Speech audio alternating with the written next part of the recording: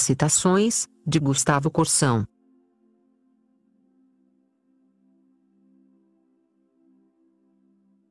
Citações com a letra A.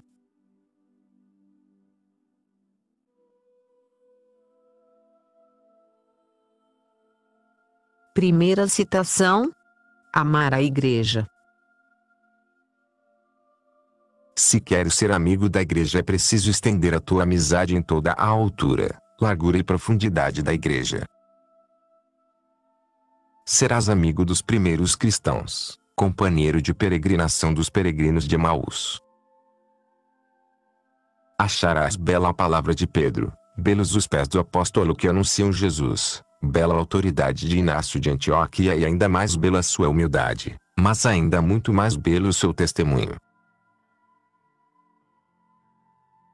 Conhecer as histórias dos que creram e cada um a seu modo trouxe um testemunho.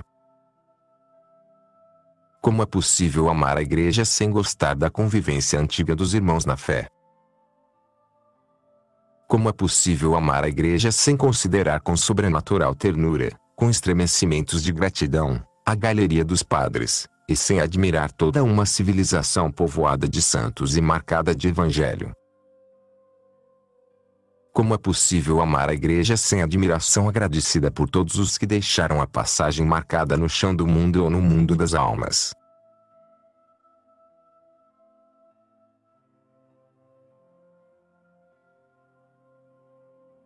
Segunda citação, Amizades. Todo amigo é amigo de infância. Não importa se você o conheceu no mês passado ou se soltou papagaio com ele na rua do Matoso. Se a amizade é verdadeira, ela tem esta força que vence as distâncias e os anos, e tem necessidade de uma profunda comunhão de vida.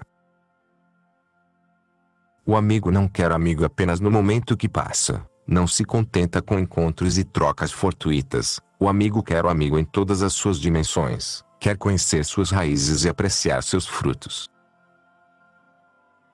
O amigo quer amigo como companheiro de caminhar neste mundo. E por isso, a primeira ideia que nos acode quando pensamos na perfeição da amizade é a da fidelidade. Observar quantas e quantas vezes a Sagrada Escritura nos fala da amizade, insistindo sempre na ideia de longa fidelidade. O amigo é amigo todos os dias, mas na hora da desgraça é irmão. Livro dos Provérbios, 17,17 Um amigo fiel é uma proteção poderosa, e quem o achou possui um tesouro. Nada vale mais do que um amigo fiel, nenhum peso de ouro marca seu preço. Um amigo fiel é remédio da vida, e aqueles que temem o Senhor o encontram. Quem teme o Senhor é capaz de verdadeira amizade, pois vê no amigo o seu semelhante. Eclesiástico 6,14 a 17 Por outro lado, o que marca o falso amigo é justamente a sua inconstância. Este amigo em tal hora, mas não será no dia da aflição. Este outro é hoje amigo e amanhã inimigo. Aquele é amigo quando está sentado à mesa, mas não é na hora da dor. Eclesiástico 6,8 a 10 Há entretanto uma amizade maior do que as outras, a de quem dá vida por seus amigos. Sois meus amigos se fizerdes o que mando. Disse-nos o Senhor, e logo acrescentou: Já não vos chamo servos, porque o servo não sabe o que faz o Senhor. Chamo-os amigos porque tudo o que ouvi de meu Pai vos dei a conhecer.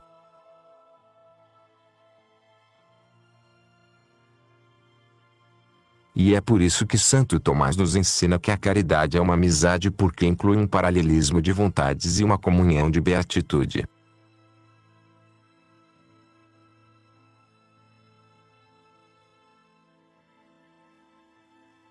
Terceira citação: Amor. A conversação amorosa tem esse caráter especial. Todos os assuntos são pretextos. Dentro da infinita variedade que a vida e o mundo proporcionam, o coração enamorado vê no assunto um lugar de encontro, um modo de contato.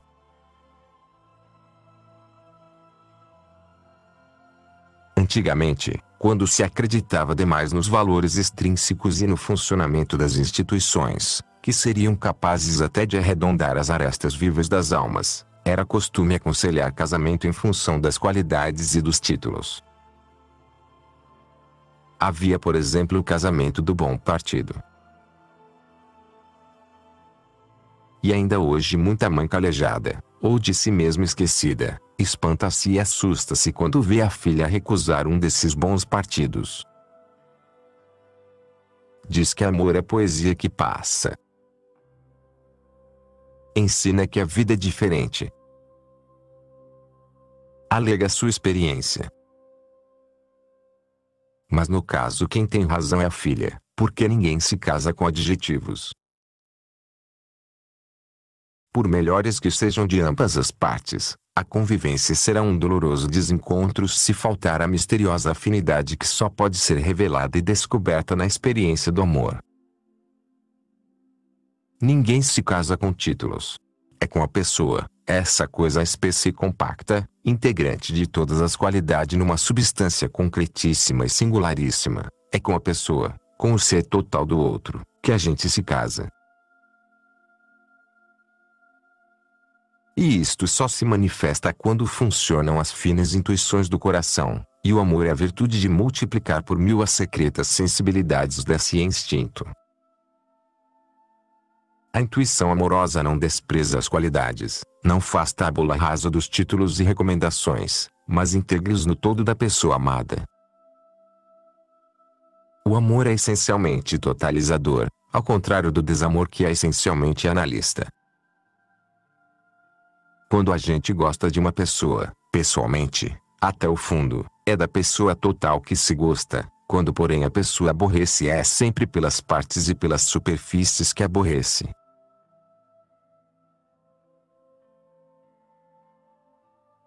Muita gente diz que amor é cego, e portanto mau conselheiro.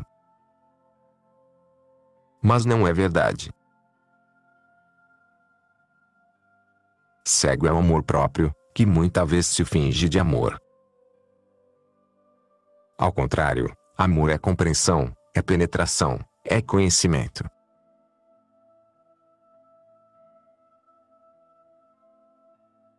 Dizer que o amor é cego equivale a afirmar a radical incompatibilidade entre o amor e a razão. O caloroso amor será cego, a lúcida razão será gélida. Divide-se então o homem em si mesmo, de um modo irremediável, e o jogo do amor será uma loteria com poucos prêmios e muitos bilhetes brancos. A razão virá mais tarde, quando esfriar o amor, para passar um pito no apaixonado, ou para se rir amarelo da ilusão dos que ainda vivem nos amorosos torpores. Ao contrário, o amor é lúcido. O amor, o verdadeiro amor é ardentemente compreensivo. Só quem ama verdadeiramente, conhece verdadeiramente. Se é verdade que o conhecimento precede o amor, é verdade também que o amor precede a dilatação do conhecimento. O amor, o verdadeiro amor tem um conhecimento penetrante, candente, fino, lúcido, tem um conhecimento de ressonância profunda, de identificação, de conaturalidade. O amor, o verdadeiro amor adivinha, penetra, descobre, simpatiza, faz suas as aflições do outro, dá ao outro suas próprias alegrias. É compreensivo. Mas não é compreensivo no sentido que se dá a esse vocábulo, quando quer significar uma tolerância que fecha os olhos. Não.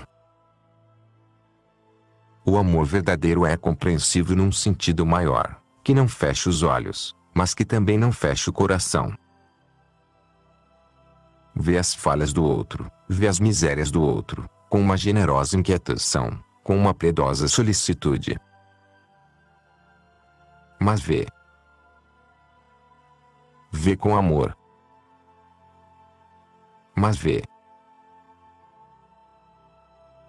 E é nessa visão que ele encontra as forças de paciência para os dias difíceis, e que se defende das amargas decepções.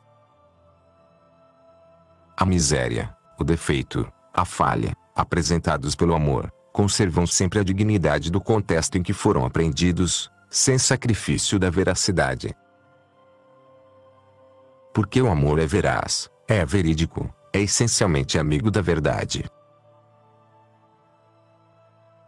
E como compete a razão guiar a alma nos caminhos da verdade, segue-se com lógica irresistível que a razão é o piloto do amor.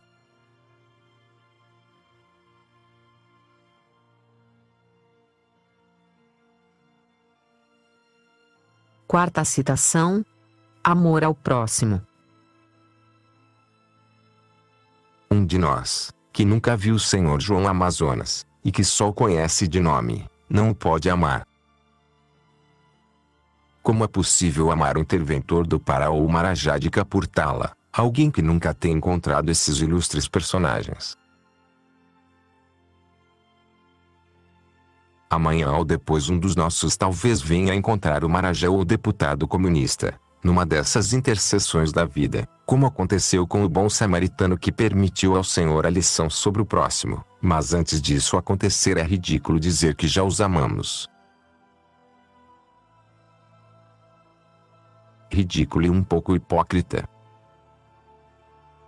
Amamos o próximo, e antes de tudo amamos a Deus. Quanto ao Marajá e ao interventor, está na mão de Deus, pelo ministério dos anjos, a distribuição do afeto dentro da comunhão dos santos. Este é o único modo de que dispomos, neste mundo, de honrar a humanidade dos desconhecidos, pela santa humanidade de Cristo. Nosso amor a Deus descerá como uma chuva nas casas dos japoneses e nas choças dos índios, mas não nos fica bem enunciar esse mistério dizendo desde já que sentimos palpitações de amor quando pensamos no Senhor João Amazonas. Será preferível, mais sincero, mais varonil, talvez mais cristão dizer claramente que sentimos uma veemente indignação pelo que dele sabemos como homem público, que nas câmaras procura nos arrastar para uma iniquidade,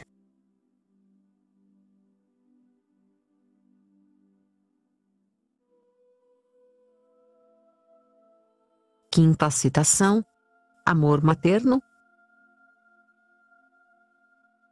Também o amor materno, que fez a violência de rachar o corpo ao meio, em grandes dores, para dar à luz, isto é, para se separar, muitas vezes se arrepende freneticamente e volta-se contra o filho com um vampirismo monstruoso que se prolonga para a vida inteira.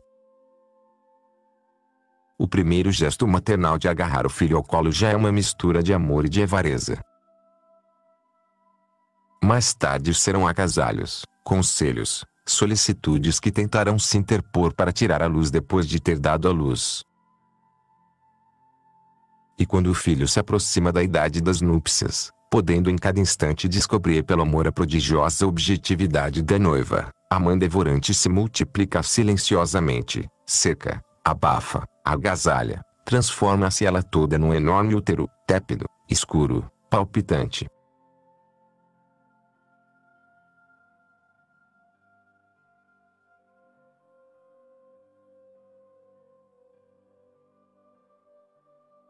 Sexta citação: Arte. Não é por mero floreio literário que diz-se estarem os homens preparando uma exposição para o juízo final. Na verdade, o fazer artístico, saiba ou não saiba o artífice, é uma espécie de ofertório.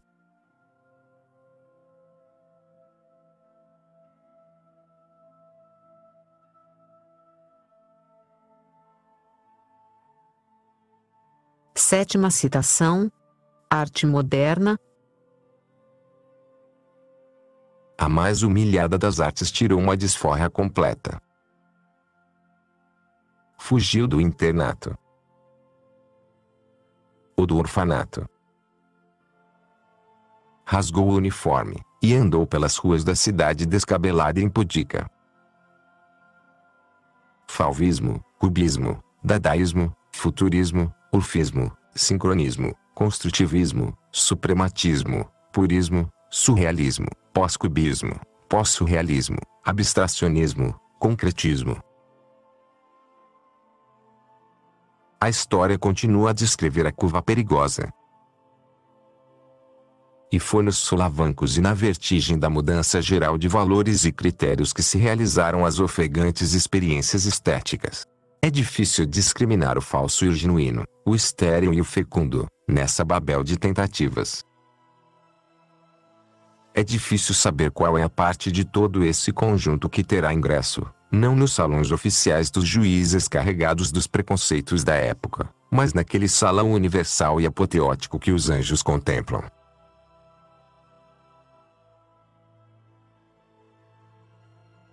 Passaram-se os tempos. A curva continua, mas agora nós nos habituamos à vertigem. Pode-se até dizer que de tal modo nos habituamos à curvatura da história que até passamos a considerar os solavancos como rotinas. Temos ou apregoamos uma facilidade enorme de aceitar todas as inovações. Temos até vergonha, respeito humano, de demonstrar um sincero auriçamente diante de alguma tela exposta na Bienal. Não fica bem manifestar estranheza diante do que é estranho. Escancarado e complacente, a opinião pública aceita tudo. O espírito burguês, vivendo a antítese do fixismo derrubado, tornou-se revolucionário e a audácia de recusar foi substituída pela audácia de aceitar e de fingir que compreende tudo. E assim, ao farisaísmo de 1870 responde o mundo moderno com um publicanismo de infinita tolerância, que muitos pensam ser uma infinita sabedoria, e alguns ousam pensar que é uma infinita caridade. Quando a forma da música ou da poesia parecer esdrúxula demais, o público tem moeda desvalorizada para comprá-la, ou uma fórmula para conjurá-la, arte moderna. Nós nos rimos hoje dos críticos que riam de Manete, do pacato Manete, do tranquilo Manete. Quem se rirá de nós?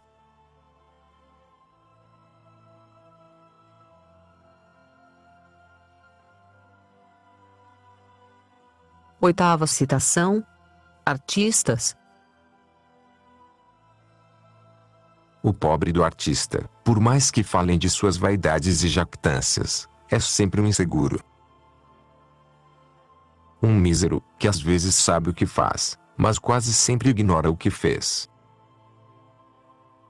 Um mendigo que precisa, mais do que ninguém, de pancadinhas no ombro um siquioso de confirmação, um faminto de elogio. Só não precisa de elogios o homem muito santo ou o homem muito orgulhoso.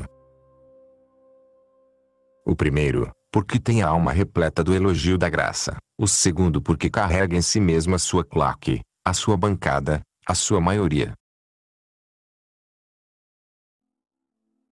Mas o artista do vulgar meio termo, que anda na montanha russa da vida, ora mais alto, ora mais baixo, sem atingir a santidade sem se endurecer de suficiências. Esse precisa de palmas, de sinais que o confirmem, de mãos que o salvem do oceano de perplexidades.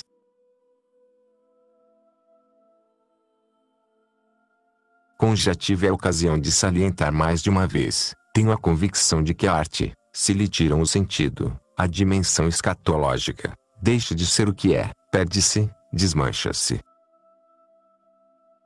Os artistas estão aqui, neste mundo obscuro e bastante desconcertado para mostrar aos homens os preparativos de uma festa a que todos estão convidados.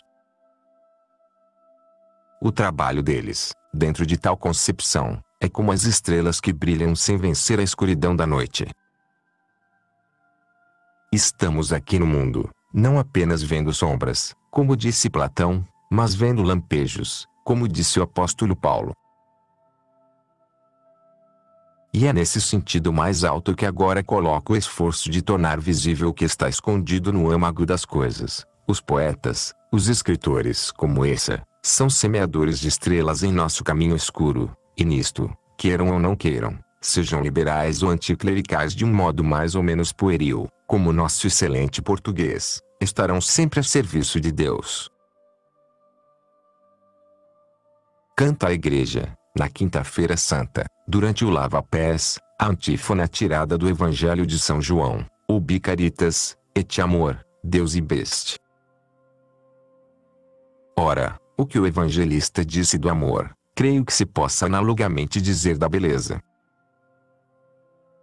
Onde estiver algumas cintilações da beleza, aí Deus está.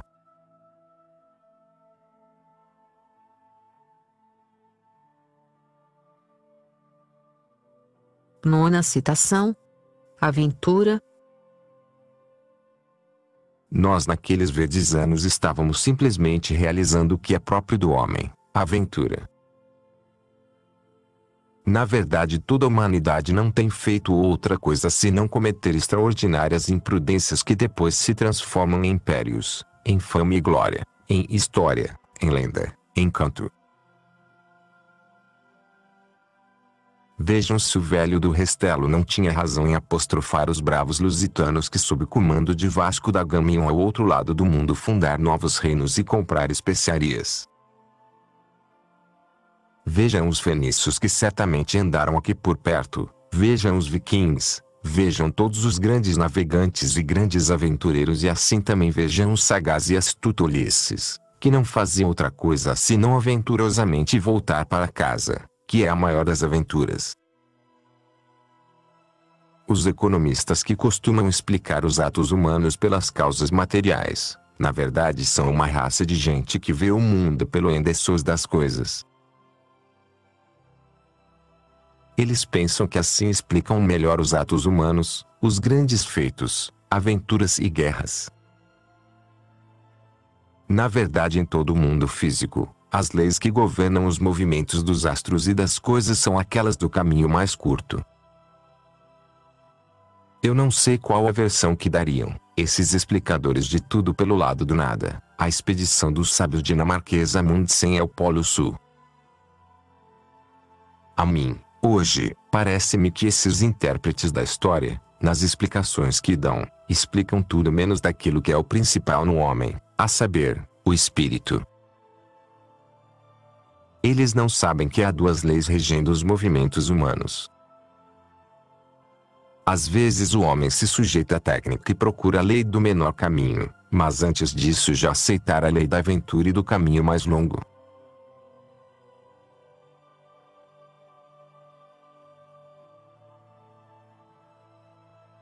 Citações com a letra B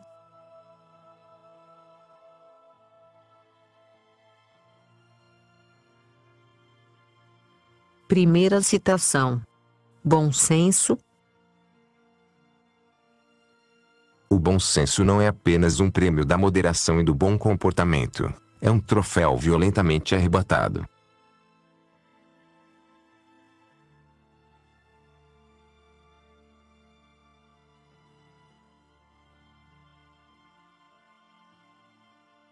Segunda citação. Burrice, Os católicos, em todas as épocas foram sujeitos aos pecados de todos os matizes, mas nunca pecaram, como hoje, de um modo tão humilhantemente burro.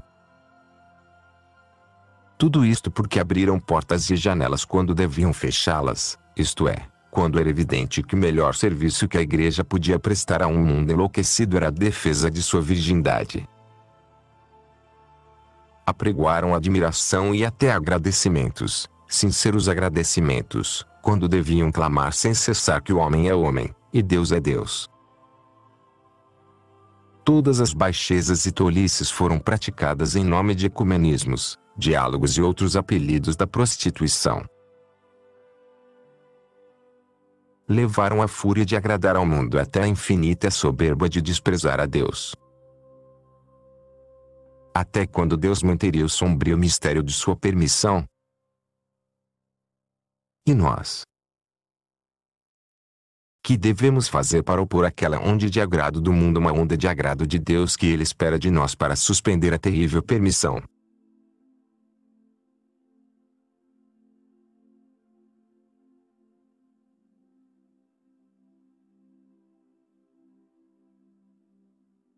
Citações com a letra C.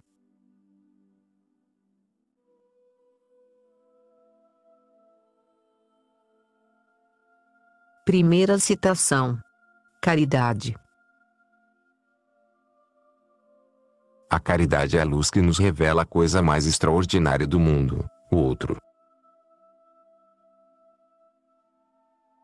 Nem sempre conseguimos essa prodigiosa banalidade, e no meio da multidão sentimos-nos isolados, únicos, como se todas as pessoas que vemos não passassem de meras sombras, de sinais saídos de nosso interior. Mesmo em família ainda cada um tem uma significação relativa ao nosso eu. Esta é minha mulher, aquele é meu cunhado,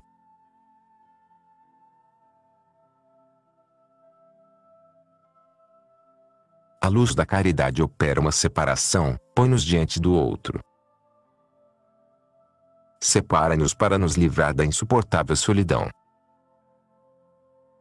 Os maus poetas que só conhecem o amor erótico, não sabem que o verdadeiro amor separa, e que separa de um modo perfeito.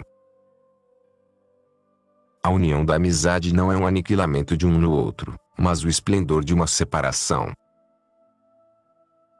Os amigos não se desmancham, os santos não se dissolvem, mesmo diante de Deus, mas reúnem-se de mãos dadas e cantam o mesmo louvor, cada um com sua voz, separados e reconciliados. O modelo perfeito do amor é a Santíssima Trindade, onde as três pessoas se amam numa perfeita separação.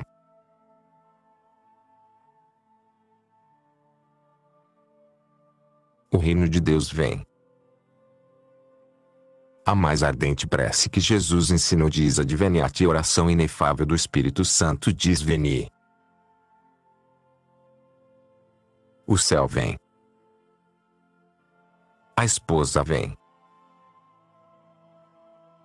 Mas como seria possível imaginar o grito ardente que chama, que pede a vinda, o veni?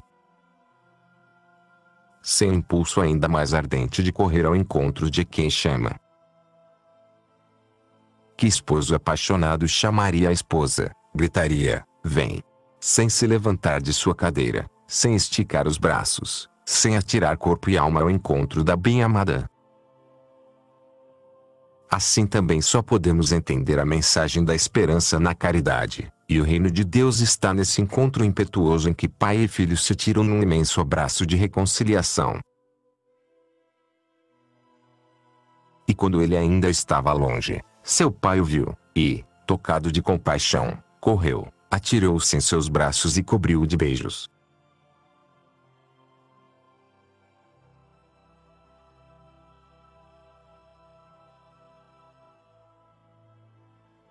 Segunda citação: Caridade fraterna. O cristianismo é todo ele uma soma de pequeníssimas histórias familiares, Basta ver nas epístolas. Depois do dogma vem os nomes de uns poucos amigos, depois da doutrina, os abraços da cordialidade paroquial. Lembranças a Prícia Aquila. Lembranças e abraços Andrônica, Amplius, Urbano, Peside e Rufus. Quem são esses santos ignorados cujos nomes vêm assim arrastados pelos séculos e séculos na cauda da doutrina? Ilúcius, Jazão, Sosipater, Hierastus, o tesoureiro da cidade, e Quartus, nosso irmão? Quem são esses que ficaram gravados na Sagrada Escritura pela força dos abraços?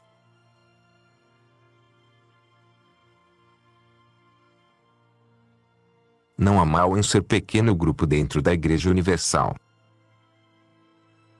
Ao contrário, o mal está em supor que é possível a vida cristã na solidão das multidões, ou em imaginar que as grandes concentrações constituem resultado mais genuinamente cristão do que o pequeno grupo. O homem se perde, só nas multidões. Isolado ou dissolvido na massa, um homem deixa de ser homem, e por mais forte razão, de ser católico. Uma paróquia com 50 mil paroquianos é um absurdo, simplesmente porque não é possível abraçar e mandar lembranças a 50 mil indivíduos. O mundo moderno padece de hipertrofia em tudo, e persegue implacavelmente todos os pequenos grupos, desde a oficina do artesão até a família, desde a paróquia até a granja. O pequeno grupo é a célula cristã por excelência, sendo medido com o côvado da amizade, esse metro humano que é aproximadamente igual aos braços de uma cruz.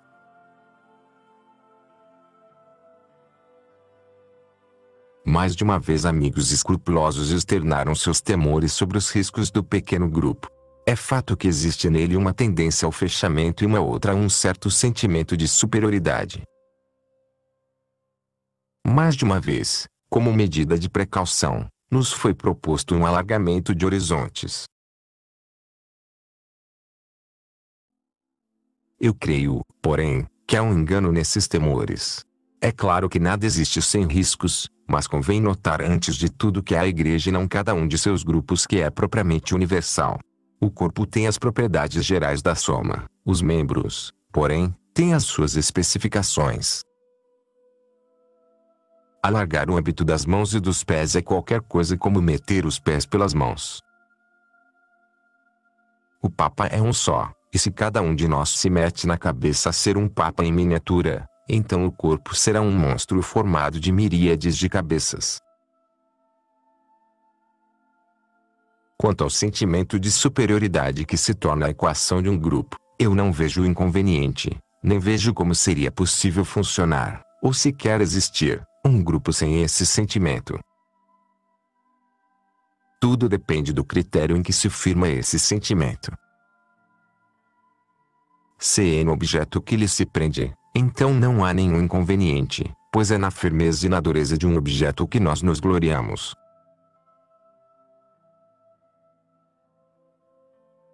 Quando durante a guerra Trotsky pulverizou mosteiros seculares, eu subi a ladeira de São Bento, cada vez mais íngreme para o peso dos dias, e quando, em cima, eu vi a clara fachada de sol, as torres, os sinos, o portão monumental com lavores em ferro, e o pequeno alpendre ao lado, onde dois ou três amigos já de longe me sorriam. Muitas vezes eu pensei que aquilo. A casa, o portão, as torres, o alpendre acolhedor. Tudo poderia um dia me faltar, reduzido a um montão de escombros, como a tantos no mundo aconteceu.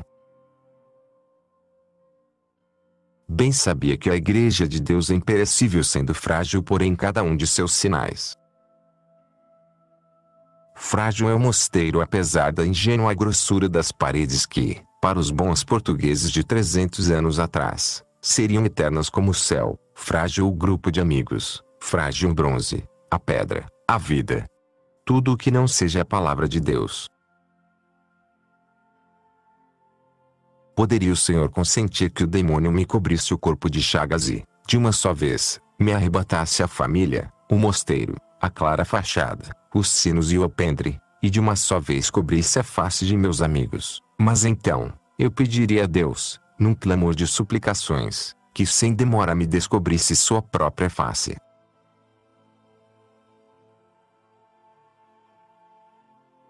Tenho para mim com firmíssima convicção, as almas dadas, dedicadas, debruçadas não se podem perder.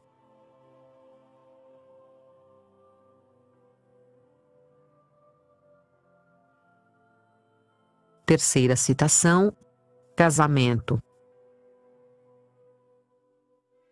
A fragilidade do matrimônio decorre de uma desmedida exigência de felicidade, ou melhor, da aplicação dessa exigência a uma coisa que não suporta a tal pressão. Há uma insolência nossa nessa impaciente cobrança de ventura, e é sobretudo um equívoco, porque pretendemos tirar da casa, do matrimônio, do amor humano, um infinito rendimento, quando é finita e sempre muito exígua a nossa própria contribuição. Depositamos com mesquinharia e queremos juros generosos, infinitamente generosos. E no desejo desse absurdo balanço nós somos injustos com o próximo, e injustos com Deus.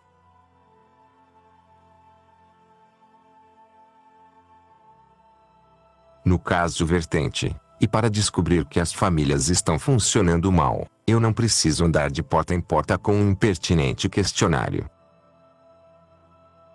Basta me observar a rua, os bondes, os cafés, para poder concluir que as casas já não retêm as pessoas. A febre nas ruas prova a agonia das casas. E como a felicidade conjugal está vinculada à casa, ao equilíbrio, ao poder de retenção da casa, posso deduzir do aspecto publicado nas ruas as infelicidades escondidas nas casas.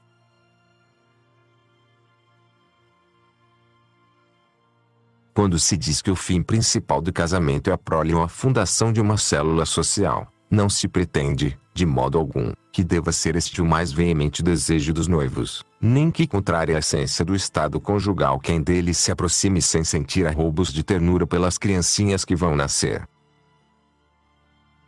Com o risco de parecer contraditório, declaro que não veria com bons olhos o futuro genro que tivesse mais ternos sentimentos pela prole futura, ou pelo bem comum social, do que pela noiva.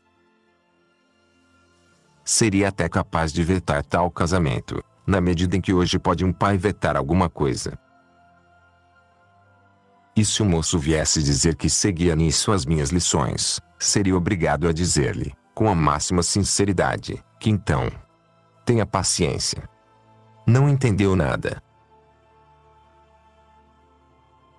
Está na natureza das coisas começar o casamento pela exaltação amorosa recíproca, como também está na natureza das coisas vir a flor antes do fruto. E não se diga, por favor, que essas flores são ardis da natureza astuta e traiçoeira que assim pega desprevenidos os corações e as abelhas. Nem se diga que são ilusórios os idílios e as paixões. As flores e os amores são realidades que jorram da profunda e intrínseca generosidade do ser. Não pecam, pois, por individualismo os noivos que se amam de um modo esquecido de tudo, os noivos que se isolam numa ilha, em Aquindombiticea,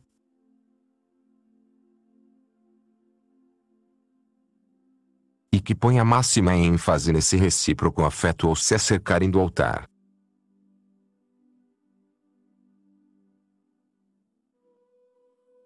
Um encontro não se transforma em núpcias gradativamente e inevitavelmente. Entre uma coisa e outra é preciso inserir um elemento decisivo. Há um provérbio de aparência imbecil que diz assim: quem pensa não casa.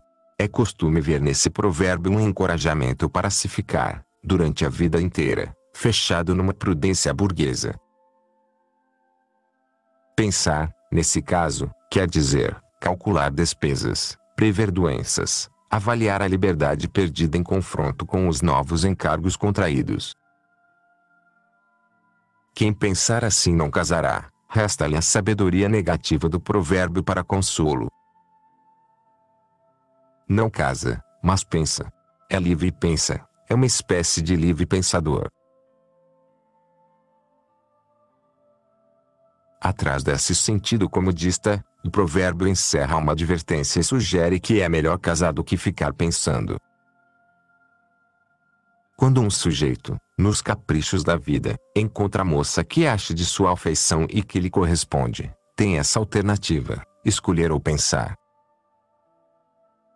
O escolher é precedido, evidentemente, de um certo pensar, é de toda prudência que se conviva com a moça, que se converse, que se observem umas tantas coisas, antes de decidir a escolha. O homem é dotado de razão também para casar e deve aplicá-la na justa medida. A tarefa não é fácil.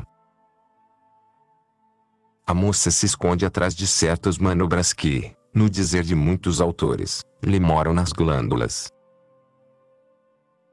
O pretendente pode estar certo que ela mudará enormemente, não é assim como agora se ri que ela vai rir. Não é disso que hoje chora que vai chorar. Seus gestos serão diferentes, sua forma se alterará, e sua própria voz, que tanto agrada hoje, será mais cheia e mais dura no difícil cotidiano. O mais atento leitor de um Boagete ou de um Monterlante se enganará redondamente se quiser fazer previsões psicológicas sobre a esposa escondida na noiva. Assim sendo, é justo que se pense e razoável que se cogite. Mas num certo ponto do conhecer é preciso decidir.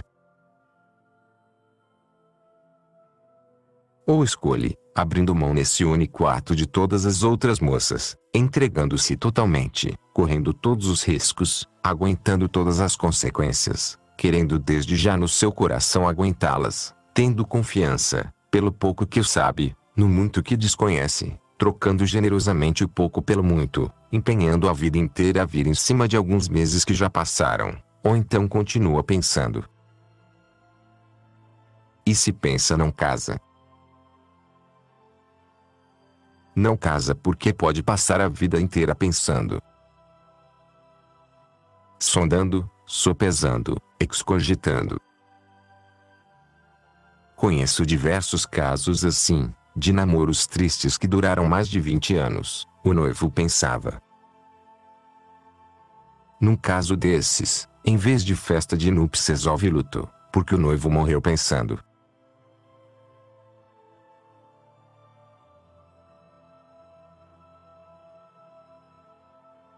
existirá sempre esse problema, essa tensão entre os dois sexos. Como diz Chesterton, o homem e a mulher são de fato incompatíveis. Viverão sempre em dificuldades. Serão sempre dois estrangeiros cada um a falar mal o idioma do outro. Prolongarão indefinidamente esse duelo que leva as maiores santas a nos tratarem, pobres de nós, ora com astúcia, ora com provocação. Santa Escolástica, para iludir o rigor monástico de seu santo irmão, rezou pedindo uma chuva torrencial.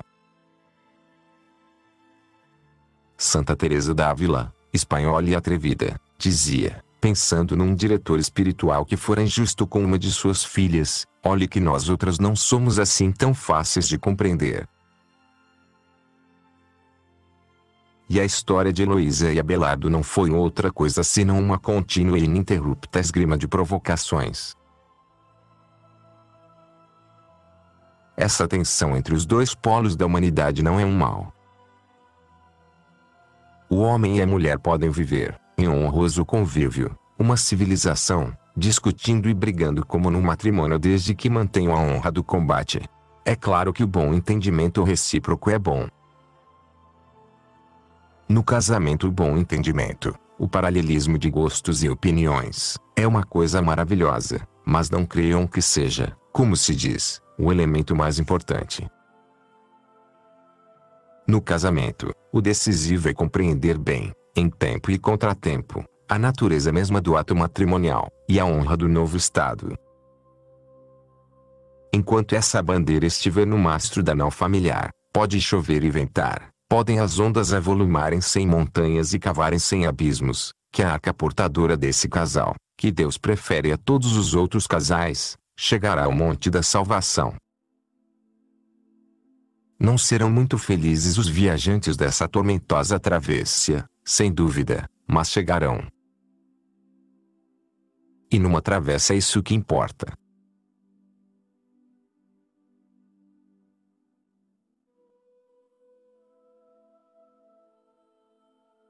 Quarta citação: Castelo Branco. Em outra ocasião em que também o presidente me honrou com um convite que também não pude aceitar, a conversa prolongou-se e eu queria perguntar-lhe uma coisa e dizer-lhe outra. Posso perguntar uma coisa ao meu presidente? Ele olhou-me com aqueles olhos profundos de que não me esquecerei, pousando a mão no meu braço, disse-me: Ao Senhor eu abrirei meu coração. E eu que dantes nunca entrara em palácios, que sou por vocação muito mais povo que fidalgo, embora admire a fidalguia dos que a sabem trazer, vi de repente naquele varão as duas coisas sem as quais não pode haver estadista, a pequenez da condição comum que nos irmanava, e a majestade de um verdadeiro chefe de Estado designado por Deus. Saí do Palácio Laranjeiras indeciso nas minhas convicções republicanas.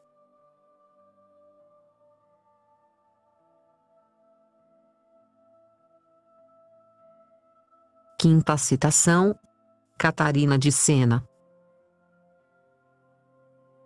Lembrei-me de escrever estas linhas de homenagem à doce mama Caterina, porque ultimamente tenho pensado muito na moleza e tolerância dos tempos modernos, que nos mais altos lugares são apregoadas como virtudes máximas. Apeguemo-nos à adamantina dureza da santidade. Santa Catarina de Sena jamais abriria a boca, jamais emprestaria o seu sorriso de virgem ardorosa e pura para pronunciar essas melosas declarações de incondicional tolerância e falsa bondade. Catarina de Sena tinha ódios. Santa Catarina de Sena não saberia, jamais, fazer um programa de promoção do reino de Deus naquele tom de amaciamento da vontade de derrame sentimental. O que nos ensinam os santos, com palavras e obras, é que não basta o sentimento enternecido, nem basta traçar na areia a tênue linha que separa o bem do mal. O que nos ensinam os santos é que é preciso, resolutamente, entre os céus e os infernos, erguer muralhas de ódio e cavar abismos de amor. E o que nos ensina com particular insistência essa moça de vinte e poucos anos, Catarina, filha do tintureiro Benincasa, de Sena, é que devemos andar como os paladinos do Santo Sepulcro, entre duas cruzes, no peito e nas costas, a cruz do santo ódio e a cruz do santo amor. E é por isso que a igreja, no dia de sua festa, dizia no introito da missa, Diles isti justitim et odistinictatem, fórmula que bem exprime o claro escuro, ou melhor, o preto e branco da vontade bem polarizada pelos mandamentos de Deus.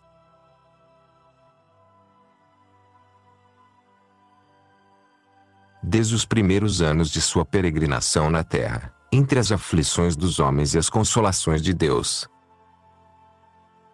A Igreja sempre marcou uma especial devoção pelo sangue de nossa salvação. Já o apóstolo em Hebreus 9,22 diz: É com sangue que quase todas as coisas se purificam e sem efusão de sangue não há salvação.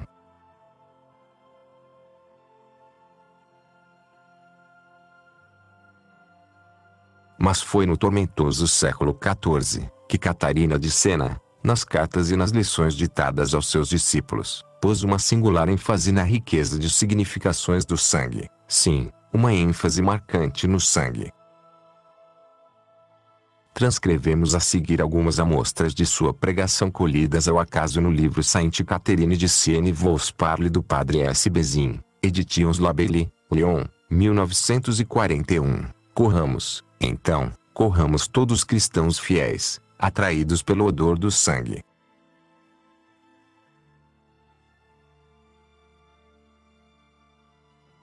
Inebremos-nos do sangue de Jesus crucificado já que o temos ao nosso alcance. Não nos deixemos morrer de sede. Não nos contentemos com pouco, mas tomemos muito para nos embriagarmos e nos afastarmos de nós mesmos. Nós não fomos resgatados por preço de ouro, nem somente por amor, mas pelo sangue. Não há outra maneira de saciar o homem, somente neste sangue poderá alguém se desalterar. Este sangue é nosso, foi derramado para nós, ninguém nolo pode tirar a não ser nós mesmos.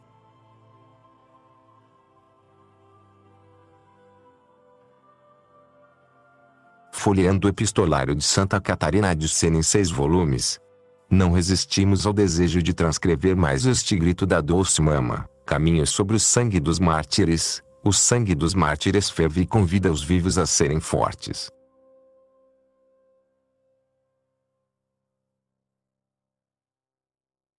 Tenho a firme convicção de que Santa Catarina de Sena falava com esta obsessiva insistência por uma razão muito simples e muito extraordinária. A vigésima terceira filha do tintureiro Benin Casas viu o sangue do nosso Salvador em todos os sinais sagrados da igreja. Quando por exemplo ela procurava seu confessor Frei Raimundo de Capua costumava dizer, vou-me ao sangue.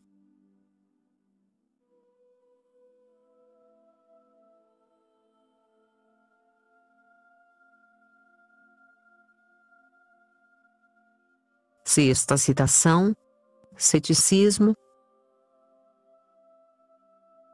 O que mais entristece e irrita na atitude do cético em relação ao milagre não é a incredulidade, por teimosa que seja em face das evidências. De certo modo, eu diria que o homem católico mais depressa simpatiza com o incrédulo, com o homem que defende o reduto intelectual de qualquer rápido assentimento, do que com a credulidade fácil que traduz negligência intelectual. Se me permitem o paradoxo, direi que nós somos terrivelmente incrédulos, porque temos cristalizado e bem definido nosso sistema de crenças. A rigor, o católico é o homem que não acredita numa imensidade de coisas em que todos acreditam. Não é pois incredulidade que mais nos afasta do homem que não crê em milagres, é antes uma posição puramente intelectual e puramente metafísica, antes de ser uma atitude de fé teologal. O homem que não acredita em milagres se apresenta geralmente como um indivíduo mais racional, mais raciocinante e até mais razoável do que o homem que acredita. no íntimo, está convencido de ser mais inteligente ou pelo menos de ser mais fiel aos dados da pura inteligência contra as armadilhas dos dados emocionais. Ora, o que acontece é exatamente o contrário. O homem infenso ao mistério e ao milagre é justamente aquele que não tem olhos lavados para a profundidade do ser, para as riquezas da realidade, para o que há de extraordinário na simples existência do mais ordinário dos seres. Dizia Santo Agostinho que o hábito de ver embotar a inteligência torna vis as coisas. Essas almas rotineiras usam a parte cartesiana da razão, a parte quadriculada do espírito, e estão convencidas de que todo espírito, toda alma humana e toda a realidade do universo cabe no magro diagrama que não é senão o esqueleto do real. Não veem o que o poeta chamou a lágrima das coisas, e que poderia ter chamado também o rezo das coisas. Não vem a novidade permanente de todos os seres contingentes pendurados na fonte viva que lhes garante a existência. Para o olhar do poeta, do metafísico e do místico não há senectude, não há repetição essencial e mecânica de um universo montado como imensa relojoaria. Eles veem a origem absoluta escondida, e veem no frêmito da contingência uma perpétua ressonância do ato criador.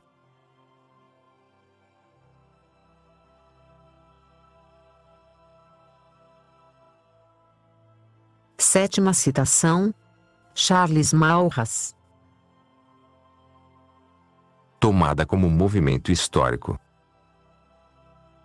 que realizava o mais vigoroso engajamento numa realidade nacional em movimento jamais visto. A. F surgiu como adversário implacável da corrente revolucionária, que evoluiria rapidamente em direção ao marxismo. Concretamente, Charles Maurras opunha-se, atravessava-se no caminho de São Marcos, sanguinieri dos silonistas com a disposição marcial de Petainem Verdun. Omni passe paz.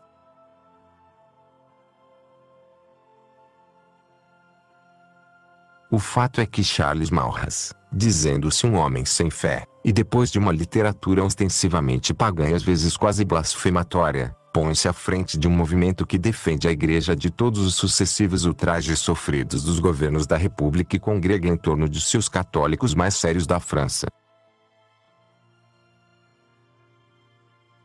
O mundo católico inteiro sentiu a irradiação dessa alma poderosa, e aqui no Brasil Jackson de Figueiredo, fundador do Centro D. Vital, foi um malrasiano fervoroso.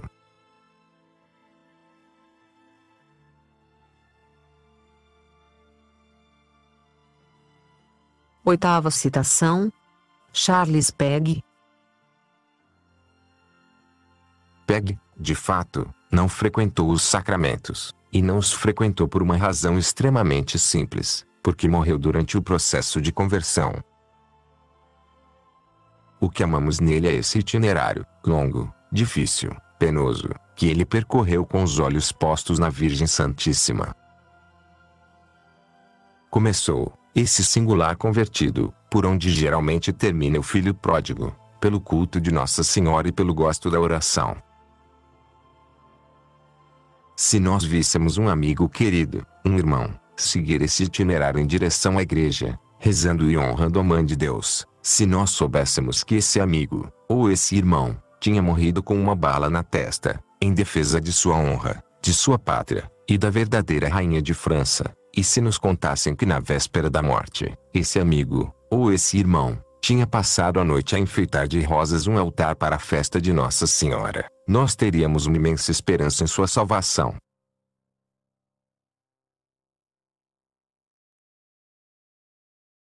O espetáculo que guardamos no coração e que não parece ter impressionado o Sr. Mesquita Pimentel é este. Um homem passa correndo numa pista difícil. Um homem passa, cantando e rezando. Um homem passa, levando a vida de seus filhos numa longa peregrinação, para entregar a quem de direito, a vida de seus filhos, e vai, e passa, e anda, e corre pelas terras da Normândia, vendo ao longe, afinal desenhar-se contra o céu a agulha fina e escura de uma catedral, onde os reis de França dormem, à espera da ressurreição. Vemo-lo passar, vemo-lo correr, rezando e cantando. De repente, em meio do caminho, quando o horizonte se cobre de nuvens escuras e estremecem as catedrais, vemos um vulto de pé, reto, varonil, estender os braços em cruz e cair, molhando com seu bom sangue, beijando em sua agonia, a antiga terra de mártires e de heróis.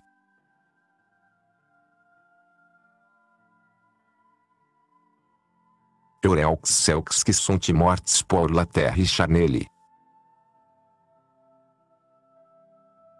mais por vous que se fute dans une juste guerre. Eureux Selks que sont morts por quatro coins de terra. Eureux Selks que sont morts d'une morte solenele. Eureux Selks que sont morts dans les grandes batailles. Colchés de susli sola face de Dieu. Eureux Selks que sont morts sur un dernier atelier. Parmi tot l'aparelho des grandes funerais. Eureux Selks que sont morts por 17 charneles. Car eles sont les corpes de la cité de Dieu. Eureux Selks que sont morts por l'euratrie et leofeu. Et les pauvres oneus diz mais uns paterneles. Ora, depois disto, chega-nos o senhor Mesquita Pimentel, de roupa marrom e colarinho duro, para nos dizer cicamente, com argumentos de corretor de seguros, que lamenta muito, mas que o nosso cliente morreu sem pagar sua última pólice.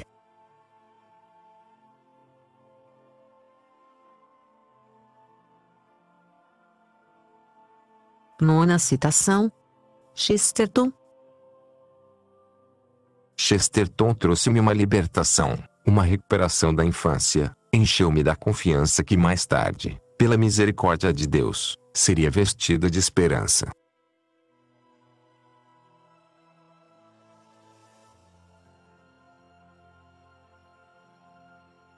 Posso dizer que há um pequeno equívoco a respeito da obra de Chesterton.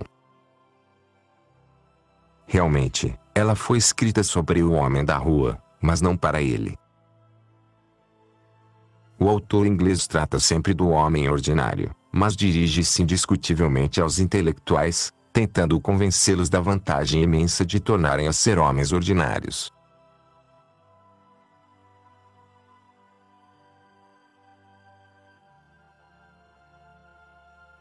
Décima citação: Ciúme. O ciúme puro, o ciúme congênito, não consiste numa falta de confiança, é antes uma avareza que não pode tolerar que alguma coisa da mulher, sua figura, seu calor, seu perfume, possa ser atingida por um ou outro. Um contato causal numa cadeira de teatro basta para produzir nele uma angústia insuportável, ainda que tenha certeza da sua casualidade e da sua inconsequência. O ciúme puro não se alimenta de dramas, não tem história, não depende de um enredo. É uma tragédia seca, toda instalada no presente, na ideia de uma posse absoluta, como a do avarento. Pelo seu gosto, o ciumento desse puro ciúme esconderia a mulher, como o avaro esconde na terra o seu tesouro.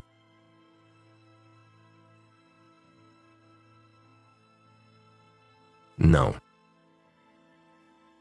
Otelo não foi avaro e nem suspeitoso de Desdemona. Otelo foi um crédulo, um grande e generoso confiante, que só representou, do drama do ciúme, as cenas de ira e da violência. Sua cólera teve a medida de sua confiança traída. Esse foi o seu drama. Qual é o ciumento que precisa da astúcia e da perfídia de um Iago?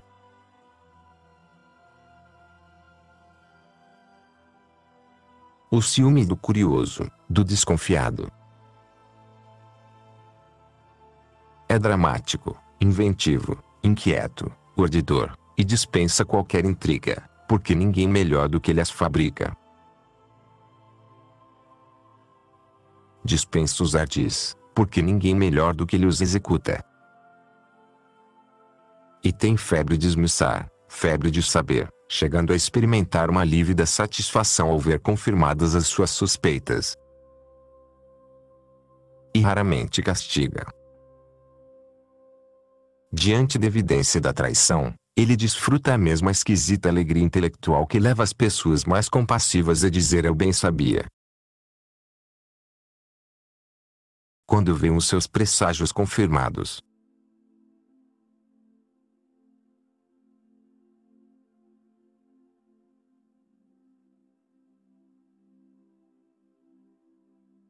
Décima primeira citação.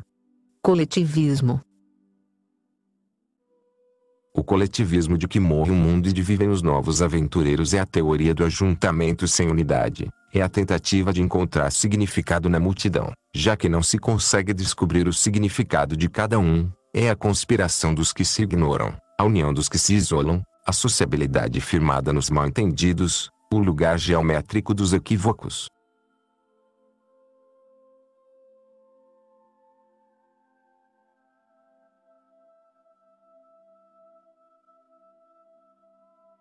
Décima segunda citação. Comunismo. Deve ou não deve ser extirpado o comunismo do corpo da democracia, no qual figura como um fibroma. Deve. Deve ser extirpado, sem a menor dúvida. É portanto errado dizer que a democracia, como a entendemos, confere direitos a qualquer ideia se discutir e a qualquer doutrina rolar adeptos. Este indiferentismo moral é o grave erro do liberalismo, fulminado pela Igreja.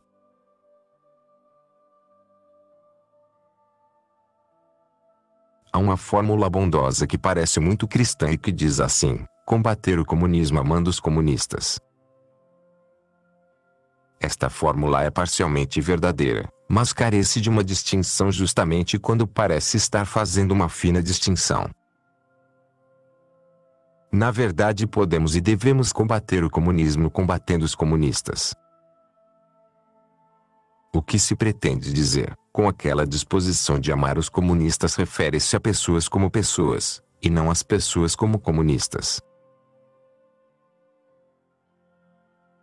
Rigorosamente falando, não estamos obrigados em relação ao comunista como tal, mesmo porque é impossível combater praticamente o comunismo sem combater os comunistas e sem os detestar na medida em que são comunistas. Levando aquela fórmula a rigor, cairíamos no erro de reduzir nosso combate ao campo puramente doutrinário, de que já nos ocupamos. A luta tem de ser prática, e por conseguinte tem de se realizar num corpo a corpo onde aquela distinção se manifesta imperfeita. É claro que em qualquer fase da luta, em cada caso particular, nossa indignação estará pronta a se transformar em amizade cristã. Mas isso não pode constituir uma condição vaga, preliminar à luta. Não devemos ter medo da justa indignação, da justa detestação. Devemos, ao contrário, ter medo dessa doçurosa falta de combatividade que nos obriga a recuar para dentro das capelas. Nos evangelhos, a divina indignação não se dirige ao farisaísmo, mas aos fariseus. É claro que cada homem mereceu o sangue do Redentor e pode amanhã se tornar santo.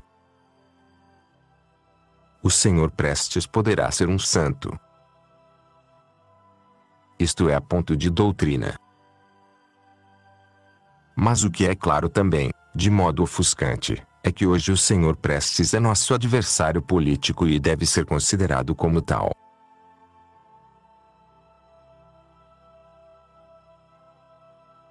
Passaram os tempos de doçuras, saibamos ser duros com justiça. E entreguemos a Deus nosso amor, para que dele disponha, e para que escolha quem virá amanhã ao nosso encontro.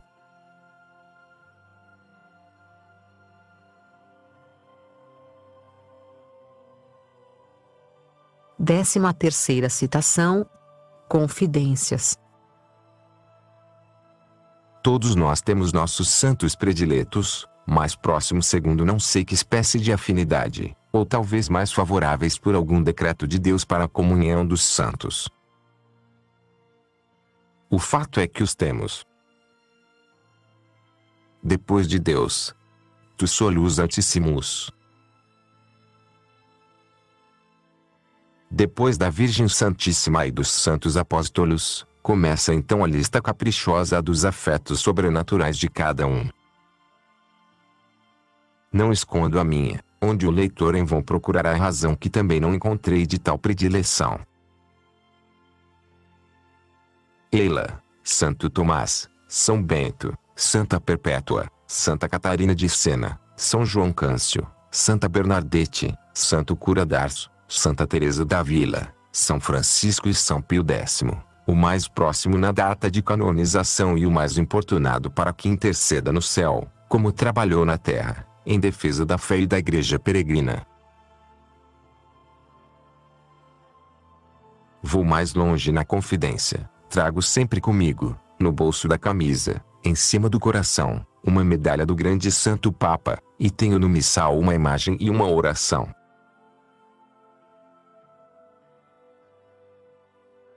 Nos dias que se seguiram, lembro-me bem, eu não podia passar 15 minutos sem pensar no santo nome de Deus. Era um assédio, um atropelo, era uma verdadeira perseguição que me acuava contra o altar. Uma onda de mérito de todos os santos, um vento de todas as orações, puxava meu chão embaixo dos pés. E eu não sabia que o silencioso mover de lábios de toda a cristandade cuidava de mim, dizia um segredo que me interessava, como os cochilos de gente grande nas vésperas de Natal, quando eu era pequenino.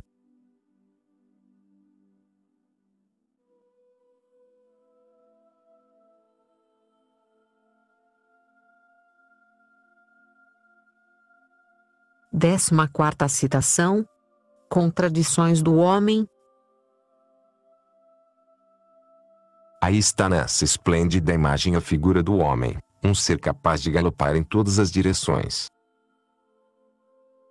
Em outras palavras, o homem, como vemos, na situação em que está, é o mais evasivo dos seres.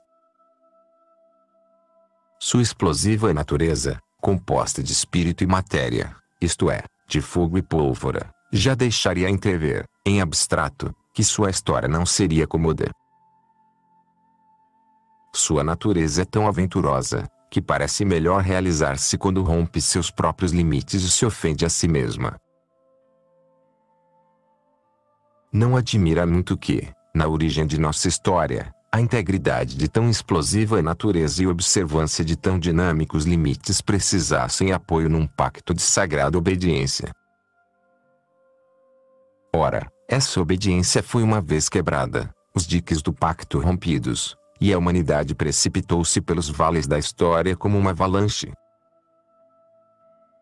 E nós vemos passar em tumulto esses estranhos seres crivados de contradições, capazes de desejar com ardor aquilo mesmo que fera sua própria natureza, capazes de assaltar e pilhar o próprio domicílio, capazes de morder o próprio coração.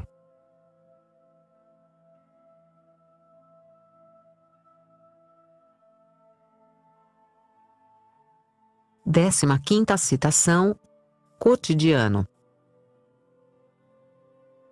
A vida só é cristã quando tudo pesa na balança da eternidade, e por isso a mesa do trabalho, ainda do mais obscuro trabalho, que não é nada, menos do que nada, se pretende ser uma atividade salvadora do mundo, em muito e pesa, se significa a aceitação da tarefa diária, a entrega do cotidiano, a preparação de um ofertório. Evidentemente, Fazem-se nessa mesa coisas sem brilho e sem festa e ninguém cairá em êxtase diante de um memorando. Mas a vida não é só festa, nem mesmo para os filhos de Deus e aos pés de Deus, porque ainda temos que caminhar um pouco de tempo carregando a cruz de nosso Senhor. Não adianta nada evitar o realismo cotidiano e banal com a espera de situações ideais, de um emprego apostólico, de uma ocupação heróica, de uma noiva total e perfeita, porque é bem possível que essas coisas não existam. Aliás, essa ideia de aguardar coisas que pesem, que valham realmente a pena de nosso esforço, é uma impertinência e uma presunção. Caíram nisso homens muito piedosos como aqueles que São Cipriano exortava, atacados de uma prosaica peste, achavam ruim porque já haviam descido, cada um no seu foro íntimo, que queriam ser mártires.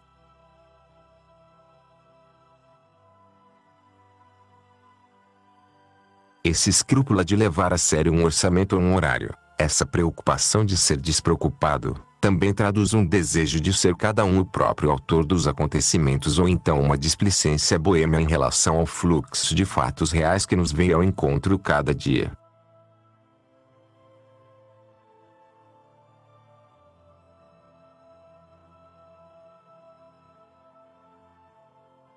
Décima sexta citação. Crise da Igreja. Sim, é cruel demais ter de explicar, ou tentar explicar o que acontece em nossa igreja. Na verdade, ainda não medimos bem a extensão de nossa desgraça. Mais do que nunca, a igreja, que conheci jovem e bela como a mais bela das filhas de Jerusalém, nos aparece como uma pessoa viva, preciosa em sua carne e em sua alma, preciosa para o mundo, carregada de promessas, de dons, de beleza, de doçura e agora ferida, caída no chão, indizivelmente humilhada, a esmolar de seus filhos uma gota de piedade.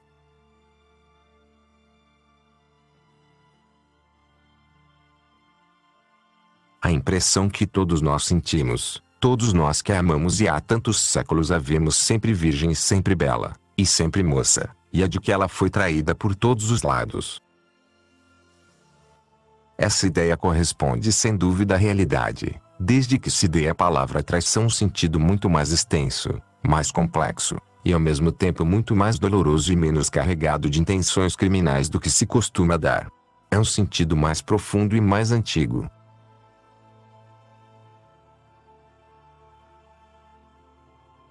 E também desde que de todas as traições de que falho só de uma tenho uma certeza íntima e indiscutível, uma certeza experimentada aqui, com a graça de Deus por ela mesma servida, ao filho ingrato lhe dá forças para cair de joelhos e chorar.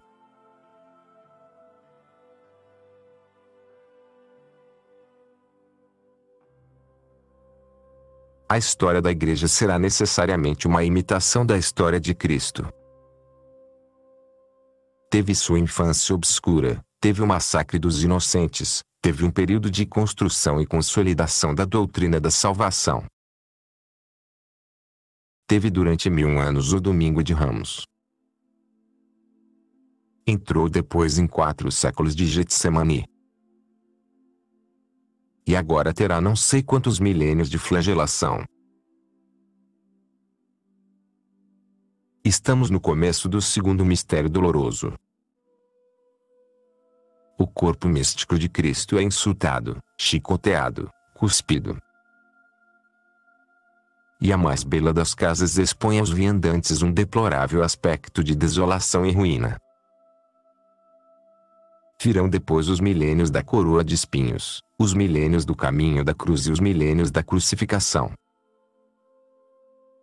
O que não é admissível mas foi longamente admitido por equívoco é a confortável e rotineira instalação da igreja no mundo.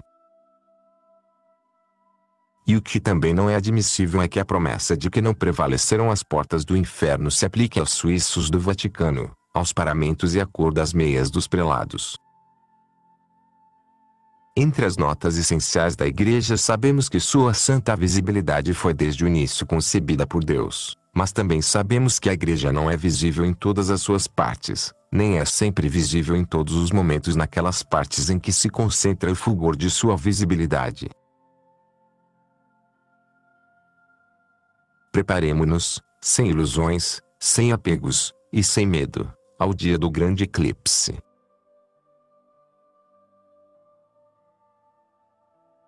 Miséria, dolência, fraqueza, tudo isto se entende, ou se admite sem se entender, ou se entende sem se admitir. Tudo isto constitui o imenso pátio dos milagres que é o campo do Cristo neste mundo. Mas inimigos, inimigos militantes, inimigos atuantes, de consciente hostilidade, dentro da igreja. Eis o que nos parece um exponencial e hiperbólico abismo dos abismos do mal. Um eclesiólogo rigoroso poderá, das próprias palavras do Evangelho, deduzir a falta de homogeneidade entre o joio e o trigo, e concluir que esses inimigos realmente só para efeito visível de sua odiosa tática estão dentro do recinto da igreja, mas não estão dentro de sua substância santa. O contato que tem com a igreja não é o dos pecadores que pensam no regaço materno e chegam a manchar o seu manto, é um contato mais íntimo, o que tiveram os flageladores com a carne santíssima de Jesus nosso Senhor.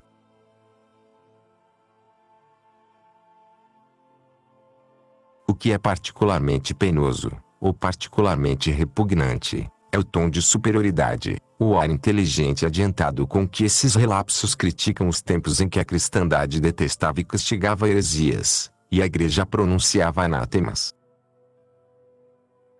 Esses senhores progressistas não chegam e não chegarão jamais a compreender que, em favor de uma cordial permissiveness para sequestradores, comunistas, autores de burríssimas fichas catequéticas etc.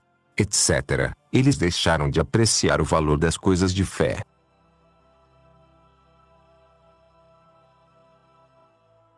Peço ao leitor a paciência de suportar a insistência com que bato na mesma tecla. O nervo de toda a subversão e de toda a agitação que se observa hoje no mundo católico, especialmente no clero, é o da contestação do mandamento honrarás pai e mãe.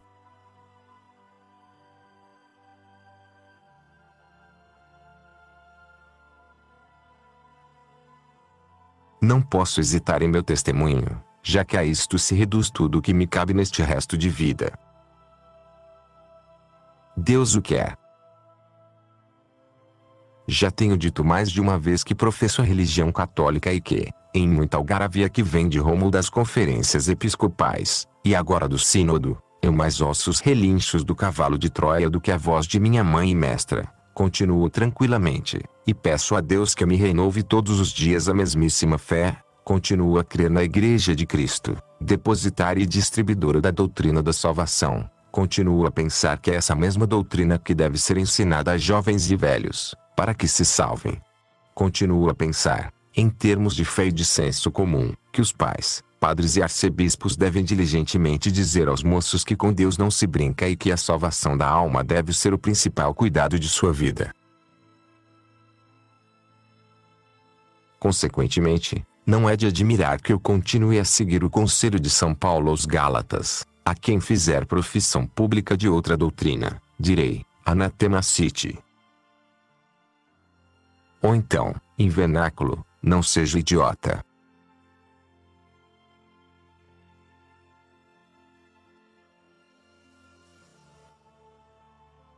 Décima sétima citação. Crise de escolhas. Ora, é fácil mostrar que a sociedade moderna, na grave crise que atravessa, parece ter esquecido essa pequena regra elementar das escolhas nítidas. Quem casa, continua muitas vezes a viver como se não se tivesse casado. Quem estuda medicina não afasta de si muitas vezes a ideia de fazer disto um negócio. Quem cinja a espada não deixa de espreitar, muitas vezes, as menores oportunidades de ocupar cargos civis. Não discuto aqui as causas. Vejo somente o fato bruto. A todos nós, homens deste século e desta cultura mórbida, repugna a escolha.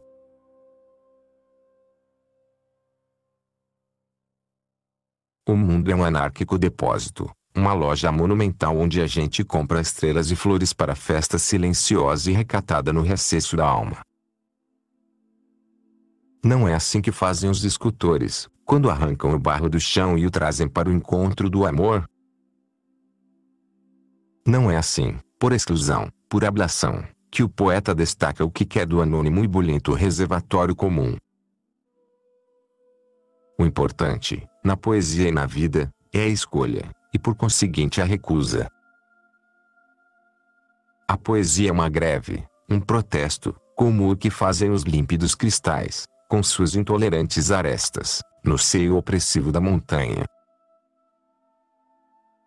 Ninguém rejeita tanto como o poeta, e como o apaixonado.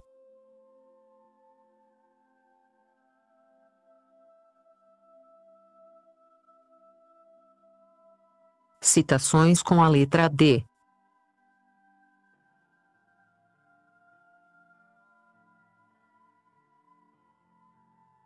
Primeira citação. Desconcerto do mundo. Na verdade, a causa principal do desconcerto do mundo que tanto aflige o poeta está no fato de ser o homem maior do que o mundo por sua principal dimensão.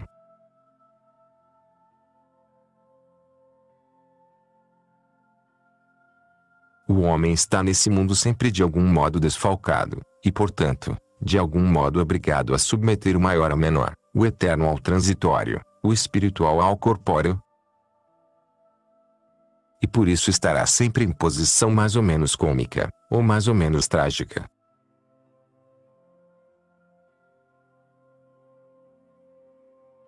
Todas as almas afinadas, um Pascal, um Peg, a seu turno, e cada um com seu modo, dirão que o homem é uma incôngrua criatura, um monstro de contradictions, um poetis inquietude. O próprio Camões, mais de uma vez volta à obsessiva ideia do desconcerto do mundo trazido pela mesma conturbada condição humana. Nós sabemos pela fé que tais desconcertos e contradições são consequências do pecado de nossos primeiros pais, e Chesterton dizia que, de todos os dogmas e mistérios da fé, o mais claro, o mais evidente é sem dúvida do pecado original. Basta de fato olhar em torno de si com alguma atenção para descobrir que o animal racional é o menos razoável dos seres, e para começar a crer que algum grave mal-entendido está na origem do homem, e perdura em sua condição ao longo dos séculos.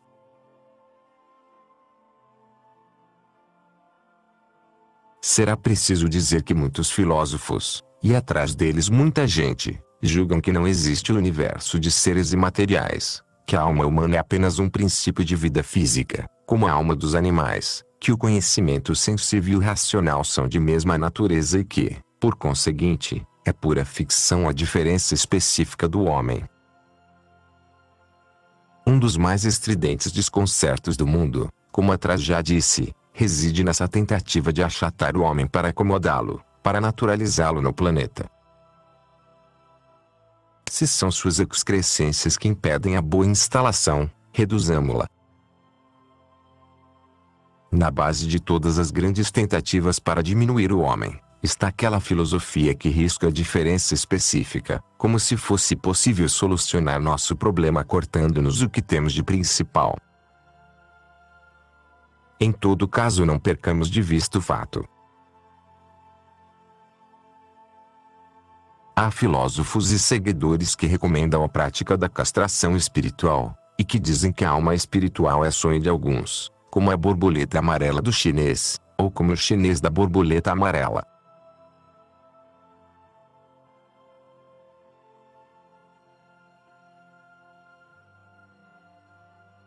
Segunda citação: Destino. Para os gregos antigos, o trágico humano estava no confronto com um destino implacável. Consistia numa escatologia fechada e opressiva que calcava a vida humana de cada dia, pesando em cada gesto, penetrando cada palavra, orientado nada passo. A encarnação e a ressurreição do Cristo vieram abrir as portas da parousia e libertar o homem, e uma nova luz acesa no mundo revelou com nitidez o verdadeiro trágico humano, a treva que contrasta com o Cristo, o mistério da iniquidade. O cristão acha hoje ridícula a ameaça antiga do destino, acha risível a própria palavra que ficou relegada para a literatura amorosa de subúrbios, porque tem consciência de uma liberdade terrível e de uma tremenda batalha com o mal.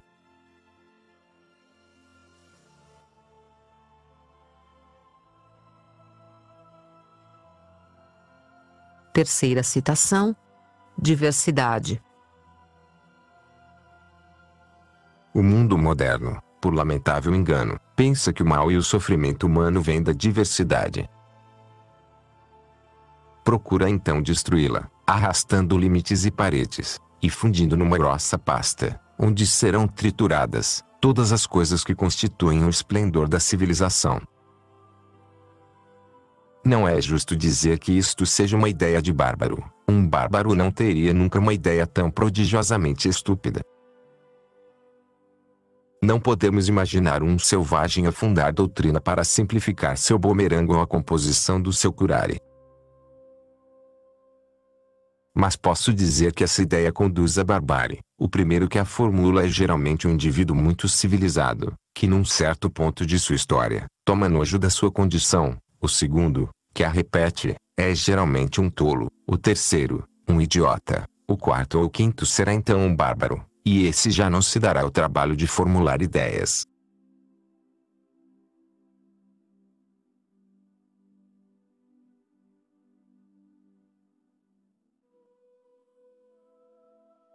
Quarta citação: Dom Euder Câmara. Dias depois li a famosa entrevista concedida por Dom Helder Alespreis, onde, entre outras coisas contava que felizmente tivera na sua adolescência de seminário um padre-mestre que o libertara do temor de Deus, e mais adiante incitava os sequestradores e assassinos de reféns com palavras de entusiasmo, eu os amo, eu os amo.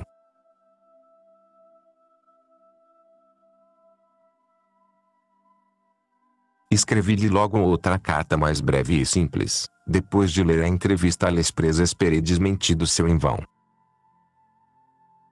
Não tendo, quero dizer-lhe que doravante o senhor está dispensado de me escrever qualquer carta, e até de me dizer bom dia, porque, depois de sua entrevista, o senhor perdeu o direito à estima e ao respeito dos homens de bem.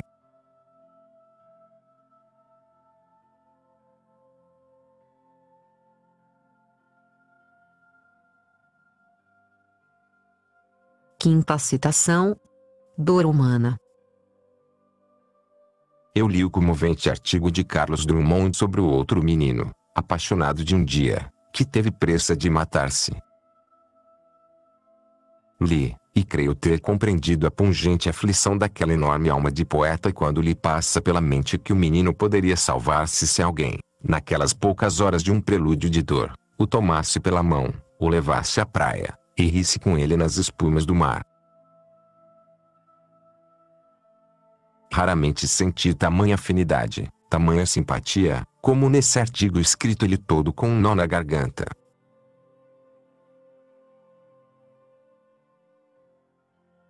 Mas não basta, ó poeta, mostrar às almas aflitas a doçura das relvas, a frescura das ondas, e a tenura dos regaços de amor porque isto não é toda a verdade da vida. E é preciso ser verdadeiro. É preciso, sempre, ser verdadeiro. Em toda a extensão. Em toda a profundidade. Nos dois hemisférios de luz e sombras da verdade. O que é preciso dizer, a esses moços que por tão pouco desesperam, é que existe uma dignidade no centro mesmo da dor, que a dor não excomunga, que a dor já foi santificada para que possa santificar. O que é preciso, ó poeta de alma grande, é abrir velas ao mar, e descobrir a verdadeira extensão do mundo e da vida. Ah! Essa história maravilhosa, que a mim me contaram, como eu gostaria de lhe contar, longamente. Longamente.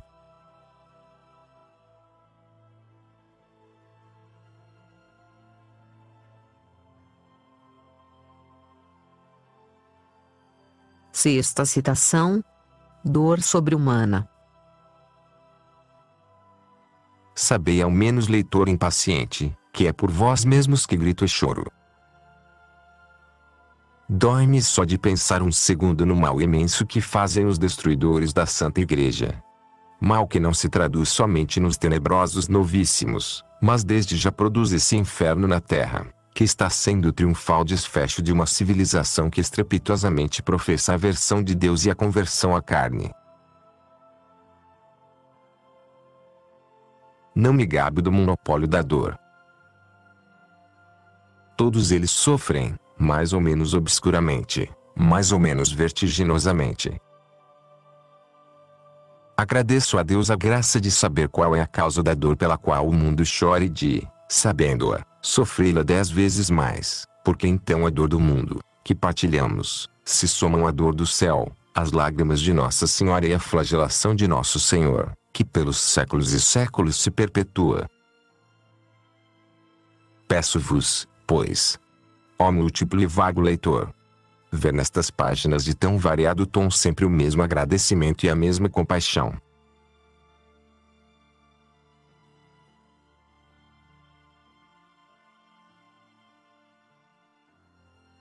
Sétima citação: Dostoiévski. A leitura de Crime e Castigo me trouxe a convicção melancólica de estarmos vivendo uma depressão histórica. O mundo inteiro está passando por um processo de laminação, de mediocrização, de perseguição de um conforto elementar e não creio ser possível em algum lugar deste mundo de hoje alguém escrever um livro como este outro de Fedor Dostoiévski. Quem sabe se não seria melhor, mais higiênico, mais decente, calarmos-nos todos durante um milênio.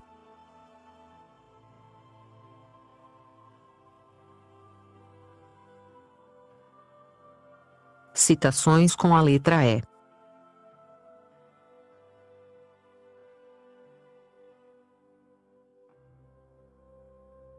Primeira citação: Essa de Queiroz,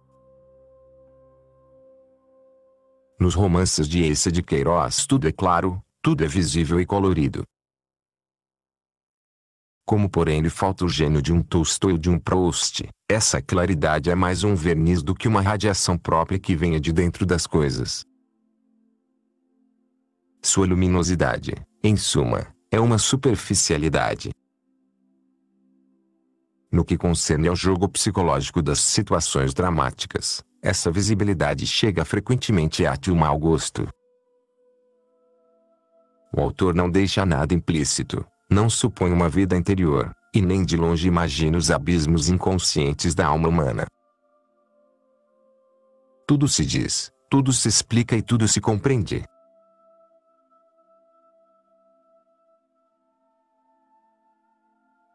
O que torno a dizer dos romances de Eissa de Queiroz, com o acréscimo do que disse acima, é que o seu enorme talento de descrever estava ligado a um talento menor de acompanhar os passos das humanas paixões.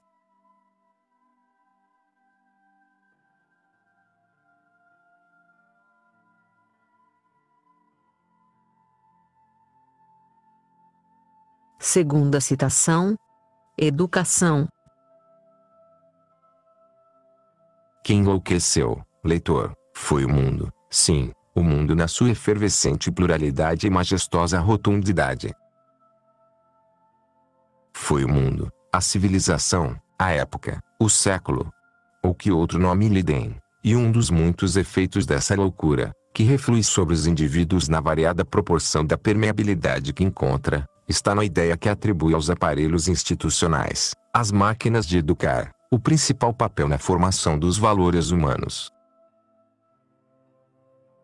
Este erro funestíssimo é próprio de uma época gregária, cujos critérios pegajosos, colantes e massificantes sufocam e estrangulam as iniciativas pessoais, que desde São Tomás, e até desde Aristóteles, são o fator principal da formação dos veros valores da pessoa humana.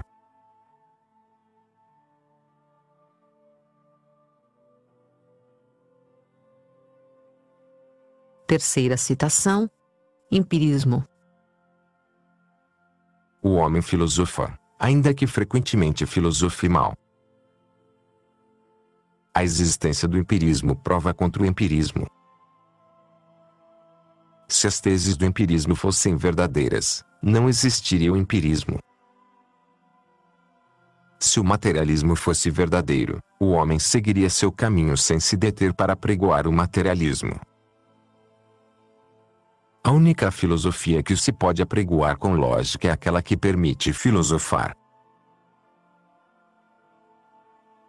Em resumo, o homem só pode negar a vida do espírito, embora com veemente falta de lógica, porque é espiritual, só pode negar a liberdade e a lei moral porque é livre.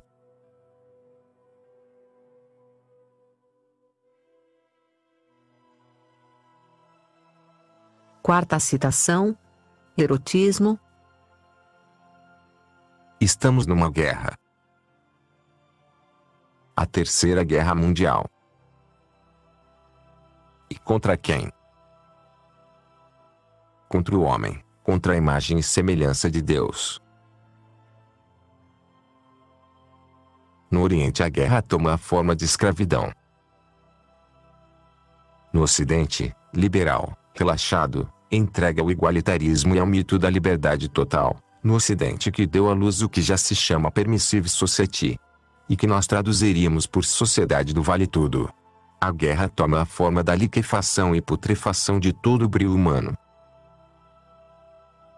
Com violência aturdidora, espalha-se um furor de erotismo, uma febre excitante promoção da sexualidade, degradante e destrutiva como se todas as energias humanas se concentrassem no mesmo propósito, levar o homem a descrer definitivamente de todos os seus títulos de transcendência e nobreza.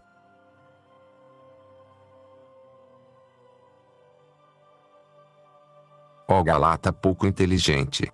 Geme São Paulo. Ó leitor desatento. Gememos nós. Consideremos o espetáculo dos costumes que aflige tantas famílias, lembremos os casos de tantas e tantas moças que se transviam, que se perdem, que se prostituem, e que ainda respondem aos pais que eles estão por fora e não entendem nada.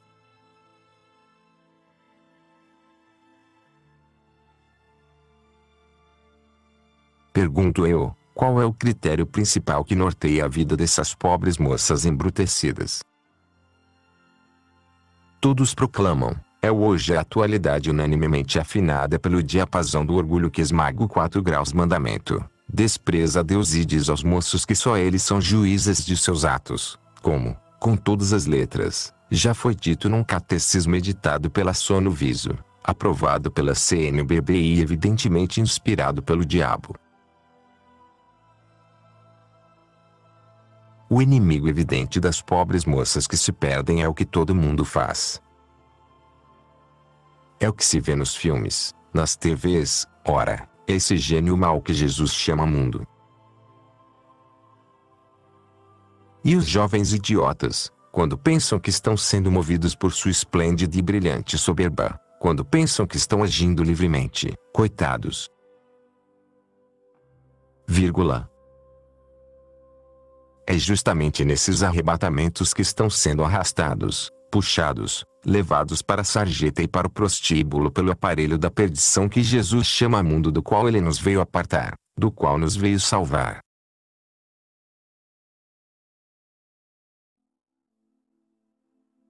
E nós, herdeiro desse júbilo divino, devemos compreender que a dignidade humana mais depressa começa pelo decoro da veste do que pela conquista da lua.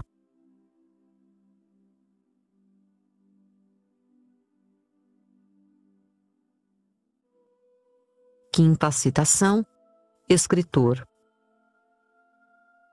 Imagino que as pessoas alheias ao ofício julguem que a substância de um escritor é feita de mistura e da soma de outros escritores e que, assim sendo, caberia aqui um largo tópico onde eu discorresse sobre os livros que li e os autores que devorei. Parece-me todavia que um escritor mais se parece com uma salada do que com um panteão ou com uma academia. Salada de quê?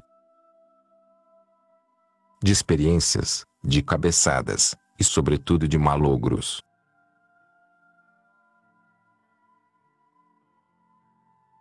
Como pode o escritor ser escritor se não tiver o gosto supremo das mais finas exatidões?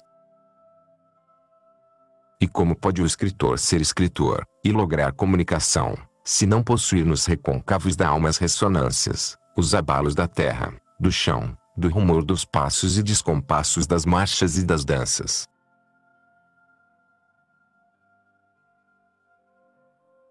Mas o escritor não nascerá somente da matéria que lhe dá corpo. Para que ele venha a nascer é preciso que dentro dele nasça a paixão violenta, invencível, de deixar sinais escritos, motes, words, vocábulos, sinais, língua, o escritor nascerá para escrever, para passar a vida pondo tudo o que viveu neste imperativo vital de respirar escrevendo ou neste veredicto de não respirar se não escrever.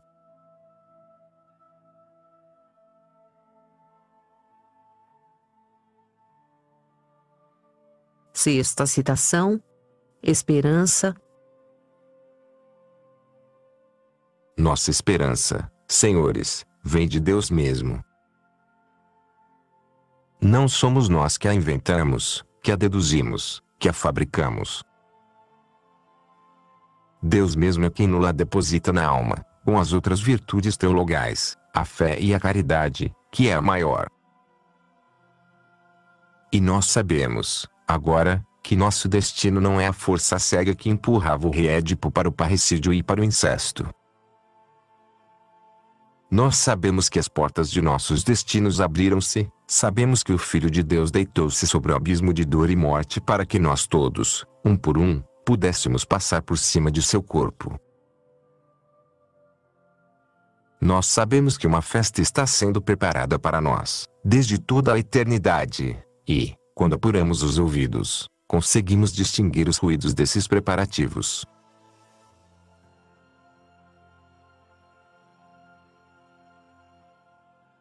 Quando éramos pequeninos, nas vésperas dos aniversários, ou das noites de Natal, ficávamos às vezes acordados na cama, nervosos, impacientes, e trocávamos olhares compreensivos com nossos irmãos, noite adentro, ouvindo os passos, as vozes, os ruídos novos de objetos novos, e trocávamos olhares cheios de suposições, ouvindo a surda azáfama dos pais que povoavam nossa noite de mistérios e esperanças. Ora, nossa esperança de hoje, essa esperança teologal, parece-se muito com aquela esperança filial de antigamente. Nós sabemos, com a certeza da fé, que há uma festa preparada para nós, e sabemos, desde já, que os preparativos escondidos não nos estão inteiramente escondidos. Ouvimos sinos que batem, ouvimos passos em procissão, ouvimos, como um rio de amor, um murmúrio de orações. E sabemos que é aqui mesmo, aqui embaixo, aqui agora, entre velas, cálices e pães, que o Cristo Jesus e sua mãe preparam, para nós, as garantias da ressurreição.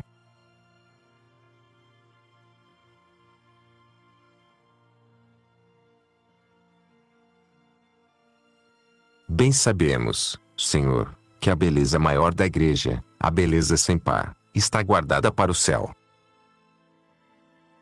Bem sabemos, Senhor, que aqui na jornada nossas alegrias são de esperanças e portanto de lágrimas. Mas não é só por nós mesmos, por nosso pobre irmão corpo que nos apegamos às alegrias deste chão tão doce de pisar, desta água tão bela de beber, deste sol que comemos com os olhos. Não é só por nós e para nós que rogamos um reflexo de esperança nas nossas pobres coisas, esta mesa, os livros, a casa lá dentro, a pobre família mal amada,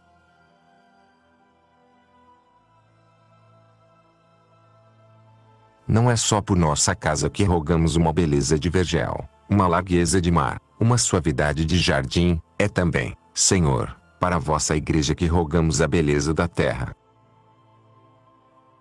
E perdoai-nos, Senhor, a fraqueza de nossa esperança.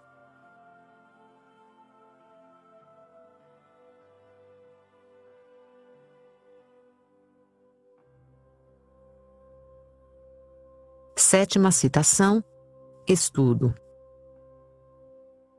Na vida do estudante temos a supervalorização da universidade. Os moços esperam demais da universidade. Sim, esperam receber dela não apenas uma iniciação, não apenas um aperfeiçoamento a ser continuado, mas quase a substância plástica de sua personalidade profissional. Abrem-se as torneiras das aulas e os estudantes se enchem daquela matéria dada. Ora, nós sabemos que, ainda hoje, qualquer profissional que se destaca é quase totalmente um autodidata. Aprendeu sem dúvida alguma coisa nos bancos escolares, mas sobretudo aprendeu por iniciativa própria muitíssimo mais. Não contraponha que o estudo à prática da vida, como se costuma fazer num esquema convencional, contrapõe o estudo escolar com o estudo por iniciativa própria, o estudo solitário, o estudo personalíssimo, que é o único capaz de formar elites criadoras de que o mundo precisa constantemente para seus repetidos emperros. Os moços de hoje acreditam demais na universidade, e acreditam de menos no valor próprio, no esforço próprio, e na fecundidade desse esforço procurado na solidão da alma. Nós sabemos há mais de mil anos que o agente principal da educação e do ensino é a atividade imanente do próprio educando. Sabemos que o mestre, e portanto toda a universidade, é um agente ministerial secundário. Mas os moços de hoje perderam essa noção que só é individualística na cabeça das pessoas que raciocinam com o ruído das palavras.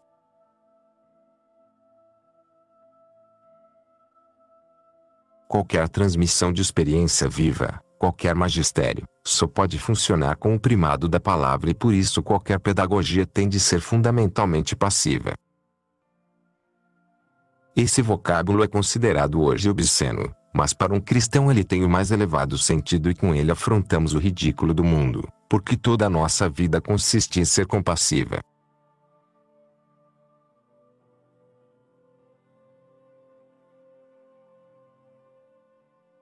Oitava citação: Eutanásia.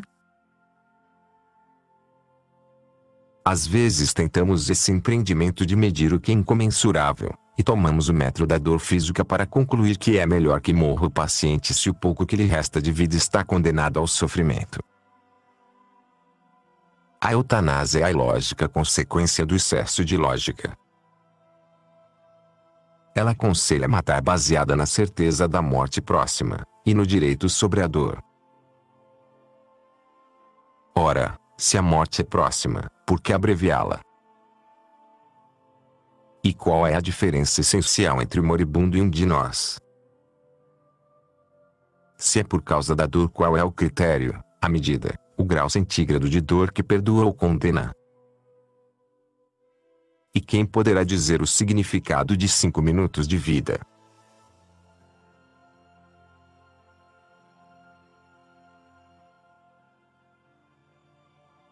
Nona citação: Evolucionismo.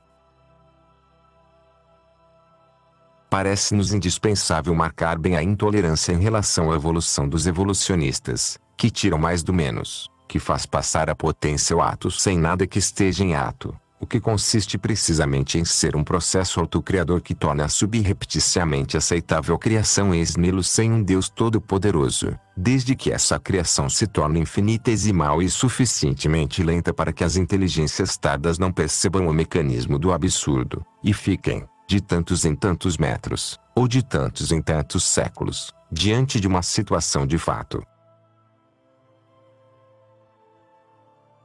É preciso denunciar a absoluta inaceitabilidade do evolucionismo dos racionalistas e dos empiristas.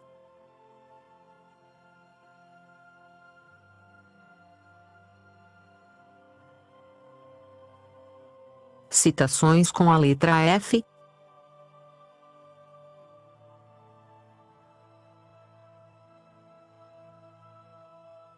Primeira citação: Família.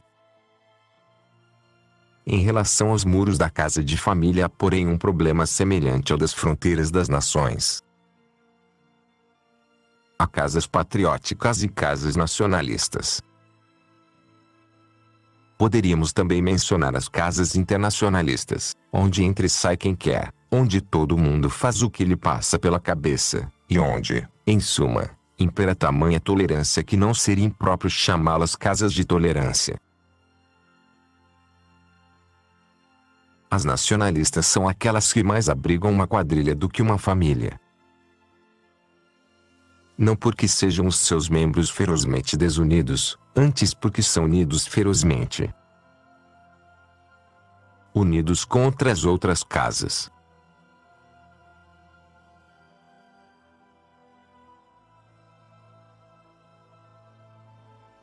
Segunda citação: Filhos. Vejam, vejam senhores como o mundo do homem é feito de sucessivas e concêntricas fronteiras que vão, desde aquelas que vemos no mapa com rios e cordilheiras, até a porta fechada da câmara conjugal. Mas agora apreciem um reverso do fenômeno. Cada uma dessas muralhas é sucessivamente superada, como barragem de açude que se quer cheio para que transborde em serviço. O dinamismo das fronteiras está voltado para fora. E agora, vejam, vejam nessa nova direção como se expande o mundo do homem.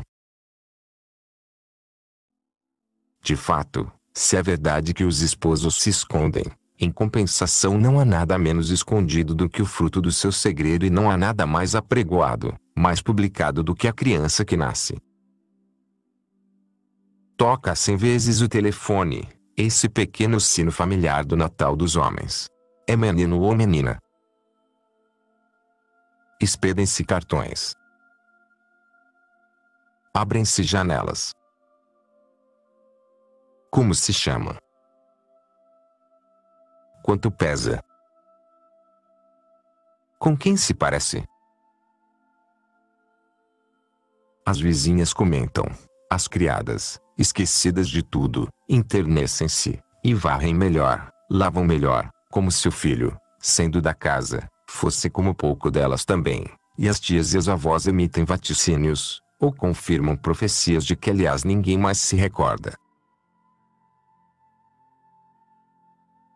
O segredo tornou-se público. A porta misteriosa foi arrombada por um ladrão recém-nascido.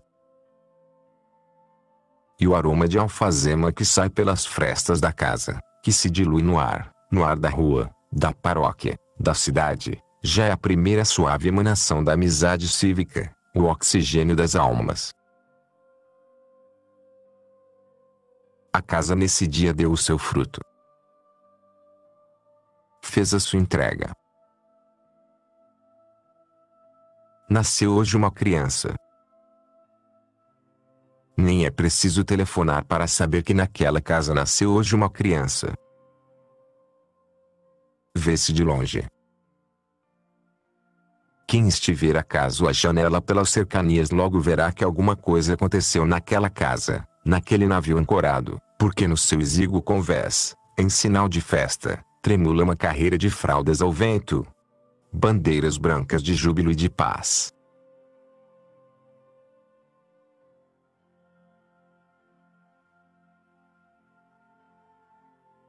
Terceira citação. Filosofia política. Seu João soltou então um grande rugido que a custo reprimia.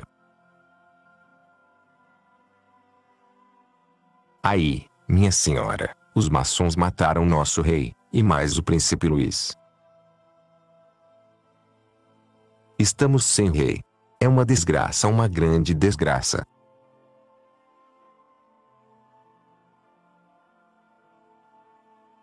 E para bem exprimir seus sentimentos, seu João, no tom mais respeitoso do mundo, soltava palavrões. Foi nesse tempo que ouvi as lições de uma insuspeitada sabedoria que naquele tempo nos fazia sorrir. Foi preciso viver 77 anos para descobrir que valeu a pena prestar ouvido às palavras aladas de seu João. Sobretudo as que exprimiam a sua filosofia política.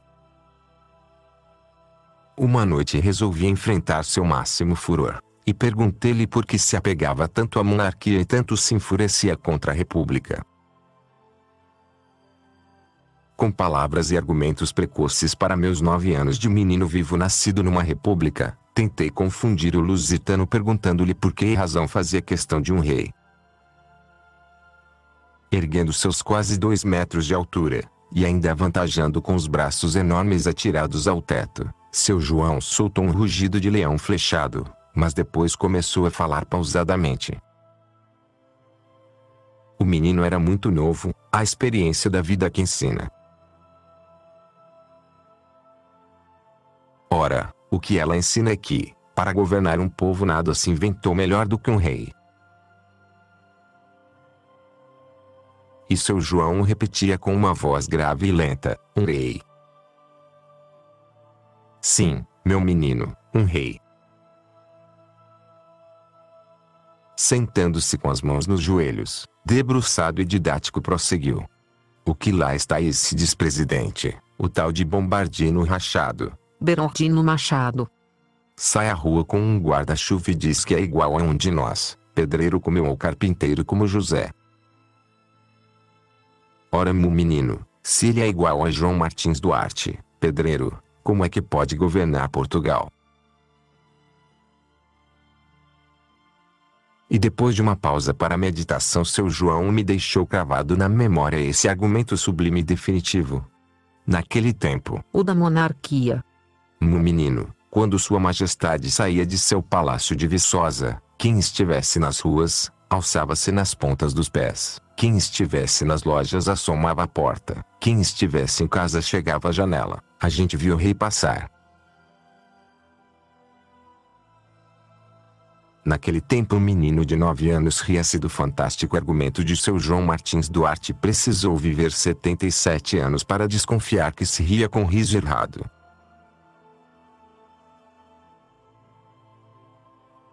E agora, sem nenhum receio dos adjetivos e advérbios que me atirarão, ouso dizer que, na circunstância do mundo contemporâneo, para ser razoavelmente bom o regime político deve ser preliminarmente anticomunista e nesta conditio sine qua non deve evitar qualquer sinal de nostalgia democrática. As nações do mundo inteiro estão à espera de um regime onde os dirigentes procuram fazer o bem e evitar o mal. E também ouso dizer que o governo que disso mais se aproximou no século XX foi o governo de Franco na Espanha que durou 39 anos de paz e prosperidade,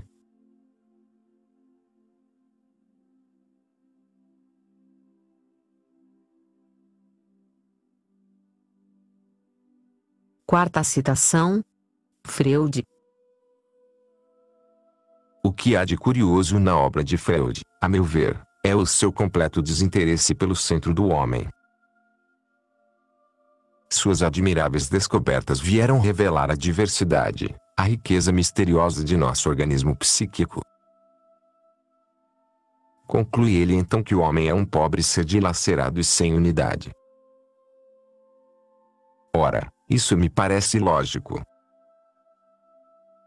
A mim, quanto mais diferenciado e decidido se evidenciar nosso psiquismo, mais forte se afirmará o princípio de unificação que apesar de tudo ainda consegue uma vitória, mais penosa, mas por isso mesmo mais valiosa, por ser um domínio sobre numerosos e dispersos elementos. Na doutrina de Freud, ao contrário, a ilógica conclusão a que se chega, ou pelo menos aquela que ele nos convida com insistência, é a do enfraquecimento de nosso centro de gravidade. Na estrutura que Freud propõe para o nosso psiquismo, como já observou um moderno psicólogo, a parte principal do drama se passa entre o id e o superego. O enredo interessante está todo nas obscuras intrigas de nosso inconsciente e nas categóricas repressões policiais da zona exterior do superego, ficando no meio do palco, anódino, inerme, com as mãos abanando, o ego consciente. Vê-se pois que essa psicologia, e suas derivadas, se caracteriza por um forte estrincecismo, disfarçado, porque chega muito perto do centro, e tanto mais forte e resoluto quanto resiste com maior deliberação à poderosa atração da proximidade. Ao que me parece, essa psicologia, com toda a sua respeitável contribuição, é antes uma força de dissociação do homem do que uma tentativa de descoberta do princípio que faz de um eu a coisa mais una, mais separada, mais brutalmente segregada do universo. Ela contraria, por curiosidade analítica, por dissociação, o primeiro fato bruto da primeira experiência da alma.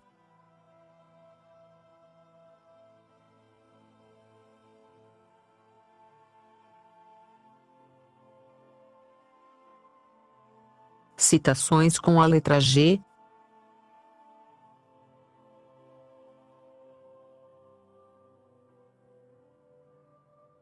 Primeira citação: Gostos,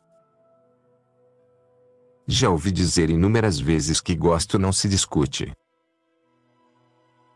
Ultimamente disseram-me essa frase, que bem figuraria entre as proclamações do direito do homem, a propósito da obra de Machado de Assis e da pintura de Picasso. Estou pronto a concordar que gosto não se discute quando se trata de pratos. Custa-me um pouco, mas reconheço a perfeita legitimidade do gosto pela beterraba. No que concerne à pintura de Picasso ou aos livros de Machado, compreende-se ainda uma certa relatividade na simpatia temperamental, gosto, mas não posso concordar que o juízo sobre tais coisas se reduza a esse elemento da ordem do sensível. Seria a última concessão da inteligência, a submissão aos sentidos. Diante de um quadro de Picasso, uma pessoa afetada desse liberalismo subjetivo, convencida da alta dignidade da livre opinião, não hesita em formular uma condenação peremptória ainda que o difícil problema da arte não tenha tomado dez minutos de reflexão em toda a sua vida. Antes da reflexão, do estudo, do esforço de procurar, antes de qualquer coisa está o direito, estranhamente glorificado, da opinião.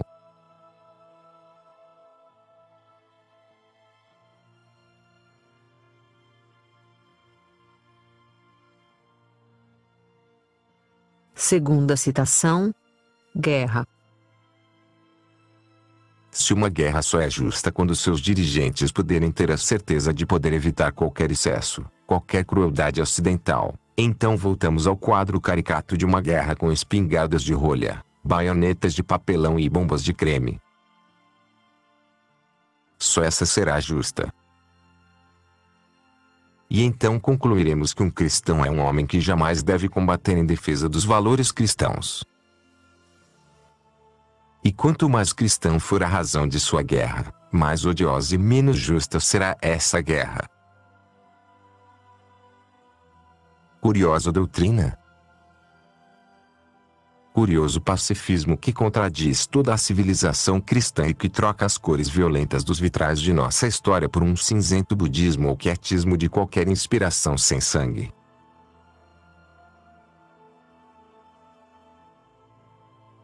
O conselho evangélico me diz que será bom para minha vida personalíssima, interioríssima, isto é, para minha intimidade sobrenatural, oferecer a outra face se me esbofeteiam numa, mas não me diz que seja bom oferecer a face de minhas filhas e de meus netos.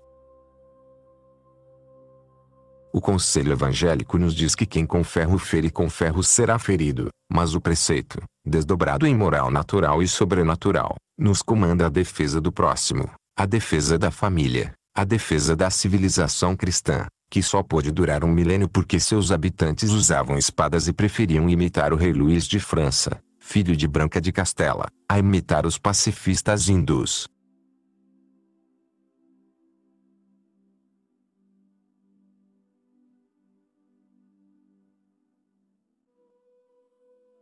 Citações com a letra H.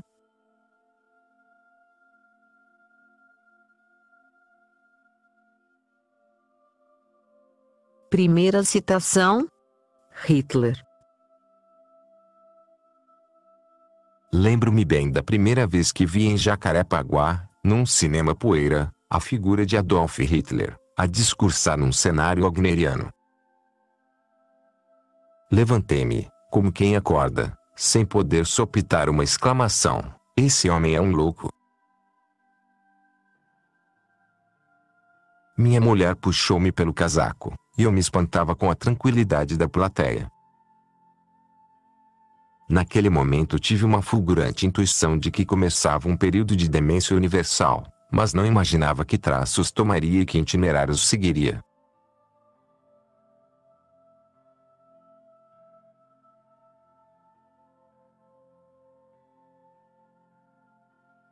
Segunda citação: Humor. O conteúdo do humorismo, isto é, o humor, vem de um senso lúdico como também a poesia. E eu diria até que o humorismo é uma espécie de poesia dos canhotos.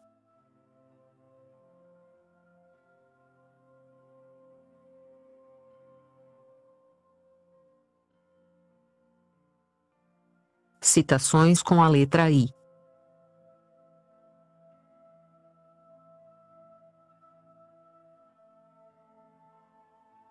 Primeira citação: Idade Média.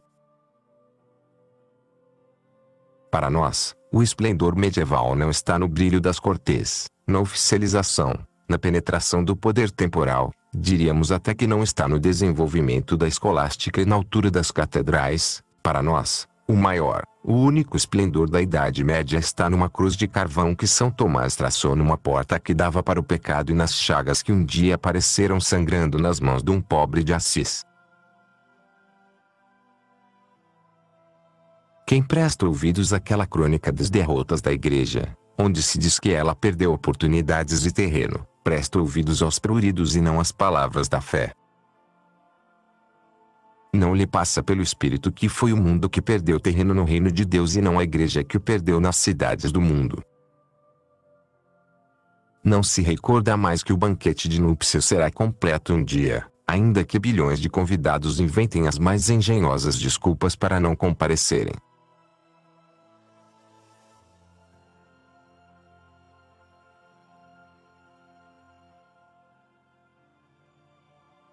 Segunda citação: Idealismo. O grande desvio do pensamento moderno tem origem nessa inversão interior pela qual a vontade se arroga um direito de conquista onde somente a inteligência acaba primado.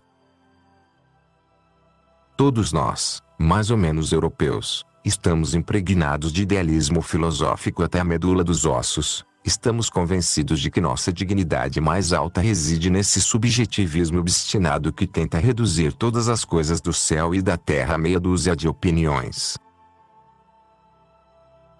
Muita gente pensa que isso é grandeza e marca de caráter e que a personalidade humana se define por esse fechamento diante dos objetos e se engrandece por essa deformação interior. Diante dos objetos mais simples, o homem liberal, que agasalha suas opiniões, que desconfia de tudo que não seja o mono recôncavo de sua interioridade, cai em guarda numa posição crispada, a vontade mete-se de permeio entre a porta dos sentidos e a inteligência, e como o seu caminho é mais curto, ou porque seja ela mais ágil, sua sugestão chega antes do conceito e gera o preconceito. A inteligência perde a liberdade e a vontade então convence o sujeito de que ele é um livre pensador.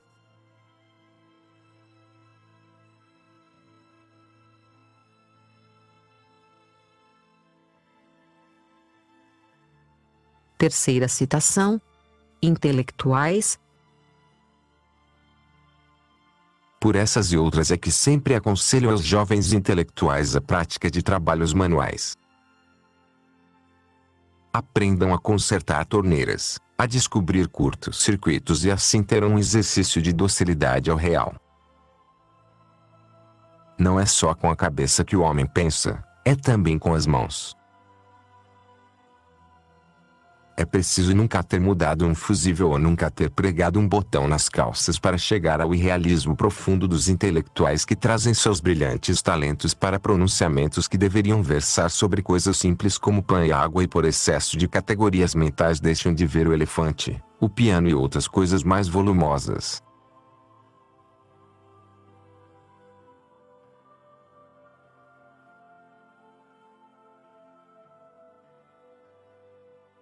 Quarta citação: imaturidade. Numa reunião de pais de família, uma pergunta é lançada à Madre Superiora. Então a senhora acha que não devemos obrigar os filhos a ir à missa? Houve um silêncio. Um suspense. E então a madre, com voz clara e resoluta, respondeu: Não. A missa não deve ser imposta às crianças como um castigo, do qual não se pode escapar. A criança deve ser despertada para o significado e a beleza desse encontro semanal com Cristo. Os pais devem dar o exemplo e mostrar à criança que ela é livre de fazer a escolha.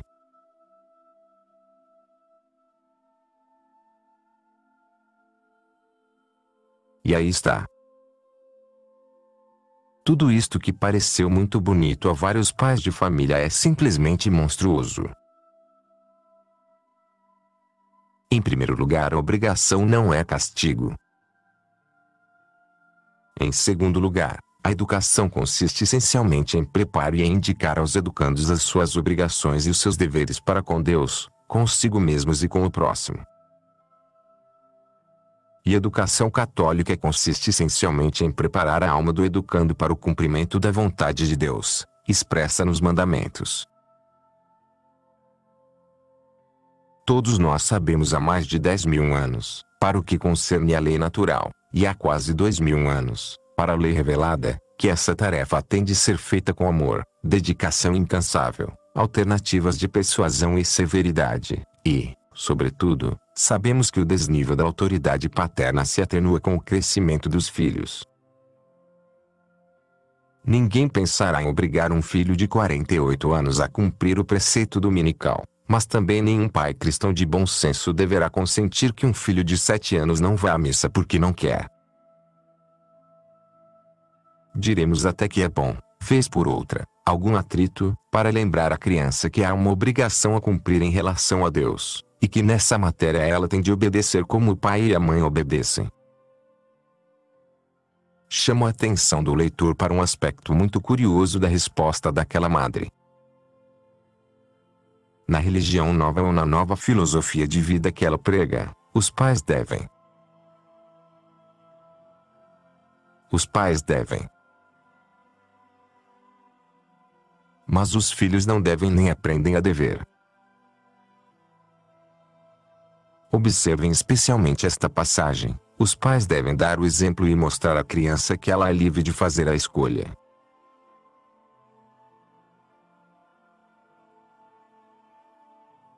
Do lado dos pais o dever, do lado dos filhos a liberdade, a livre opção.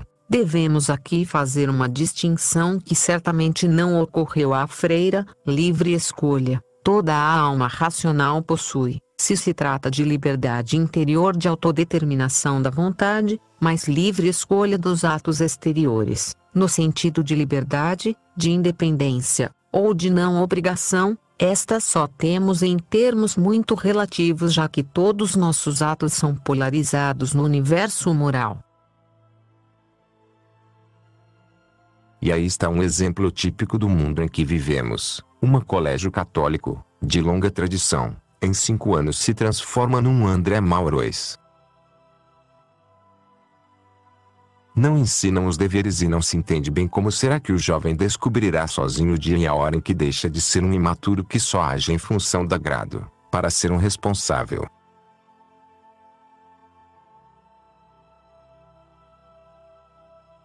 Como se explica então tal paradoxo? Como se explica que uma sociedade se gabe precisamente do que não tem, e se glorie justamente no que devia envergonhar-se? Estamos diante de mais uma arma de guerra invisível que se trava nos subterrâneos da história contra a dignidade e a grandeza do homem.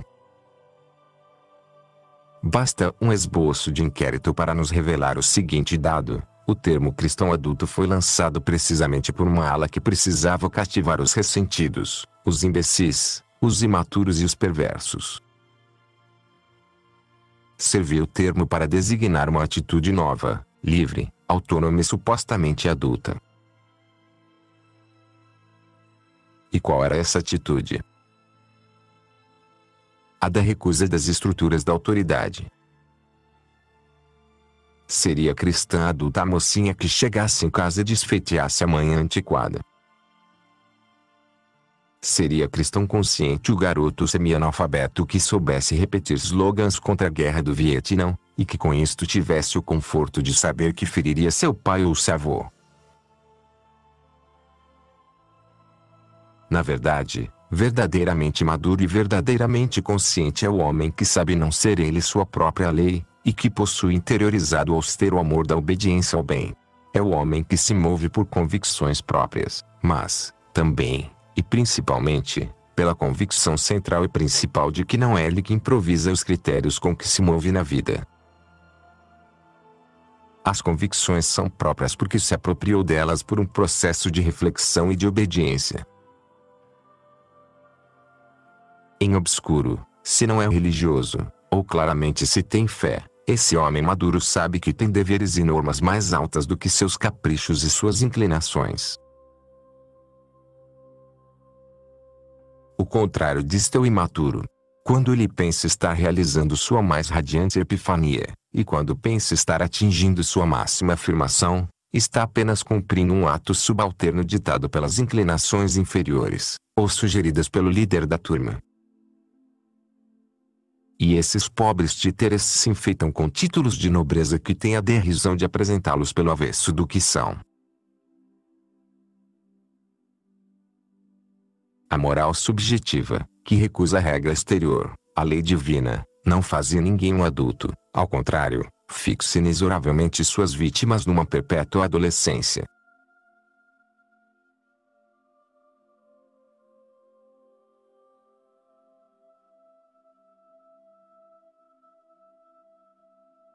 Quinta citação: Infelicidade. É claro que o homem é extraordinariamente engenhoso na arquitetura de sua infelicidade. Ainda que os fatores extrínsecos sejam seguros e bonançosos, o homem traz em si a borrasca.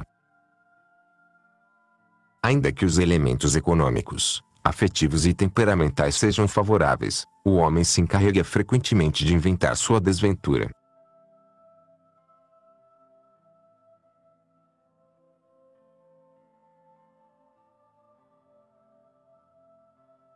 Sexta citação: Inimigos.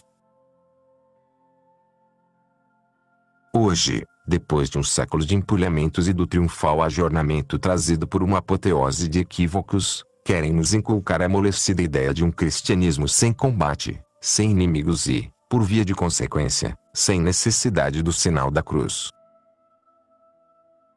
Ouso dizer que a paz mundial, a paz terrestre, a paz feita de bem-estar e do comodismo, etc. Constitui uma das principais preocupações do demônio. Muito melhor do que nós, ele sabe que a obsessão desse cuidado nos leva ao abandono de qualquer ideal de bem e de verdade, e diverte-se em saber também que esse é o caminho da mais espantosa explosão de inimizades que o mundo conhecerá. Por mim, confesso que me apavoro, quando sinto o horror que esta simples palavra provoca nesta atualidade costurada de ecumenismos, cursilhos, diálogos e demais retalhos da fantasia dopada. Uma vez, conversando com um general, usei inadvertidamente este vocábulo, os nossos inimigos. E ouvi esta afetuosa observação, professor, eu prefiro o termo adversário.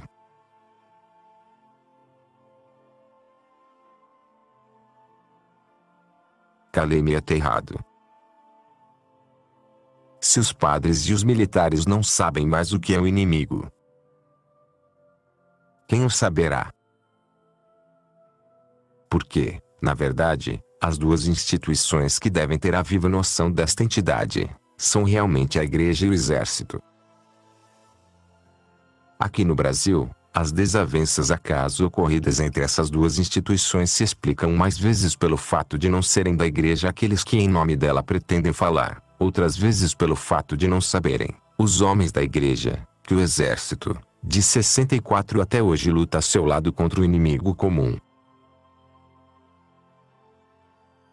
Imagino que nesta altura meu leitor esteja a revolver as ideias que aprendeu sobre a caridade, evangelho, perdão e outras grandes noções que auriam no regaço da igreja. Sendo estudioso, lembra-se que o Concílio de Trento trouxe esta definição lapidar. A igreja militante é aquela parte de seus membros, ainda na terra, que luta contra três cruéis inimigos: o diabo, o mundo e a carne. Mas meu leitor também se lembrará de uma palavra de Cristo: Mas eu vos digo: amareis vossos inimigos. Meu Deus, como conciliar tantas ideias aparentemente opostas? Como poderei amar se devo combater? Respondo dizendo: combatendo. Porque esta é a melhor forma de caridade a que ele tem direito. Por incrível que pareça, são os pacifistas que pecam contra a caridade quando querem que todos se unam e se misturem na mesma indiferença em relação à verdade e ao bem. Sim, não há mais odioso pecado contra a caridade do que a amável condescendência com que permitimos e colaboramos com a permanência no erro e no mal. Não fazer questão de incomodá-lo, de combatê-lo, de tirá-lo da sua tranquilidade no erro e no mal é fazer uma das obras prediletas do demônio.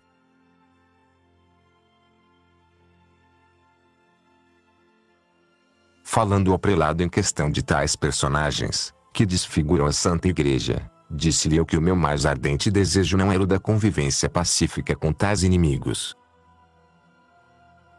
Ao contrário, meu mais ardente desejo, repito aqui, é que esses maus levitas, que tão estridentemente apregoam sua apostasia, sob os eufemismos de novidade e progresso, tenham a lealdade última de se afastarem da igreja. Levem sua aventura até a extremidade de irem comer bolotas com os porcos. Estas palavras duras, caro leitor, são palavras dos santos evangelhos, e portanto, palavras de amor, porque assim fazendo, eles teriam talvez nesta vida a última chance de, um dia, sentirem saudades da casa do pai que só espera a volta do filho pródigo.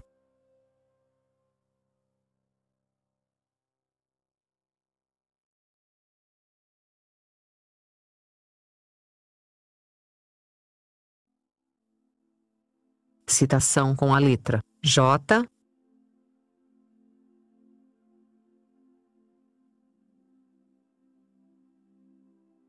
Única citação.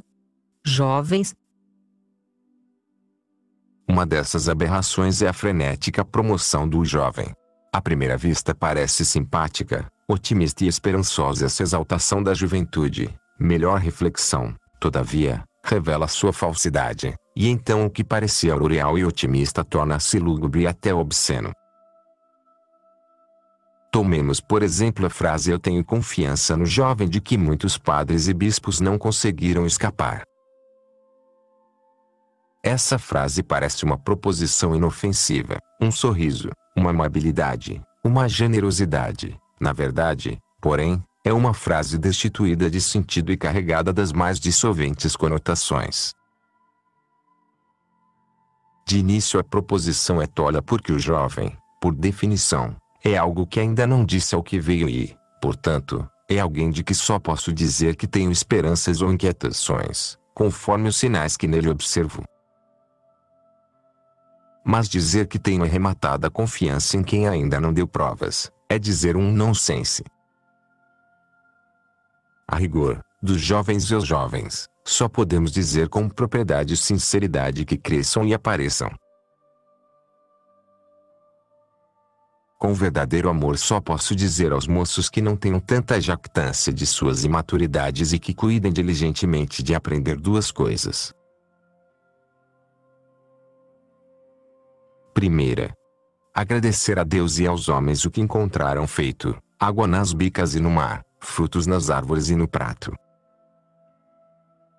O primeiro sinal que me predisporá a ter confiança no moço será essa disposição de agradecer. O segundo será a visível disposição de continuar e prolongar o que encontrou. Ora, adulação, com que os padres progressistas cercam os moços, só pode produzir o resultado oposto a essas duas virtudes. Sim, só pode produzir fatuidade soberba.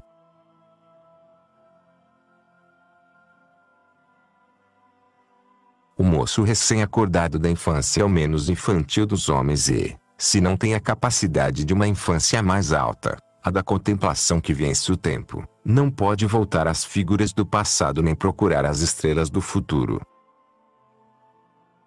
Então, só lhe resta o presente, proximidade morna dos outros presentes aprisionados.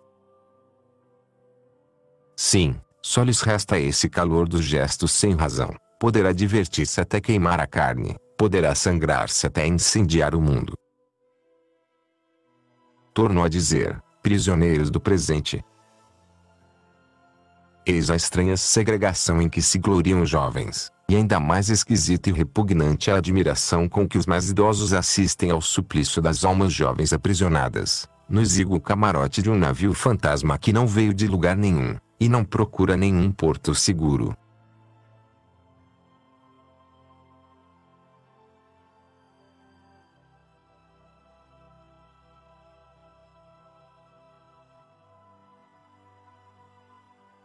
Citações com a letra L.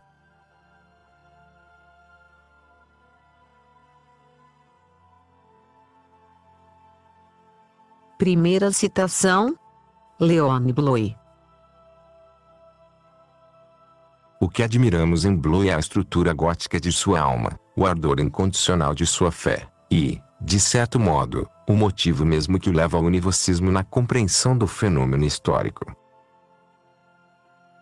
o que nele admiramos, a par da grandeza de escritor que nem sempre tinha razão contra Rafael, Bossuet, ou contra seu diletíssimo amigo Roald, é a perfeita fidelidade à dama pobreza, que fez dele um genuíno descendente de São Francisco de Assis.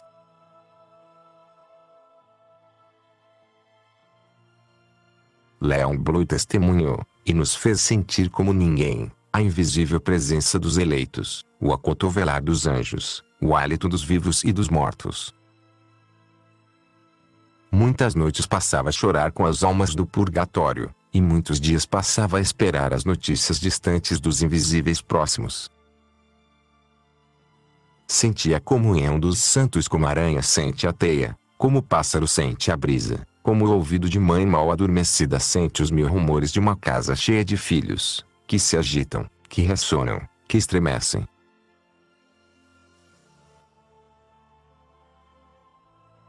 Sentia os passos dos santos como se o chão da eternidade fosse a pele de um tambor.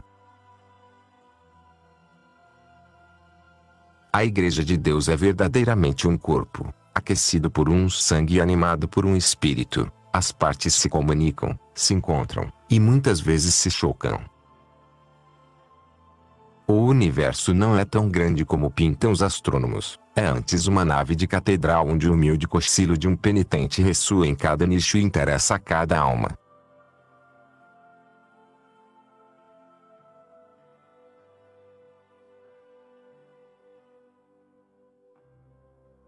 Segunda citação: Livros. Ora, o que eu quero dizer é que existem obras, em arte e filosofia, desprovidas desse interesse profundo e vital, obras que não tratam do homem, que não lhe concernem, e que, nem ao menos para o destruir, procuram atingi-lo. E é nesse ponto, nessa falta de contato, a meu ver, que se localiza a mediocridade. Não são as blasfêmias, nessa ordem de ideias, que excluem a obra de Nietzsche do campo onde os homens se golpeiam ou se abraçam.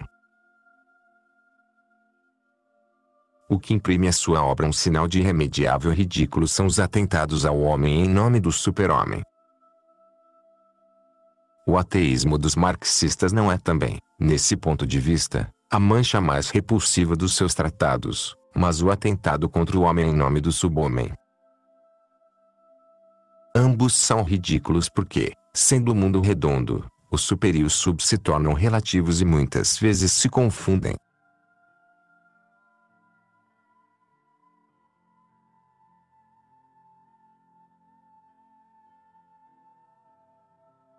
Terceira citação: Loucura.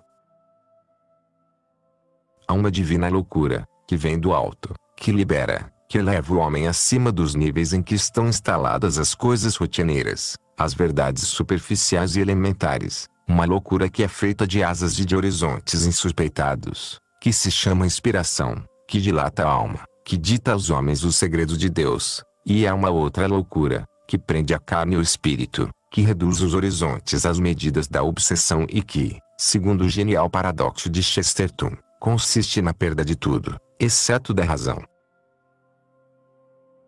Materialmente semelhantes, pela quebra de padrões usuais, pela extravagância dos resultados, pela fuga ao nível dos valores consagrados, os dois casos estão realmente nos polos opostos da vida da inteligência. Ou melhor, opõe-se como a vida se opõe à morte. Poderíamos ainda lembrar que há uma outra espécie de loucura from above de delírio verdadeiramente divino, é aquela que se traduziu numa descida de Deus, e que em nós atua como força de sobrenatural subida, e como apetite de cruz. Por causa dela estamos sempre em tensão neste mundo, não há fórmula de repouso ou de cura, não há receita de relaxinho que possa resolver as trágicas equações de nossa vida. Em regra geral, no comum dos casos, que a filosofia da mediocridade chame de normal, vivem os homens o cuidadoso equilíbrio ao resto do chão. Têm medo das energias internas que pedem superação, e agarram-se aos preconceitos e às fórmulas da pacata existência. E é por isso, precisamente por isso, por causa da parcimônia espiritual, por causa do medo da divina loucura, por apego ao equilíbrio da carne, que ficam doidos da doidice que pede choque elétrico e camisa de força. A loucura do alto é o melhor antídoto para a sandice inferior. Se o mundo tivesse mais santos, se se entregasse com mais generosidade aos voos líricos dos poetas, se cultivasse com mais amor o delírio que está num quinteto de Mozart ou num poema de Camões, haveria mais vagas nas casas de repouso. Nós andamos na vida com dois doidos por dentro, um a nos ditar obsessões, outro a nos propor um voo. Voemos. Libertemos o doido que nos libertará. Cantemos com os cantores e sobretudo aceitemos o divino convite que nos torna divinos.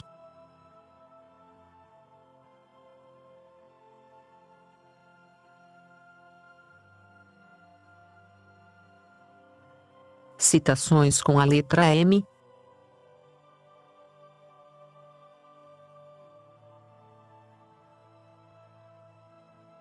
Primeira citação: Machado de Assis, Ponto.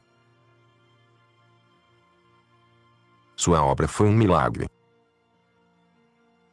Dentro de um ambiente de verborreia que ofendia a palavra e traía de modo elementar o espírito de nossa língua, Machado soube guardar-se e, compreendendo que o português é avesso às rotundidades, escreveu como seus antigos, curto de fôlego e enxuto de formas. Foi verdadeiro no instrumento e verdadeiro na obra.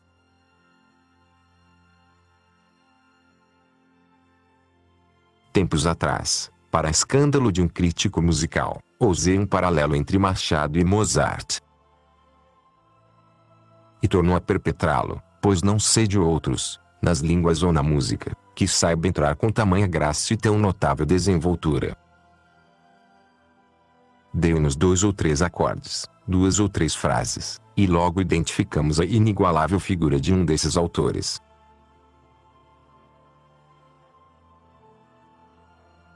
Os autores das modernas filosofias existencialistas optaram pelo absurdo. O que vale dizer que não optaram, e que ficaram detidos, imobilizados, sem ímpeto para atravessar o espelho e entrar no mundo das maravilhas.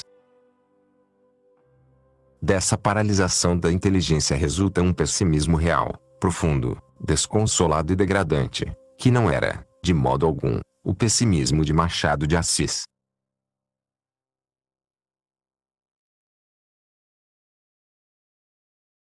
Até seus últimos dias, na desolação da velhice e da viuvez, Machado de Assis conserva intacto o senso moral. Se nos romances parece ter atingido um cansaço da vida e um desconsolo supremo, aí está sua correspondência para nos mostrar o outro lado do homem que persiste em crer no homem e na realidade moral. E a explicação desse dualismo está no Eclesiastes, ou melhor, naquilo que falta no Eclesiastes, que é por assim dizer um livro onde o principal é justamente o que falta, a notícia de nossa transcendência e de nossa ressurreição.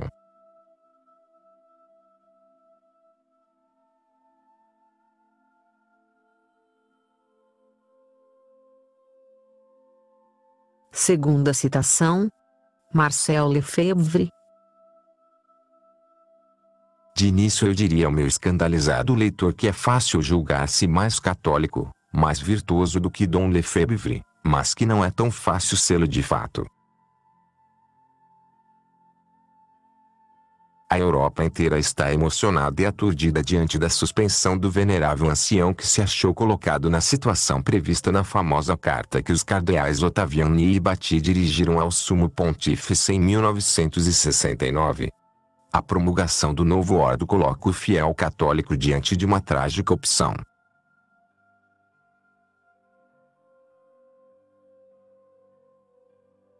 Coube à grande alma católica do bispo fundador de seminários católicos o encargo de condensar em sua obra, em seu coração, o sofrimento de todos os sacerdotes e leigos do mundo que sofrem o mesmo dilaceramento.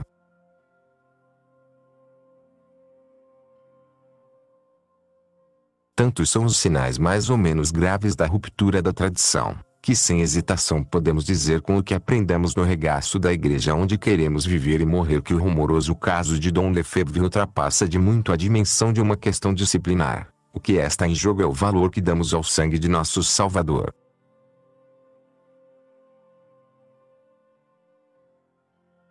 Estas singelas considerações talvez ajudem os católicos que sinceramente amam a Igreja a compreender que não há nenhuma desobediência nas missas rezadas por Dom Lefebvre. Ele obedece ao espírito de sua Igreja. Os padres extravagantes citados pelo padre Alvá obedecem materialmente ao espírito que inspirou os falsos princípios. Entre esses dois exemplos há a maioria dos vacilantes, dos tímidos, dos mornos, que obedecem materialmente a papéis marcados com o sinete do Vaticano, e ficam com a consciência em paz enquanto a religião de Cristo sofre perseguição e as almas se perdem.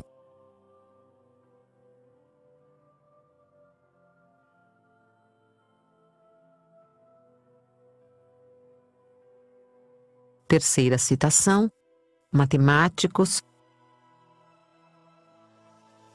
Os matemáticos são os joalheiros do senso comum, mas às vezes entusiasmam-se pensando que o ouro foi também feito por eles.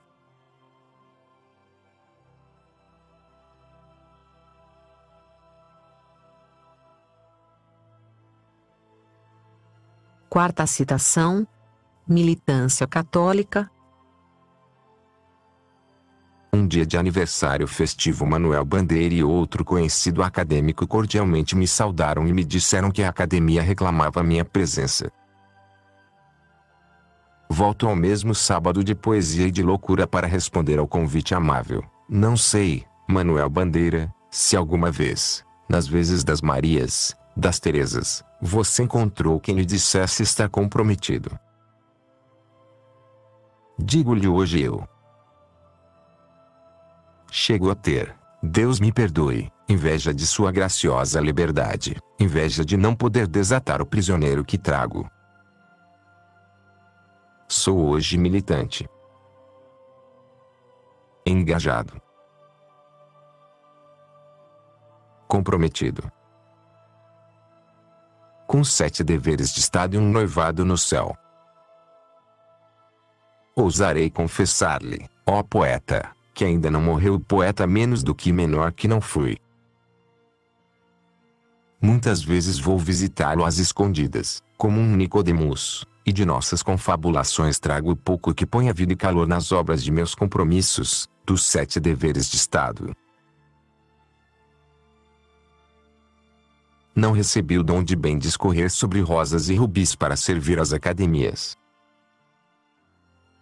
Não posso pois reclamar omissão alguma no país dos homens de letras, mas posso pedir ao leitor a compreensão, a paciência de reconhecer que eu devo continuar a escrever contra os discursos do Congresso Eucarístico de Manaus, os pronunciamentos da CNBB e outros tediosíssimos assuntos.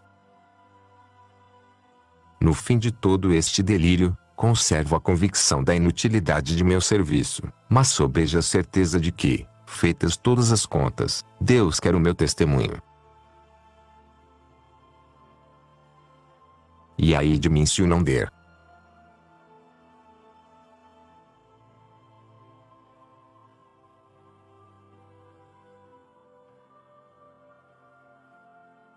Quinta citação. Missa.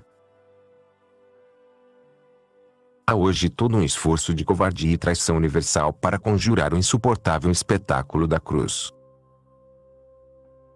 E então, para fugir à visão daquele divino para-raios da cólera divina, para tirar os olhos do sangue, inventaram o recurso de fazer a missa derivar mais da ceia do que da cruz, e com esse estratagema malicioso riparvo, fizeram da Santa Missa um espetáculo de feira, aonde a Assembleia dos Fiéis é aquele respeitável público dos palhaços de circo,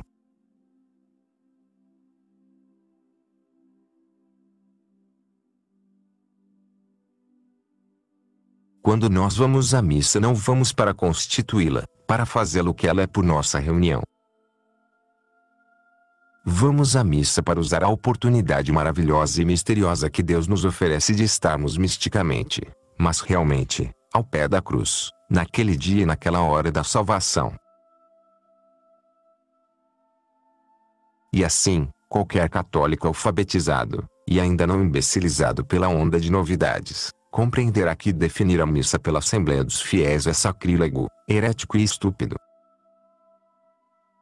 Dir-se-ia que somos nós, Assembleia de Fiéis, que fazemos ao Cristo o favor de rememorar seus feitos, e não que é o Cristo que nos faz o infinito e incompreensível favor de nos oferecer uma oportunidade de colhermos os frutos da árvore da salvação, e uma possibilidade de participarmos de sua obra.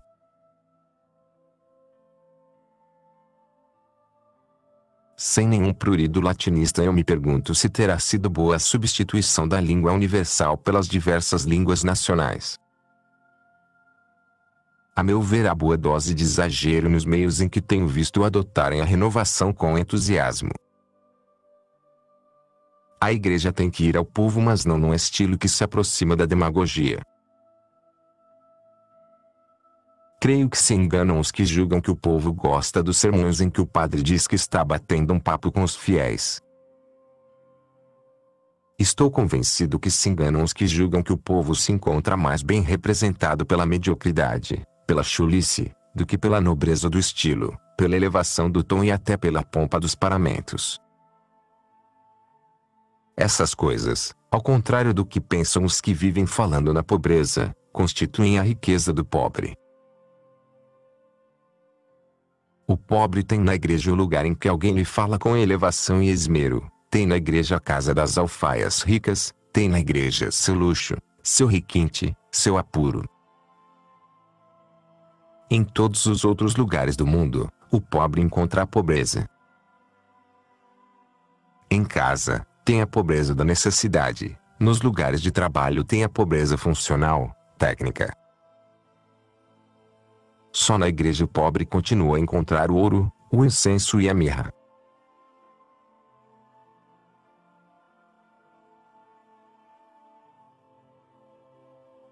É preciso dizer por cima dos telhados, aos gritos, com cólera ou condor, que nós não precisamos dos conselhos e da colaboração dos protestantes para decidir a feição de nosso culto de adoração, isto é, para observar e apatear o que temos de mais íntimo na vida da igreja.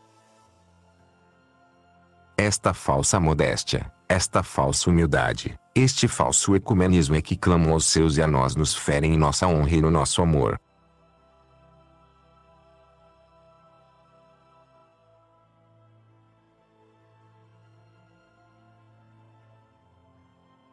Sexta citação: Morte. Curioso é esse contraste. A morte é o que há de mais certo, a ponto de servir no modelo clássico de silogismo, e é por outro lado a ideia que mais nos custa admitir, e tanto mais custa quanto mais perto nos toca. É uma certeza que anda ao contrário das outras.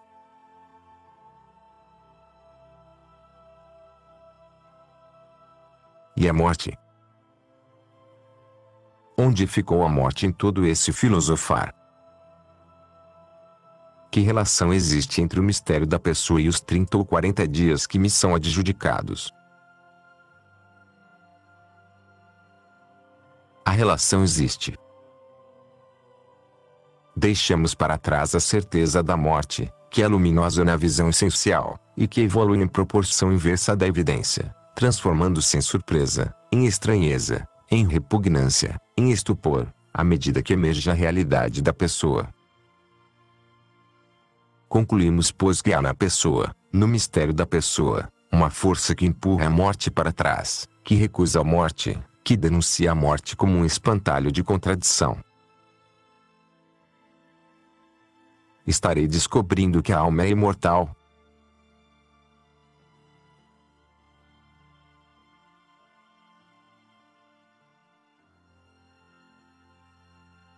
Sétima citação: Movimentos católicos.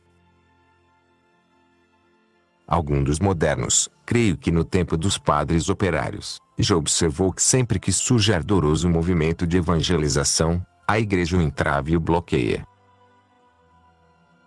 E faz bem, porque na maioria dos casos o ardor de novas iniciativas mais se nutre de amor próprio inquieto e ávido de sucesso do que se inspira de pura e casta caridade.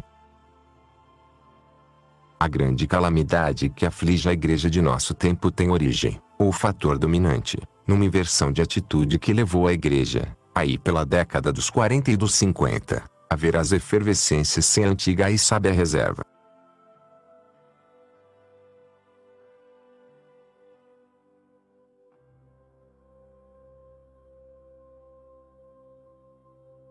Citações com a letra N.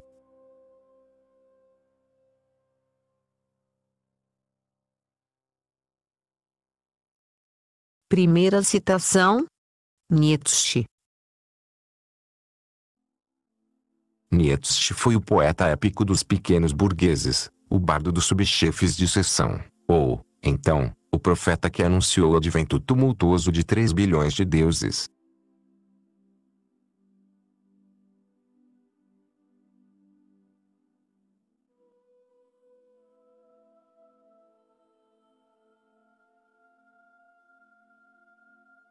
Segunda citação: Novos termos, largueza de espírito e o dialogar.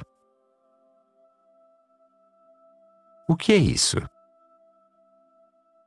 A julgar pelos lugares onde já encontrei essa expressão, receio tratar-se de uma disposição para cuja conquista não me sinto atraído.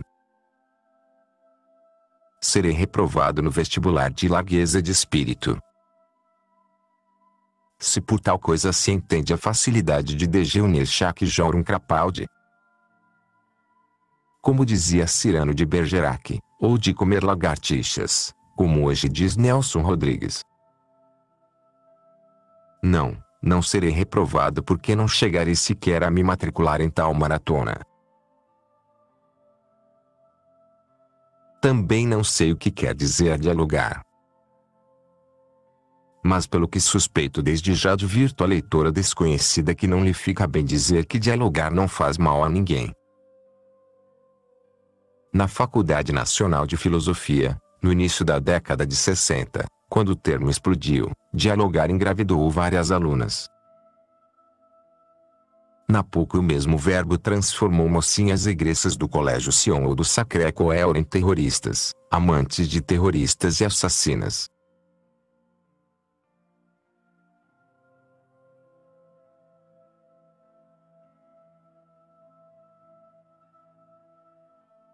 Terceira citação. Nosso dever, mais do que nunca na história a imperiosa mobilização de todas as devoções. Temos o direito de reclamar, de acusar, de denunciar, e até de pedir o castigo dos soberbos.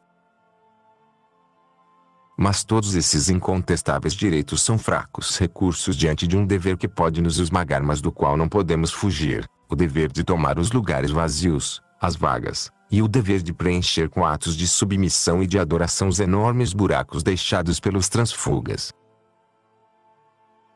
Precisamos multiplicar por cem ou por mil as orações de súplica e de adoração. Precisamos importunar nosso Pai do céu com a repetição de nossos atos de fé, com nossa fidelidade, com nossa incondicional permanência.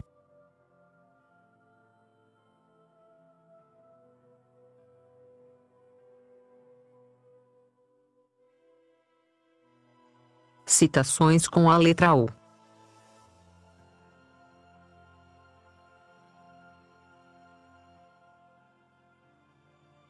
Primeira citação: Obsessão.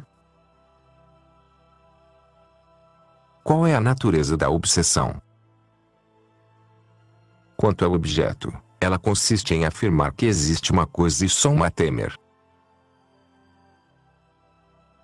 Quanto ao sujeito, consiste em supor que todas as virtudes devem ser concentradas na direção daquele perigo único.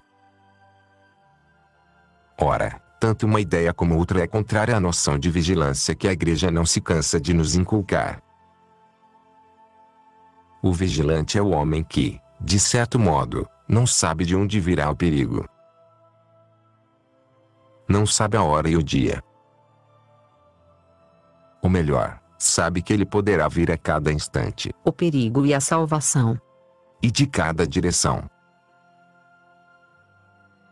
O obsedado, ao contrário, é o homem que se gaba de saber precisamente a hora e o azimute do perigo. Ora, essa é a mentalidade do homem técnico, do tático, e não do homem que consulta a prudência propriamente moral. Nas guerras nós sabemos, com certa nitidez, de que lado está o adversário. Na vida a igreja nos ensina que ele está em torno de nós, ao redor de nós, a rugir como um leão. E não à frente, e não à direita, e não à esquerda. Ainda mais, convém notar que o mesmo indivíduo pode ser vítima de muitas obsessões. Melhor do que acima dissemos, a obsessão consiste, não tanto na ideia de um objeto único, detestável ou apetecível, mas na ideia da decomposição em partes do domínio moral. O mesmo sujeito pode sofrer a obsessão do pecado contra a castidade e do comunismo. Pode ter mil obsessões sem que o números, por mais elevado que seja, restaure a fundamental unidade do ato moral radicada na razão. Basta uma zona obscura para estar completamente perdido em integridade moral. A obsessão é uma paixão desgovernada, tornada má por falta da inteireza, e, pelo medo ou pela concupiscência, conduzirá o indivíduo, por caminhos tortuosos, levando-o infalivelmente a perder o que busca alcançar e a abraçar com o espectro que o apavora.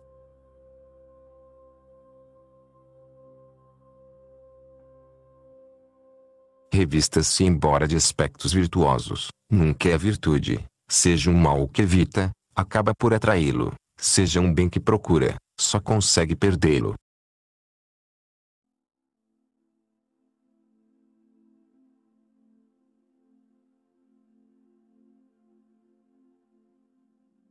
Segunda citação: obediência. Sim, o crime da obediência. Será preciso lembrar que a virtude da obediência é a que exige o mais fino e intransigente dos discernimentos.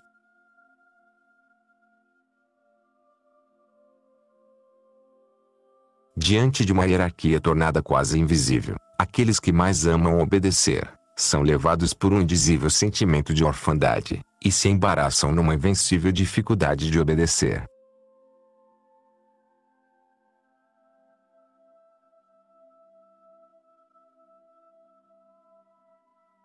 Quando Santa Teresa, para obedecer ao confessor, fazia caretas à visão que lhe aparecia, ouviu do Senhor Jesus, Filha, agrada-me a tua obediência. Mas quando porém se trata da salvação das almas, como silenciar sem desobedecer? Para fingir que obedecemos, desobedeceremos aquele que nos deixou dito. Sereis minhas testemunhas. Atos dos Apóstolos, 1,8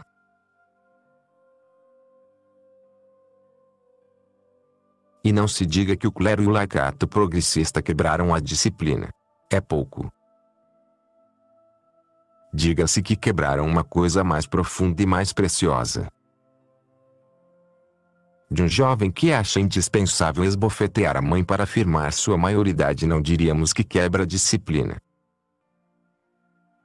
Antes diremos que quis quebrar tudo, céus e terra, e só feriu a autoridade próxima por não ter a mão à face de um Deus que se encanou para ser esbofeteado, cuspido e depois crucificado. Salta aos olhos do mais desatento habitante do século que o espetáculo da morte da autoridade é sinal do desejo da morte de Deus. Andam por aí os padres que não obedecem aos bispos, os bispos que não obedecem ao Papa, e enchem o mundo os filhos que não obedecem aos pais. Mas não haveria crise de autoridade se o fenômeno se limitasse à desobediência ou se a falha estivesse só do lado dos revoltosos. Não haveria calamidade de dimensões planetárias sem a outra metade do problema, isto é, sem a omissão dos que deviam exercer e não exercem a autoridade, não apenas por fraqueza ou covardia, mas por uma espécie de simpatia e conivência, ou por uma espécie de descrença profunda.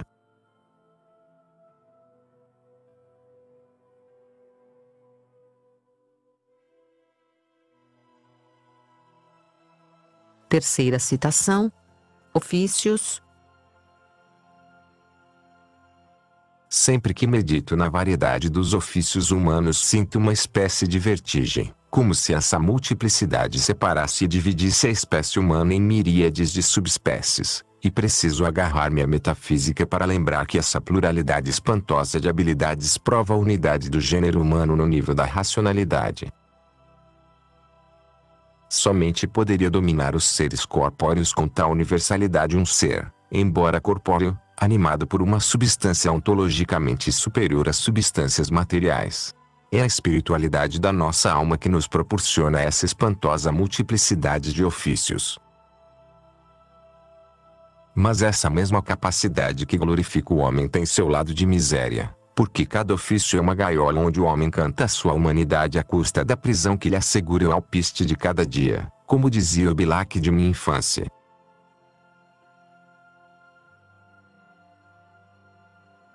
Dias há em que a gente fica triste com o ofício que tem.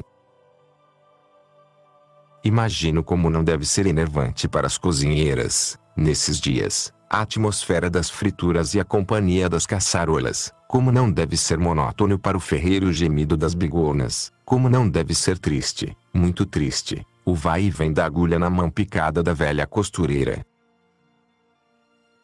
Cada ofício é uma prisão,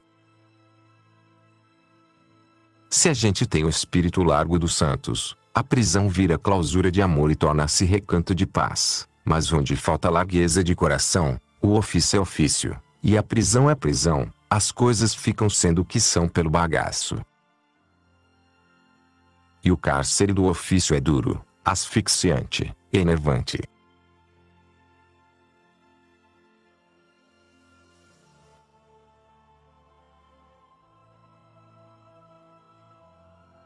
Quarta citação: Otimismo. De início quero registrar a chocante impropriedade dessa mistura de confiança em Deus com otimismo. O termo otimismo não tem lugar, a não ser em serviços muito subalternos, no léxico cristão.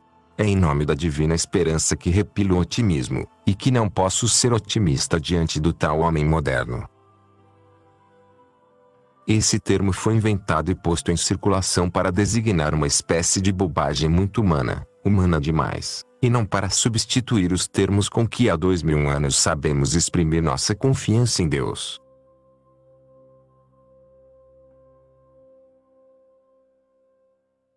Não se trata porém de pessimismo como me escreve um leitor querendo colocar minha posição em termos de pessimismo ou otimismo.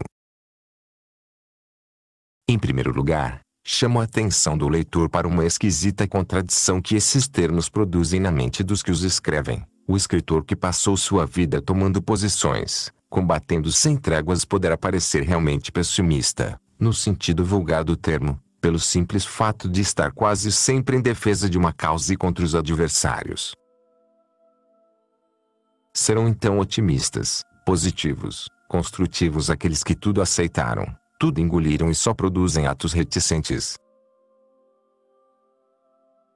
Neste caso prefiro ser pessimista e desde logo digo que, no caso atual da crise da igreja, não tenho a menor esperança humana. Só espero em Deus.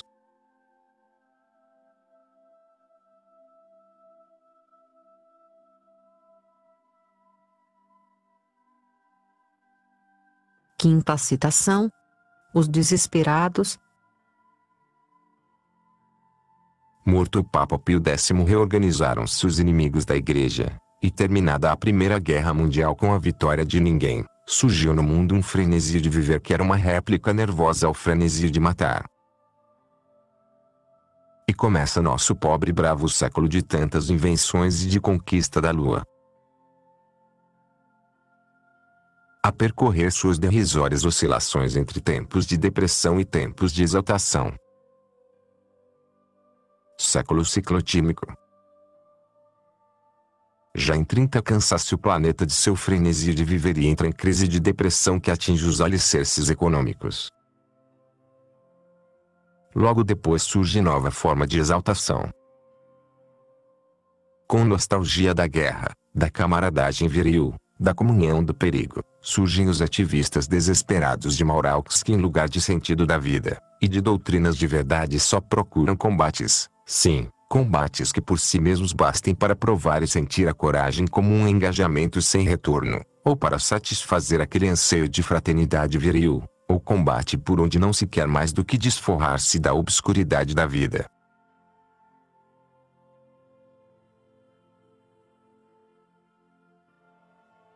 Ativistas desesperados, Mauraux, Drien La Rochelle, Brasilache.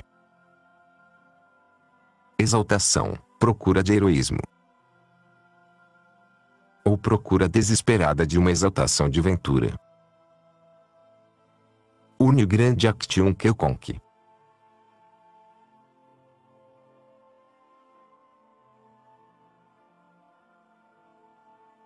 Um mote, bonheur,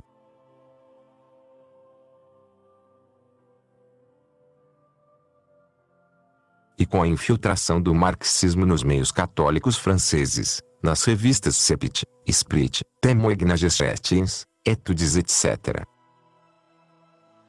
A heresia do século cresce, incha, torna-se gigantesca, planetária. Agora não é a razão que se ergue contra a fé, não é a ciência que julga a igreja. Agora o que reclamam da velha madre ineficiente é a sua incapacidade de fazer um mundo feliz. Já não é o valor verdade, para afirmar ou para negar. O que mais se discute, o que mais importa é o valor vital, é a felicidade, o bem-estar, o paraíso, já, aqui, agora, exigido pelos tempos modernos, imperiosamente reclamado pelos impacientes credores de Deus.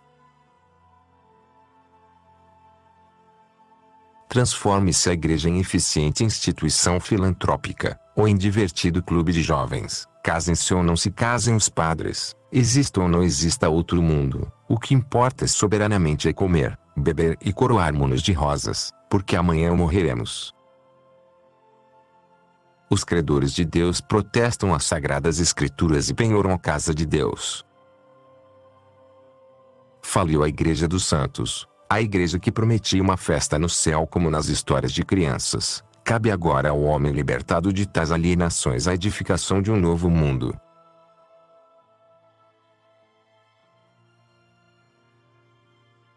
E aqui temos o traço principal de todo esse movimento de apostasias que, por eufemismo, chamam de progressismo. É a heresia do século, ou melhor, o somatório, o compêndio, a concentração de todas as heresias do século, com uma orientação dominante, contra a esperança.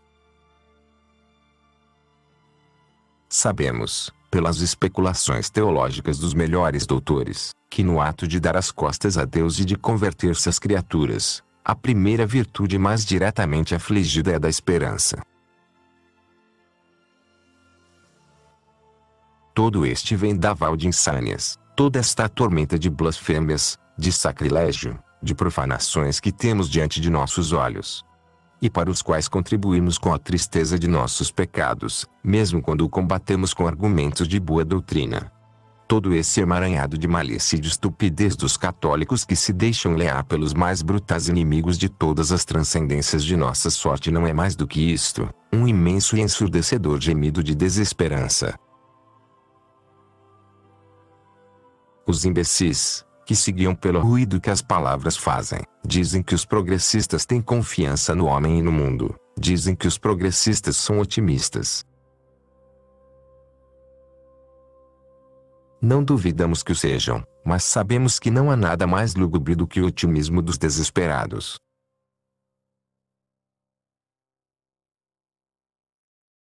E ousando imitar o tom do grande Papa Santo, ouso eu dizer-vos, aos amigos católicos, Bem sabeis qual é a grave e profunda causa desse desespero em que se debate essa geração.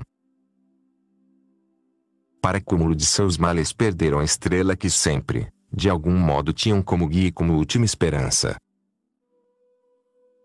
Onde está ela? Onde a casa de ouro que anunciava um reino que não é deste mundo? Onde a luz sobrenatural? Onde a tradição que de boca para ouvido, pelos séculos e séculos, contava uma história de milagres que acabava na madrugada de um Deus ressuscitado.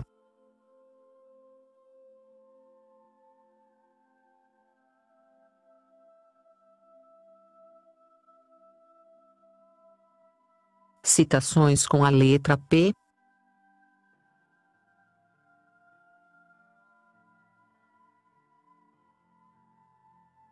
Primeira citação. Pastoral. A igreja é polêmica e frequentemente dramatizante. Ainda se chama igreja na terra de militante e não de dialogante. E quanto mais pastoral, mais militante e mais viril deve ser a atitude do homem de igreja, seja ele leigo ou papa porque de acho terão descoberto o sentido analgésico e soporífero ou lubrificante no termo pastoral.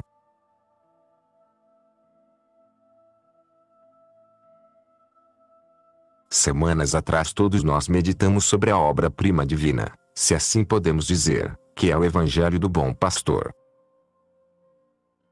Nessa polêmica e dramática alegoria, em três linhas encontramos Primeiro, o bom pastor que dá a vida pelas suas ovelhas. Segundo, o mercenário, que em vez de defender suas ovelhas, as aconselha a dialogar com o lobo. Terceiro, o lobo, que devora não sabemos quantos apóstatas por dia. Não vejo nesse evangelho nenhum traço desse pastoralismo inventado recentemente pelo qual o mercenário não é tão feio quanto se pinta e o próprio lobo tem inegavelmente um lado positivo. No meu entender, pastoral continua a ser um termo enérgico, militante, que lembra o pastor que deu a vida por suas ovelhas, e que tem cor de sangue para lembrar o sacrifício e o amor.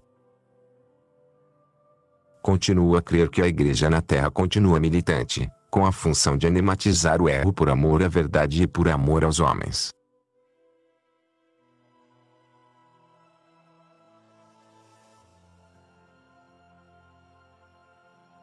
Discutiu-se o problema do Concílio Vaticano II ser apenas pastoral. Alguns mais lúcidos chegaram a dizer que todos os concílios ecumênicos são necessariamente pastorais. A esses mais lúcidos faltou todavia a coragem ou a lucidez para ir até o fim da sentença. Todos os concílios ecumênicos foram pastorais, exceção feita do Concílio Vaticano II, que foi aberto, tolerante, pragmático. Tudo o que quiserem, menos pastoral.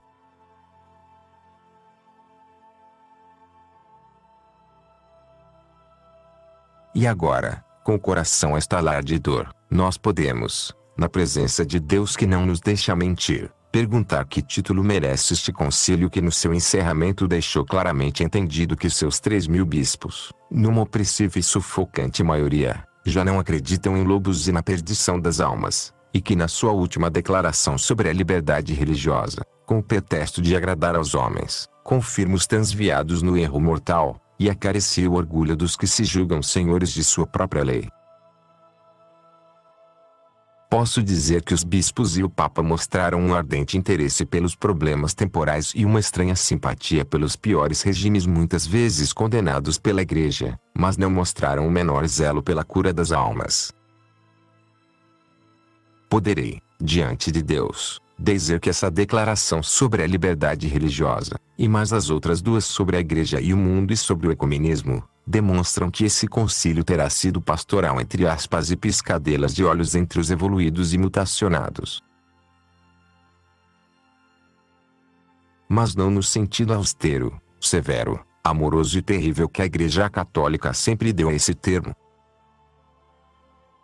Não foi pastoral no sentido dos evangelhos e do magistério. Mas se eles próprios dizem que o concílio só foi pastoral. Aspas e piscadelas de olhos. Então nós só podemos concluir, aterrados, que esse concílio autofágico não foi nada, ou então que foi uma trama urdida pelo diabo para a ruína e desmoralização de todos os valores e todas as verdades da santa religião fundada por nosso Senhor Jesus Cristo.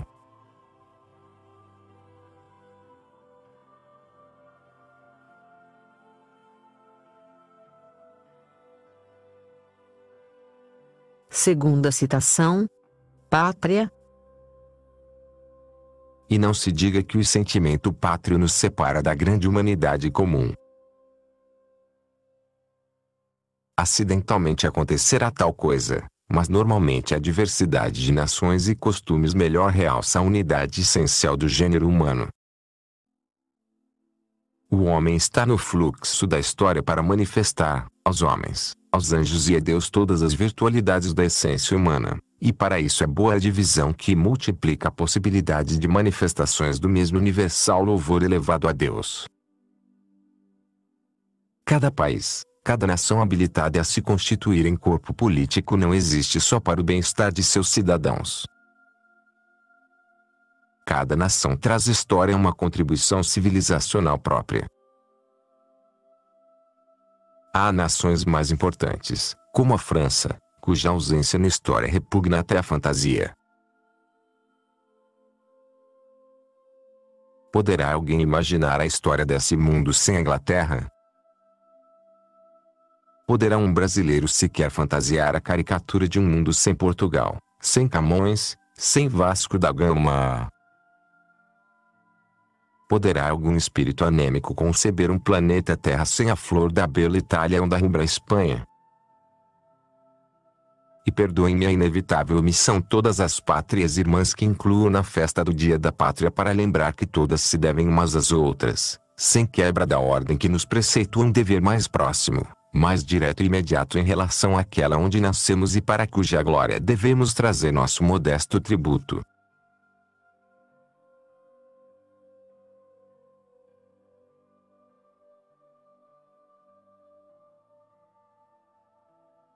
Terceira citação: Patriotismo. O patriotismo é uma virtude moral anexa da justiça. Como todas as virtudes morais, tem a universalidade que não conhece fronteiras, mas deve exercer-se concretamente no desejo e na promoção do bem comum de uma determinada comunidade humana definida por fronteiras culturais, geográficas, linguísticas e históricas. O homem procura o bem sob o duplo ângulo do universal e do concreto. Se a ideia de justiça manda que se dê a cada um o que lhe é devido, de um modo geral, a virtude da justiça é inclinada ao exercício, ao particular, ao concreto, ao próximo. Sendo o patriotismo uma virtude moral, é claro que o sentimento mais se dirige para os homens do que para as coisas. É mais uma forma de fraternidade do que uma admiração pela bacia hidrográfica do Amazonas. O patriotismo é uma forma de reverência que tem apoio na tradição. É um sentimento, raro hoje, de respeito pelos antepassados. É um modo peculiar, racional e afetivo, de ver no chão de uma terra o sinal de pés antigos. É um modo especial de adivinhar numa paisagem os sinais, os comoventes sinais de antigas mãos. É um modo sem igual de simpatizar com dores passadas e de se alegrar com passadas alegrias. É ter uma história comum, que vem de longe, cantada na mesma língua e vivida no mesmo grande e permanente cenário.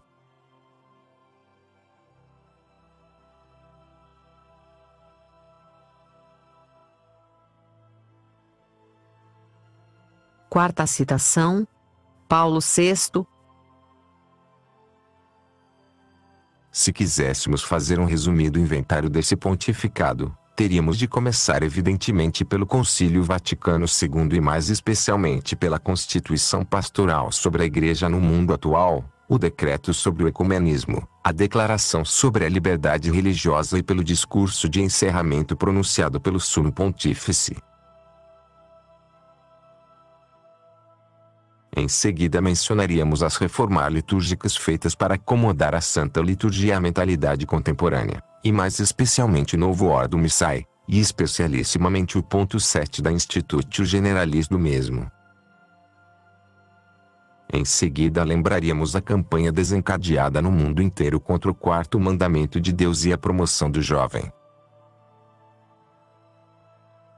Em seguida falaríamos sobre a assintosa heterodoxia de vários autores sob a benevolente tolerância que encontraram e que prova o desgoverno da Igreja.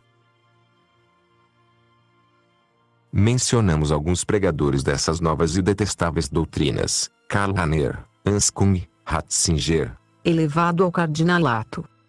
J. B. Metis, Sheila Bekix, Ives Congar, Gonzalez Ruiz, e na América Latina, João II, segundo Galileia, Gustavo Gutierrez, e no Brasil, Leonardo Boff, Carlos Mesters e outros. A esses abusos e aos correlatos descasos pelo depósito sagrado, acrescentaríamos os aberrantes produtos da nova pastoral catequética. De um modo geral falaríamos na protestantização da Igreja e finalmente mencionaríamos a hoste política do Vaticano. Diante de todas essas aberrações, não hesitaríamos em dizer que o pontificado de Paulo VI foi o mais tormentoso e desastroso de toda a história da Igreja. Como resultado global, temos hoje um cisma mais profundo e mais grave do que o grande cisma do Ocidente ocorrido no século XIV. Com uma diferença: naquele tempo os fiéis católicos estiveram existentes diante de duas obediências e até alguns grandes santos, como São Vicente Ferrer, enganavam-se de Papa, escolhendo Clemente VII em vez de Urbano II. Mas não se enganavam de igreja, que permanecia una, íntegra, nas duas obediências. Hoje, ao contrário, temos duas igrejas: a Igreja Católica, fundada por nosso Senhor Jesus Cristo, e outra reformada, alterada, adulterada em favor de um humanismo sem dimensões sobrenaturais, e ostensivamente apegado às coisas temporais, os que há de contemptum Dei.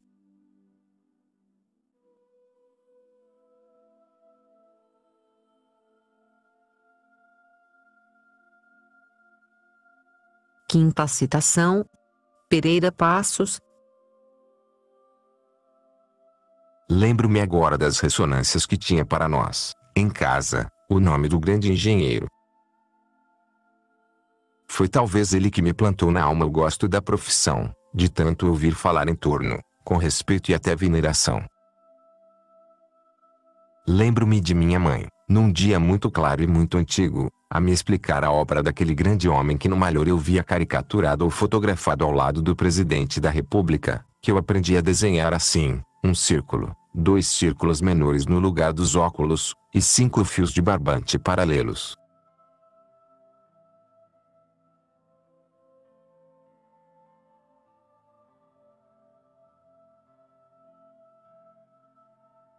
Sexta citação. Plínio Salgado. Sem conhecer os rudimentos da arte, tornou-se escritor e orador. Sem conhecer a doutrina que diz defender, tornou-se um exegeta. Sem conhecer os elementos de filosofia, tornou-se pensador. E ainda por cima, no arrojo de todos esses empreendimentos não ajuda a inteligência. Porque inteligente ele não é.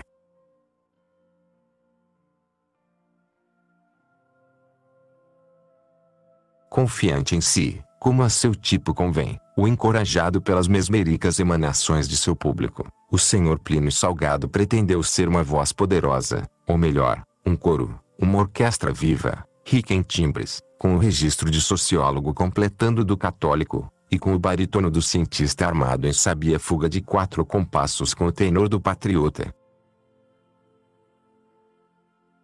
E desafinou, provou, a quem tem um par de ouvidos comuns, e não simplesmente um par de orelhas, que não possui nenhuma daquelas vozes.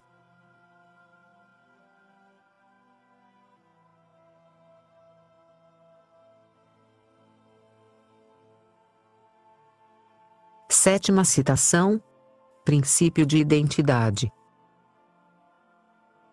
Quando um juiz delibera, em vista de um volumoso processo, que um réu é culpado, já pressupõe, com uma certa segurança, que o réu é ele mesmo.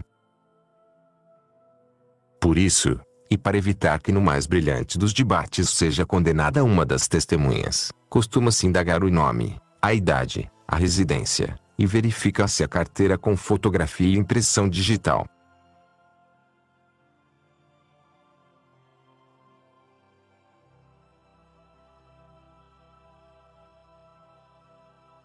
Oitava citação.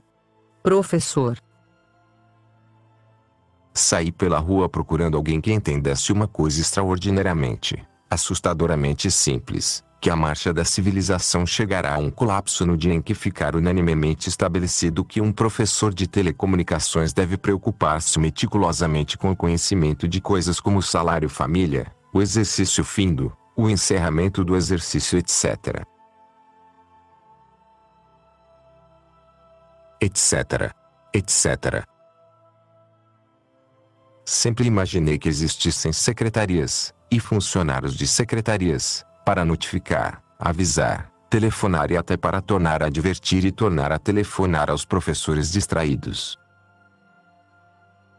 Agora vejo que elas existem para se divertirem com as distrações dos professores. Ora, ou o professor é distraído, ou não é professor ou se ocupa dos alunos e da matéria, confiando que deles se ocupem no que tange o salário, as gratificações, os abonos e descontos, ou então tem de mudar cabeça e coração e mudar de ofício. não é propriamente o tempo que falta. Sobra-me tempo para ouvir música, para conversar, para escrever artigos e para estudar muitas coisas que não se relacionam com a matéria ensinada. O que falta não é pois tempo, é disposição, é gosto, é alma, é boca. Será que não encontro em São Paulo quem entenda uma coisa tão simples?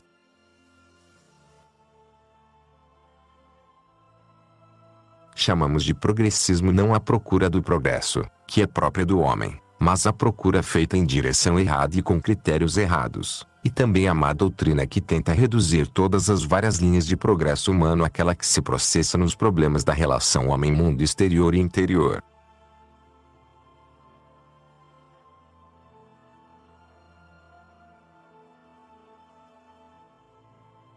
Os progressistas flagelam desembaraçosamente a pessoa da igreja, mas não admitem que lhes pisem os purpurados calos do personel, que são para eles mais sagrados do que as cinco adoráveis chagas de nosso Senhor Jesus Cristo.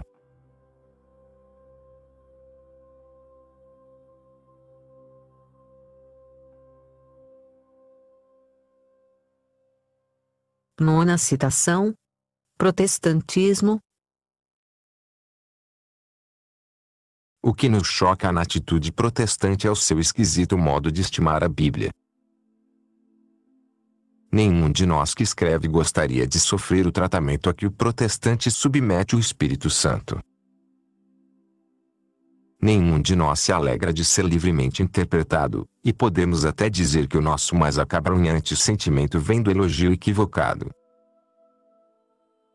André Gide disse uma vez a um admirador apressado que, por favor, não compreendesse tão facilmente. Pois bem, o Deus ciumento de sua identidade, que martela em nossos ouvidos a sua terrível definição Eu sou aquele que sou. E que nos recomenda insistentemente que guardemos a doutrina, é tratado como um acomodado personagem que nos dissesse com bonomia, aqui está a minha revelação, estejam a gosto, e façam dela o que quiserem.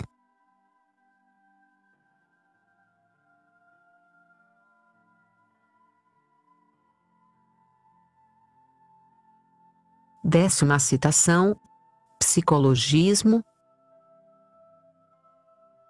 A racionalização do mistério de iniquidade é uma iniquidade.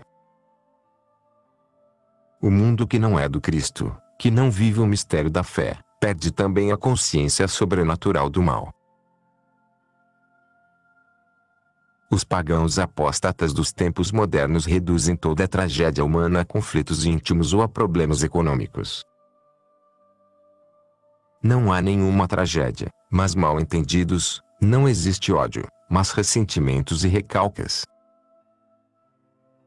Os autores contemporâneos, quando escrevem romances ou dramas, têm um imenso trabalho, apelam para mil finuras, procuram o concurso de mil circunstâncias, antes de consentirem na realidade brutal do ódio. Estão longe da grandeza de Shakespeare e da clara simplicidade da Branca de Neve. A filha do rei Lear tinha ódio, a rainha madrasta tinha ódio. É verdade que parece fácil explicar, até para uma criança, que a razão daquele ódio era a inveja, mas é justamente a clareza desse motivo, ou antes sua escuridão, que falta em nossa mentalidade apegada ao psicologismo dos conflitos internos. A inveja não é um conflito psicológico, mas um pecado mortal, uma ofensa dirigida para fora, atirada em cima da sua objetividade, através da face do próximo.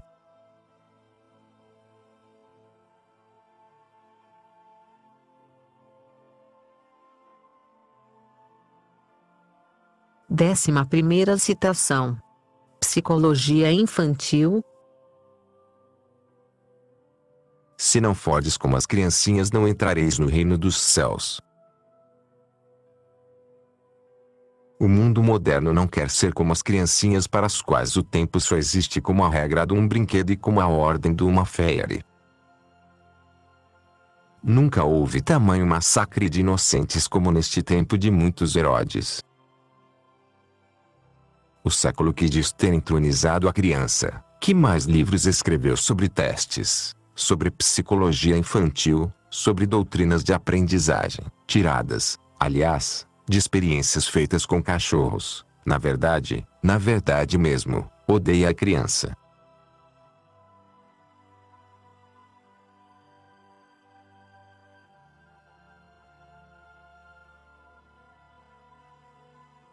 Citações com a letra R.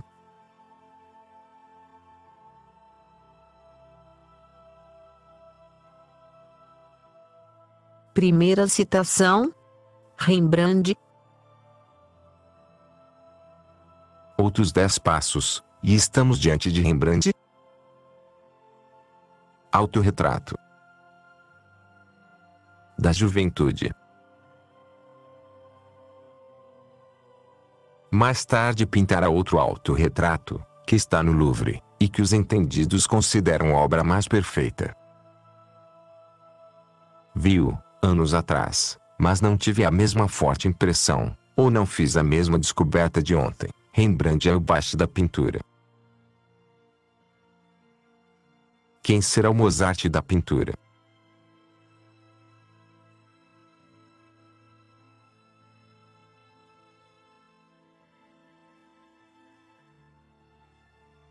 Segunda citação: Rio Antigo, A cidade era bela como as moças daquele tempo. Enquanto eram meninas cantavam de roda e não havia bairros sem cantos infantis a marcar o anoitecer. As meninas também brincavam com a boneca. Depois, quando acontecia nelas o mistério da transformação, que nesse tempo era posto em surdina, a menina punha vestidinhos compridos e virara flor espera de quem descobrisse dentro da corola uma sede de amor. As moças de meu tempo ficavam à janela, ou no portão, cercadas de madressilvas. O namorado olhava para ela de longe, muito tempo, encostado no lampião com as pernas trançadas, a torcer o bigode que nascia. Gestos, bigodes, lampião, calças, tudo passou. E como o vento foi-se a suavidade e a doçura de viver acreditando em almas de flor. A rua da cidade ajudava a viver. O transporte ajudava a respeitar. Quem nesse tempo ousava encostar de leve no sagrado corpo da menina moça, vinha o mundo abaixo, e o bonde inteiro ameaçava o audacioso, o perverso.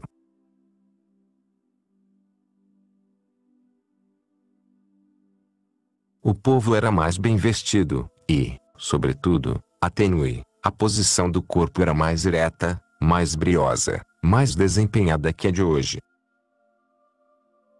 Corra você mesmo, leitor, seu álbum de avós e repare como eles eram mais ativos e verticais. E então? O que foi que houve com os homens, com as cidades? O que foi que aconteceu?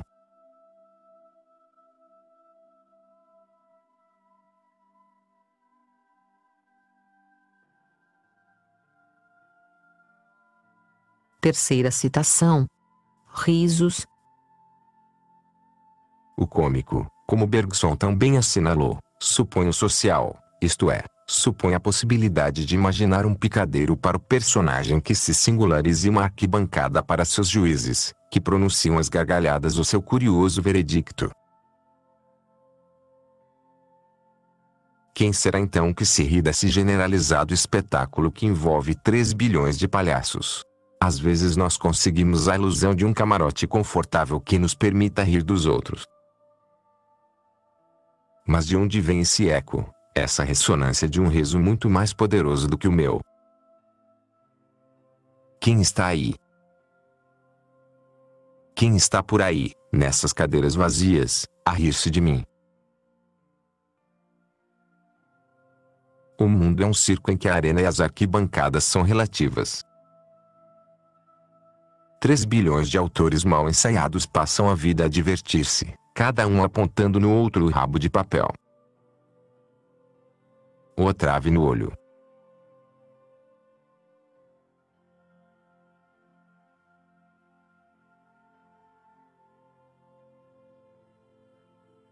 Quarta citação: Rosário.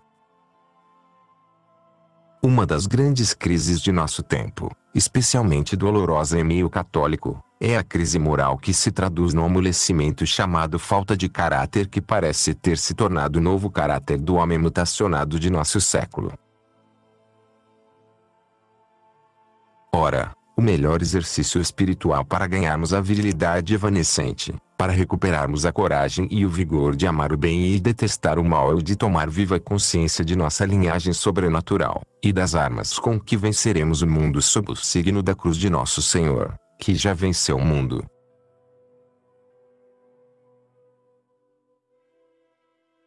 E entre as armas do céu, especialmente eficazes contra os demônios que devastam as almas, é oportuno lembrar o Santo Rosário, cuja festa é instituída por São Pio V em 1571 em agradecimento pela vitória de Lepanto, hoje esquecida e desdenhada pelos católicos que invocam a paz da carne e do sangue, por já não terem fibra e fé para pelejarem pela paz de Cristo.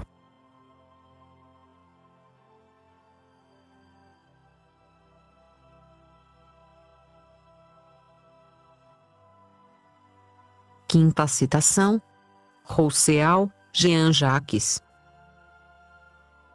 O leitor de sã formação filosófica, ou de robusto bom senso, descobrirá logo que Jean Jacques Rousseau, pretendendo arvorar a bandeira da santidade natural, da bondade sem contágios, da pureza sem salpicos, na verdade professava horror à natureza propriamente humana, valorizando a subnatureza, a sensibilidade em detrimento dos valores espirituais.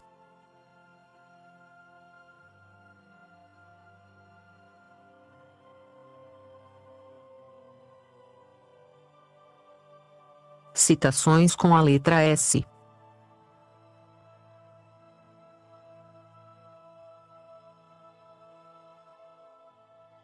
Primeira citação, século XX. O que sou eu principalmente? O habitante do século XX não sabe responder a essa pergunta, e consequentemente não sabe se deve andar ou parar, se deve sentar-se para estudar, se deve deitar-se e deixar a vida correr, se deve virar de cabeça para baixo como os palhaços, se deve cair de quatro como os imbecis, se deve erguer a cabeça, ou se deve dobrar o joelho. O mundo em que vivemos é a projeção de todas estas perplexidades dos eus que já não sabem o que são.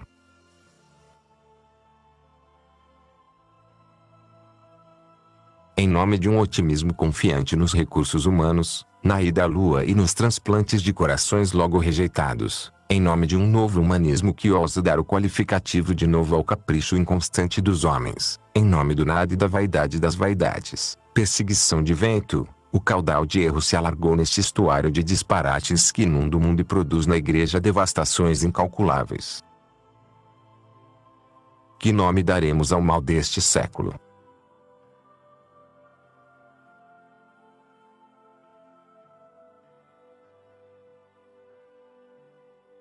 Segunda citação. Este, desesperança. Elo, o mal de nosso tormentoso e turbulento século que ousa horizontalizar as promessas de Deus transformadas em promessas humanas. Que ousou tentar a secularização do reino de Deus que não é deste mundo. Eles os escavadores do nada a construir em baixo relevo, em Creux, a nova torre de Babel esperantes às avessas. Eles querem fazer revoluções nihilistas, querem voltar ao zero, querem destruir, querem contestar, rejeitar, querem nihilizar. E se chamam progressistas.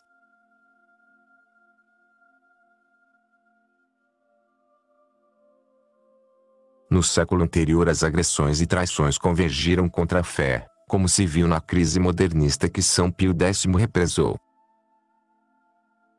Tremo de pensar que o próximo século será o do desamor. Perguntando ao mar, às árvores, ao vento, o que querem esses homens que se agitam e meditam coisas vãs, parece-me ouvir uma resposta de pesadelo. Eles querem produzir uma sinarquia, uma espécie de unanimidade, uma espécie terrível de paz e bem-estar. Qual?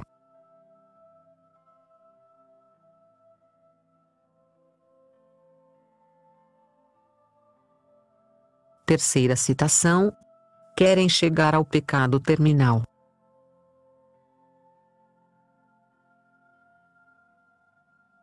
Que fazer? Lutar. Combater. Clamar. Guerrear. Mas lutar sabendo que lutamos não somente contra a carne e o mundo, mas contra o principado das trevas. É preciso gritar por cima dos telhados que, se o cristianismo se diluir, se a igreja tiver ainda menos visível o ouro de sua santa visibilidade, se seu brilho se empanar pela estupidez e pela perversidade de seus levitas, o mundo se tornará por um milênio espantosamente, inacreditavelmente, inimaginavelmente estúpido e cruel. Roguemos, pois, a Deus, com todas as forças, desfaçamo-nos em lágrimas de rogo e gritemos a súplica que nos estala o coração: enviai-nos, Senhor, ainda neste século, um reforço de grandes santos, de grandes soldados que queiram dar a vida, no sangue ou na mortificação de cada dia, pela honra e glória de nosso Senhor Jesus Cristo.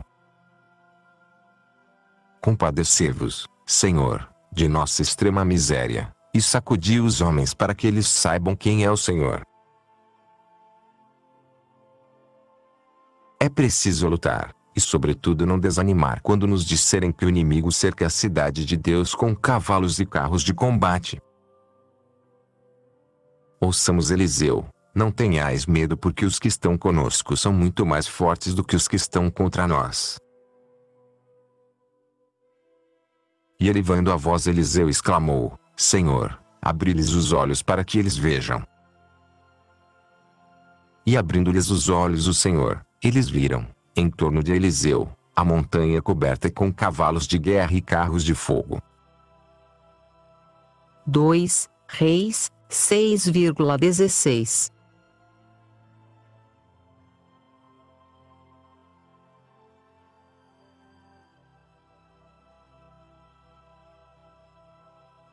Quarta citação: Sinceridade. Uma das mais monstruosas deformações de nosso tempo é a que fez da sinceridade a suprema virtude.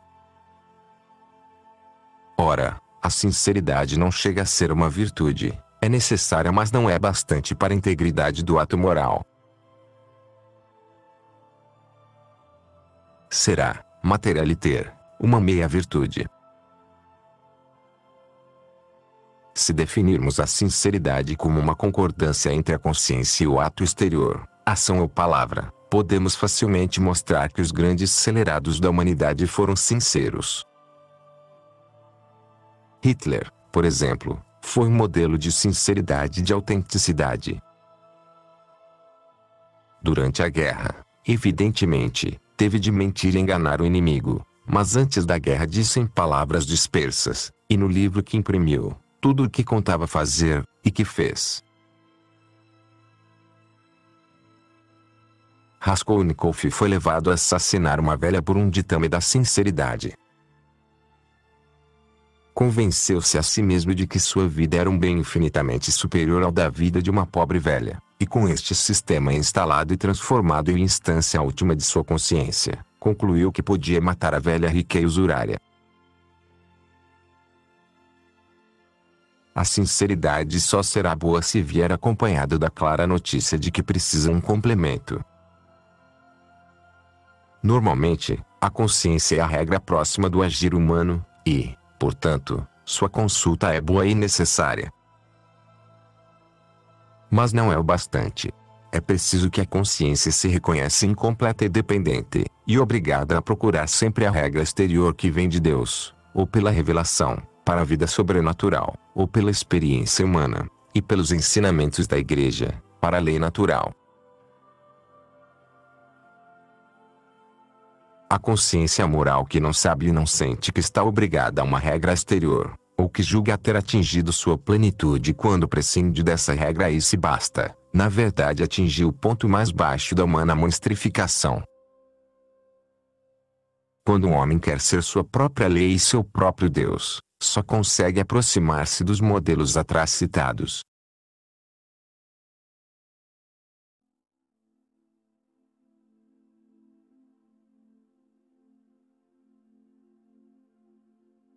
Citações com a letra T.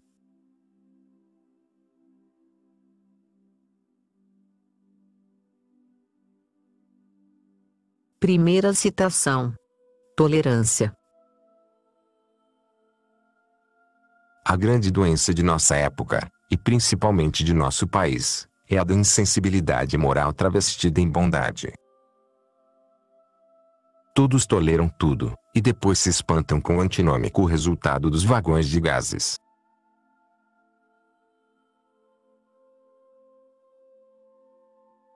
Ah!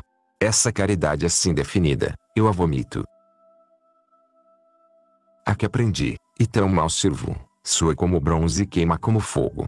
É paciente, sem dúvida, conforme diz o apóstolo, mas é paciente quando está em jogo o seu próprio interesse, impetuosa, terrível, colérica, quando vê a injustiça triunfar, quando vê nos postos de mandos que deviam estar na cadeia, quando vê o bem comum mal servido, quando vê o pobre humilhado, o inocente ferido, e sobretudo, sobretudo, quando vê o culpado engrandecido.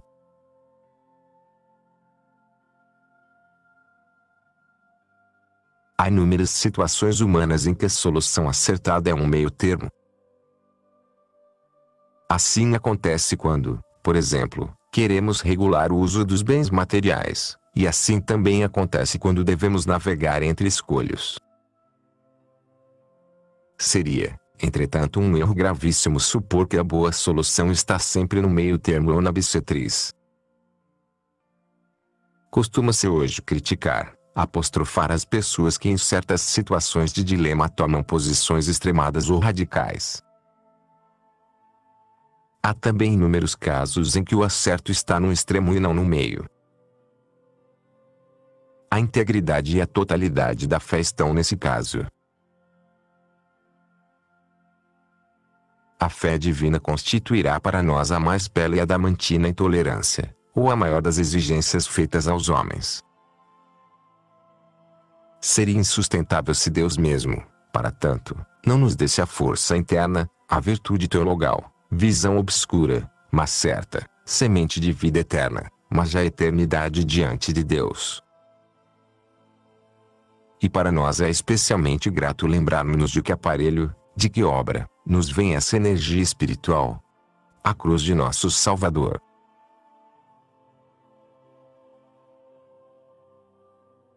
A propósito de maus e bons mosteiros, escreveu assim o abade de Solesmes, um mau mosteiro não é aquele em que os monges cometem muitas faltas, é aquele em que as faltas não são punidas.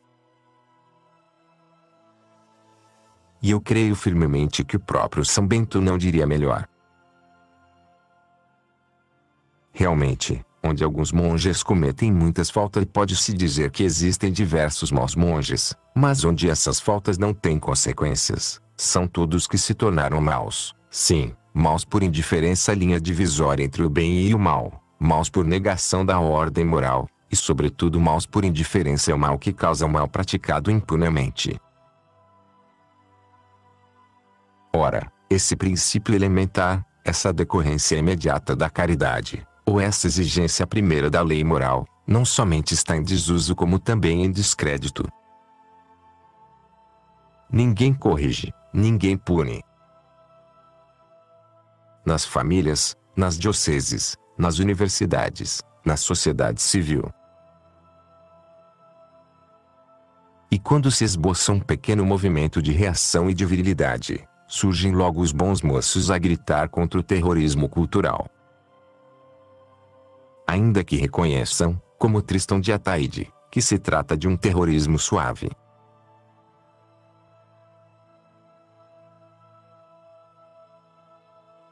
Depois, o bom moço recebe abraços dos patifes, é elogiadíssimo pelos corruptos, recebe telegrama dos apóstatas, e cartas efusivas dos blasfemos. E o bom moço fica contente consigo mesmo e com o mundo, porque a forma mais alta da caridade é a tolerância, como me escreve um imbecil, ou algum interessado em pensão de moças.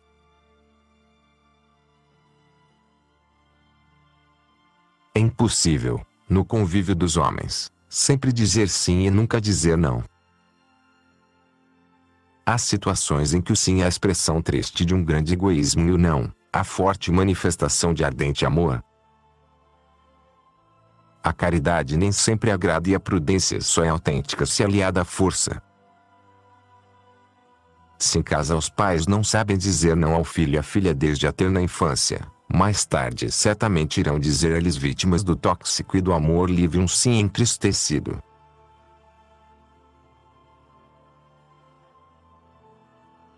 Reconheço que usei expressões que a muitos parecerão excessivas e que corri os inevitáveis riscos de quem escreve com amor. Mas ainda não consegui encontrar um tom avaselinado quando vejo o incêndio lavrar na cidade de Deus, e quando está em jogo o sangue de nosso Salvador.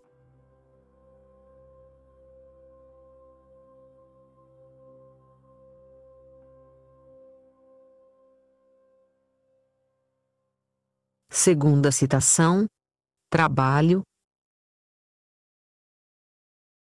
Uma errônea filosofia, em reação a outra não menos errônea, afirma em nossos dias o primado do trabalho. Não apenas no contrato de trabalho entre os operários e empregadores, mas em todas as situações da vida, como se o homem tivesse nascido para trabalhar, e viva para trabalhar em vez de trabalhar para viver, como diz o bom senso e a reta filosofia.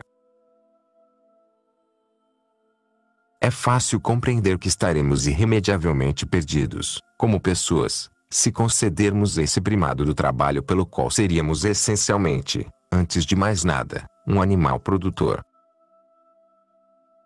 Não. O homem trabalhar para. Descansar para. Para o quê? para ser dono de si mesmo, fazer o que lhe agrada, amar, meditar, rezar e tudo mais que não é trabalho nem lazer, que não é divertimento nem descanso, mas plenitude de vida, ainda que a manifestação seja mais humilde.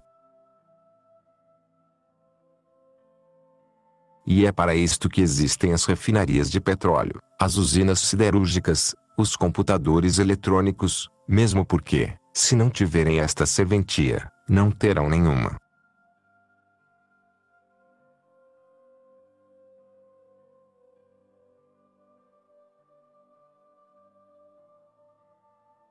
Citações com a letra V.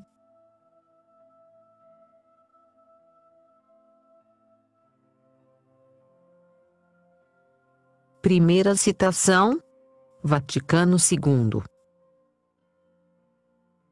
Santo Deus. Esses mesmos autores de tal otimismo que tanto lisonjeiam o mundo e tantas vezes disseram que era acomodar as coisas da igreja às exigências da mentalidade contemporânea, ao que parece, não se detiveram a bem observar o testemunho que ele, este bravo novo mundo, dá de si mesmo. Sim, depois de todas as conquistas das ciências mais inebriantes experiências de todas as liberdades, e de todas as perversidades, o espetáculo que vemos é do planisfério de um imenso desespero. Está nas caras, nos braços caídos, nas pernas moles, nos cabelos sujos e emaranhados, nos olhos alucinantes. E está nos fatos, nos atos, nos costumes, nos divórcios fáceis, no aborto legal, na procura das evasões pelos psicotrópicos que são uma espécie de suicídio à prestação. As famílias se decompõem, a intemperança cresce dia a dia prendendo os homens às coisas de barro e a coisinhas que inventaram.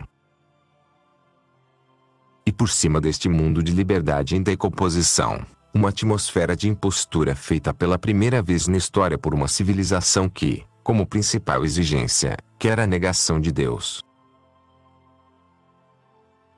Ora, Santo Deus. Diante de tal quadro vemos três mil bispos aplaudir, a sorrir, a encorajar, estejam à vontade, cada um é senhor de sua sorte, estejam a gosto.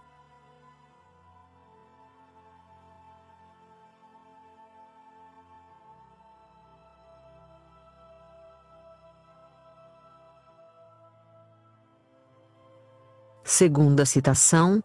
Vida católica. Há no mundo uma coisa que poderíamos chamar de tom ou timbre católico. É uma voz que todos conhecemos, e cujo timbre se estende da súplica do mendigo à homilia do bispo. É um acento, um timbre, uma colocação, um sotaque que poucos anos de prática gravam de um modo inconfundível. É um modo de falar que sai naturalmente de um modo de pensar, e que se aprende em pouco tempo porque é o modo próprio e normal para essa raça de homens tocados pelo batismo.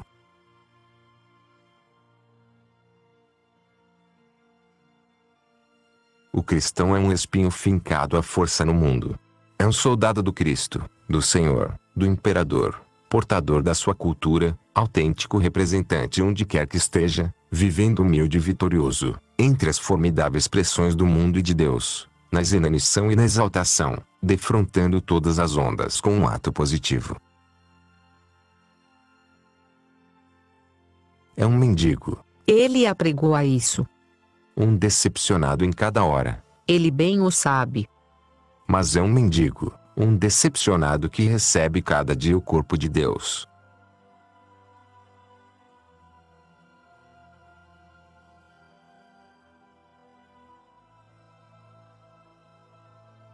Terceira citação. Viagens. Disse atrás que Pascal explica a maior parte das viagens pelo desejo de buscar assunto e alimento para a vaidade. Viaja-se para obter um diploma, como o de bacharel, ou para aumentar o reservatório de temas. Viaja-se para voltar com carimbos na mala, e com vulcões na memória. Posso imaginar o aventureiro retilíneo que faça exceção, mas não duvido que o caso geral seja este de quem parte para voltar, para trazer a personalidade engrossada. Mas essa mesma ideia, como tudo que é do homem, tem duas faces. Acho belíssima essa voracidade do homem, e essa capacidade de trazer para casa, para a sala de estar, sob as espécies do assunto, as guerras, os terremotos e os ciclones. Por outro lado, porém, acho lúgubre essa avidez de engrossar por fora a ganga do eu, numa capitulação da maior das aventuras, que é a conquista de si mesmo, a descoberta de sua própria alma. Há duas iluminações na face de um Marco Polo, de um lado o brilho ensolarado da boa aventura, de outro a verde lividez do homem que foge de si mesmo.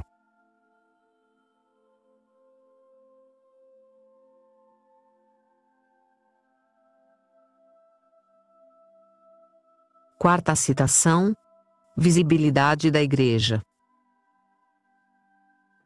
Ao contrário do que diziam os autores superespirituais que chegaram a perturbar a grande Teresa d'Ávila, e que pretendiam ver na ascensão de Cristo, e na descida do Espírito, uma manobra de Deus para nos livrar da visibilidade do seu corpo, nós podemos dizer sem receio que Nosso Senhor se tornou ainda mais visível no seu corpo místico espalhado pelo mundo.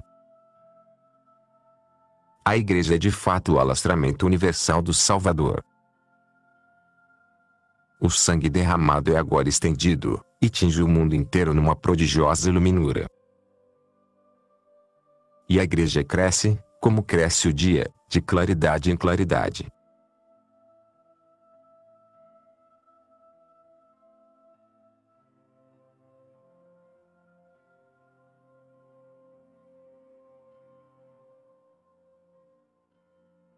Quinta citação. Voto obrigatório. Já que resolvemos abordar este desagradável assunto, é melhor que fique dito tudo que nos pesa. Voltemos, pois, à expressão votar disciplinadamente. Em nossa opinião, essa fórmula é obscena.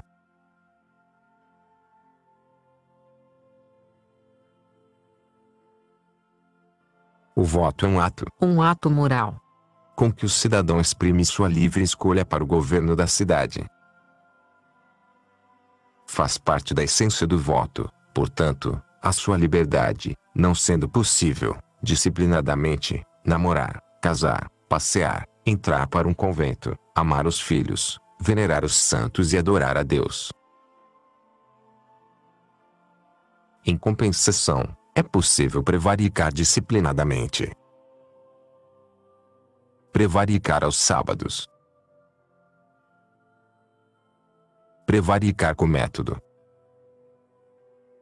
Porque nesses atos, em que a matéria submete o espírito, a férrea disciplina pode entrar tão bem como numa férrea ajustagem mecânica. Há evidentemente, uma louvabilíssima disciplina, se por tal entendermos o cumprimento de certas regras da vida comum, como encolher as pernas no bonde, não soltar orros no cinema e não cuspir dos sobrados. Neste caso é possível votar disciplinadamente, trata-se então de chegar cedo ao posto, com seus papéis em ordem, de não ficar meia hora dentro da cabine indevassável e de não entreter com algum mesário conhecido uma inoportuna conversação sobre o calor ou o preço dos gêneros. A esse conjunto de pequenas e preciosas virtudes, filhas da justiça, chamaremos de boa educação e respeito, mas não temos grande relutância em aceitar a denominação de disciplina, se quiserem. O que relutamos em aceitar é que, disfarçada com o mesmo nome, a disciplina tente penetrar no íntimo dos atos do que só valem quando são livres. Um destes é o voto. Voto é voto. É opção, é escolha, é, enfim, um desses atos em que o homem mais fortemente, e com todo o agrado de Deus, imprime a marca de seu espírito. A muitos parecerá que a escolha de um senador seja mesquinha ou ridícula, comparada à escolha de uma esposa, de uma ordem monástica, ou de um papa. Atrevemo-nos a fazer um paralelo entre todas as eleições, afirmando uma grande piedade por esse desdenhado campo dos atos humanos que estão pedindo santificação. Não achamos a política ridícula e mesquinha senão na medida dos seus erros, como não achamos ridícula a fidelidade e respeito de um esposo por uma pobre mulher que tenha perdido seus encantos, como não achamos ridícula a vigília à cabeceira de um doente, como não achamos indigno do evangelho e da solicitude cristã nenhum ato humano que seja atentado na linha da justiça. O voto, por definição, não pode ser disciplinado. Quem receia tão nervosamente o clima da liberdade, ou não observou que todas as modernas formas da tirania pregoam a disciplina, ou então deseja a disciplina precisamente porque deseja a tirania. Deseja uma tirania que lhe seja favorável, e que neutralize e destrua a tirania que lhe é desvantajosa. Por isso, deveria ser lançado à execração pública quem jamais se atrevesse a pronunciar essa enormidade, votar disciplinadamente. Quem agita essa bandeira não crê no voto, não crê na política de fundamento moral, não crê em Senado, deputado e vereador, não crê em democracia, não crê no direito natural, no direito das gentes, nas raízes do direito positivo, não crê na justiça, não crê, simplesmente, na justiça.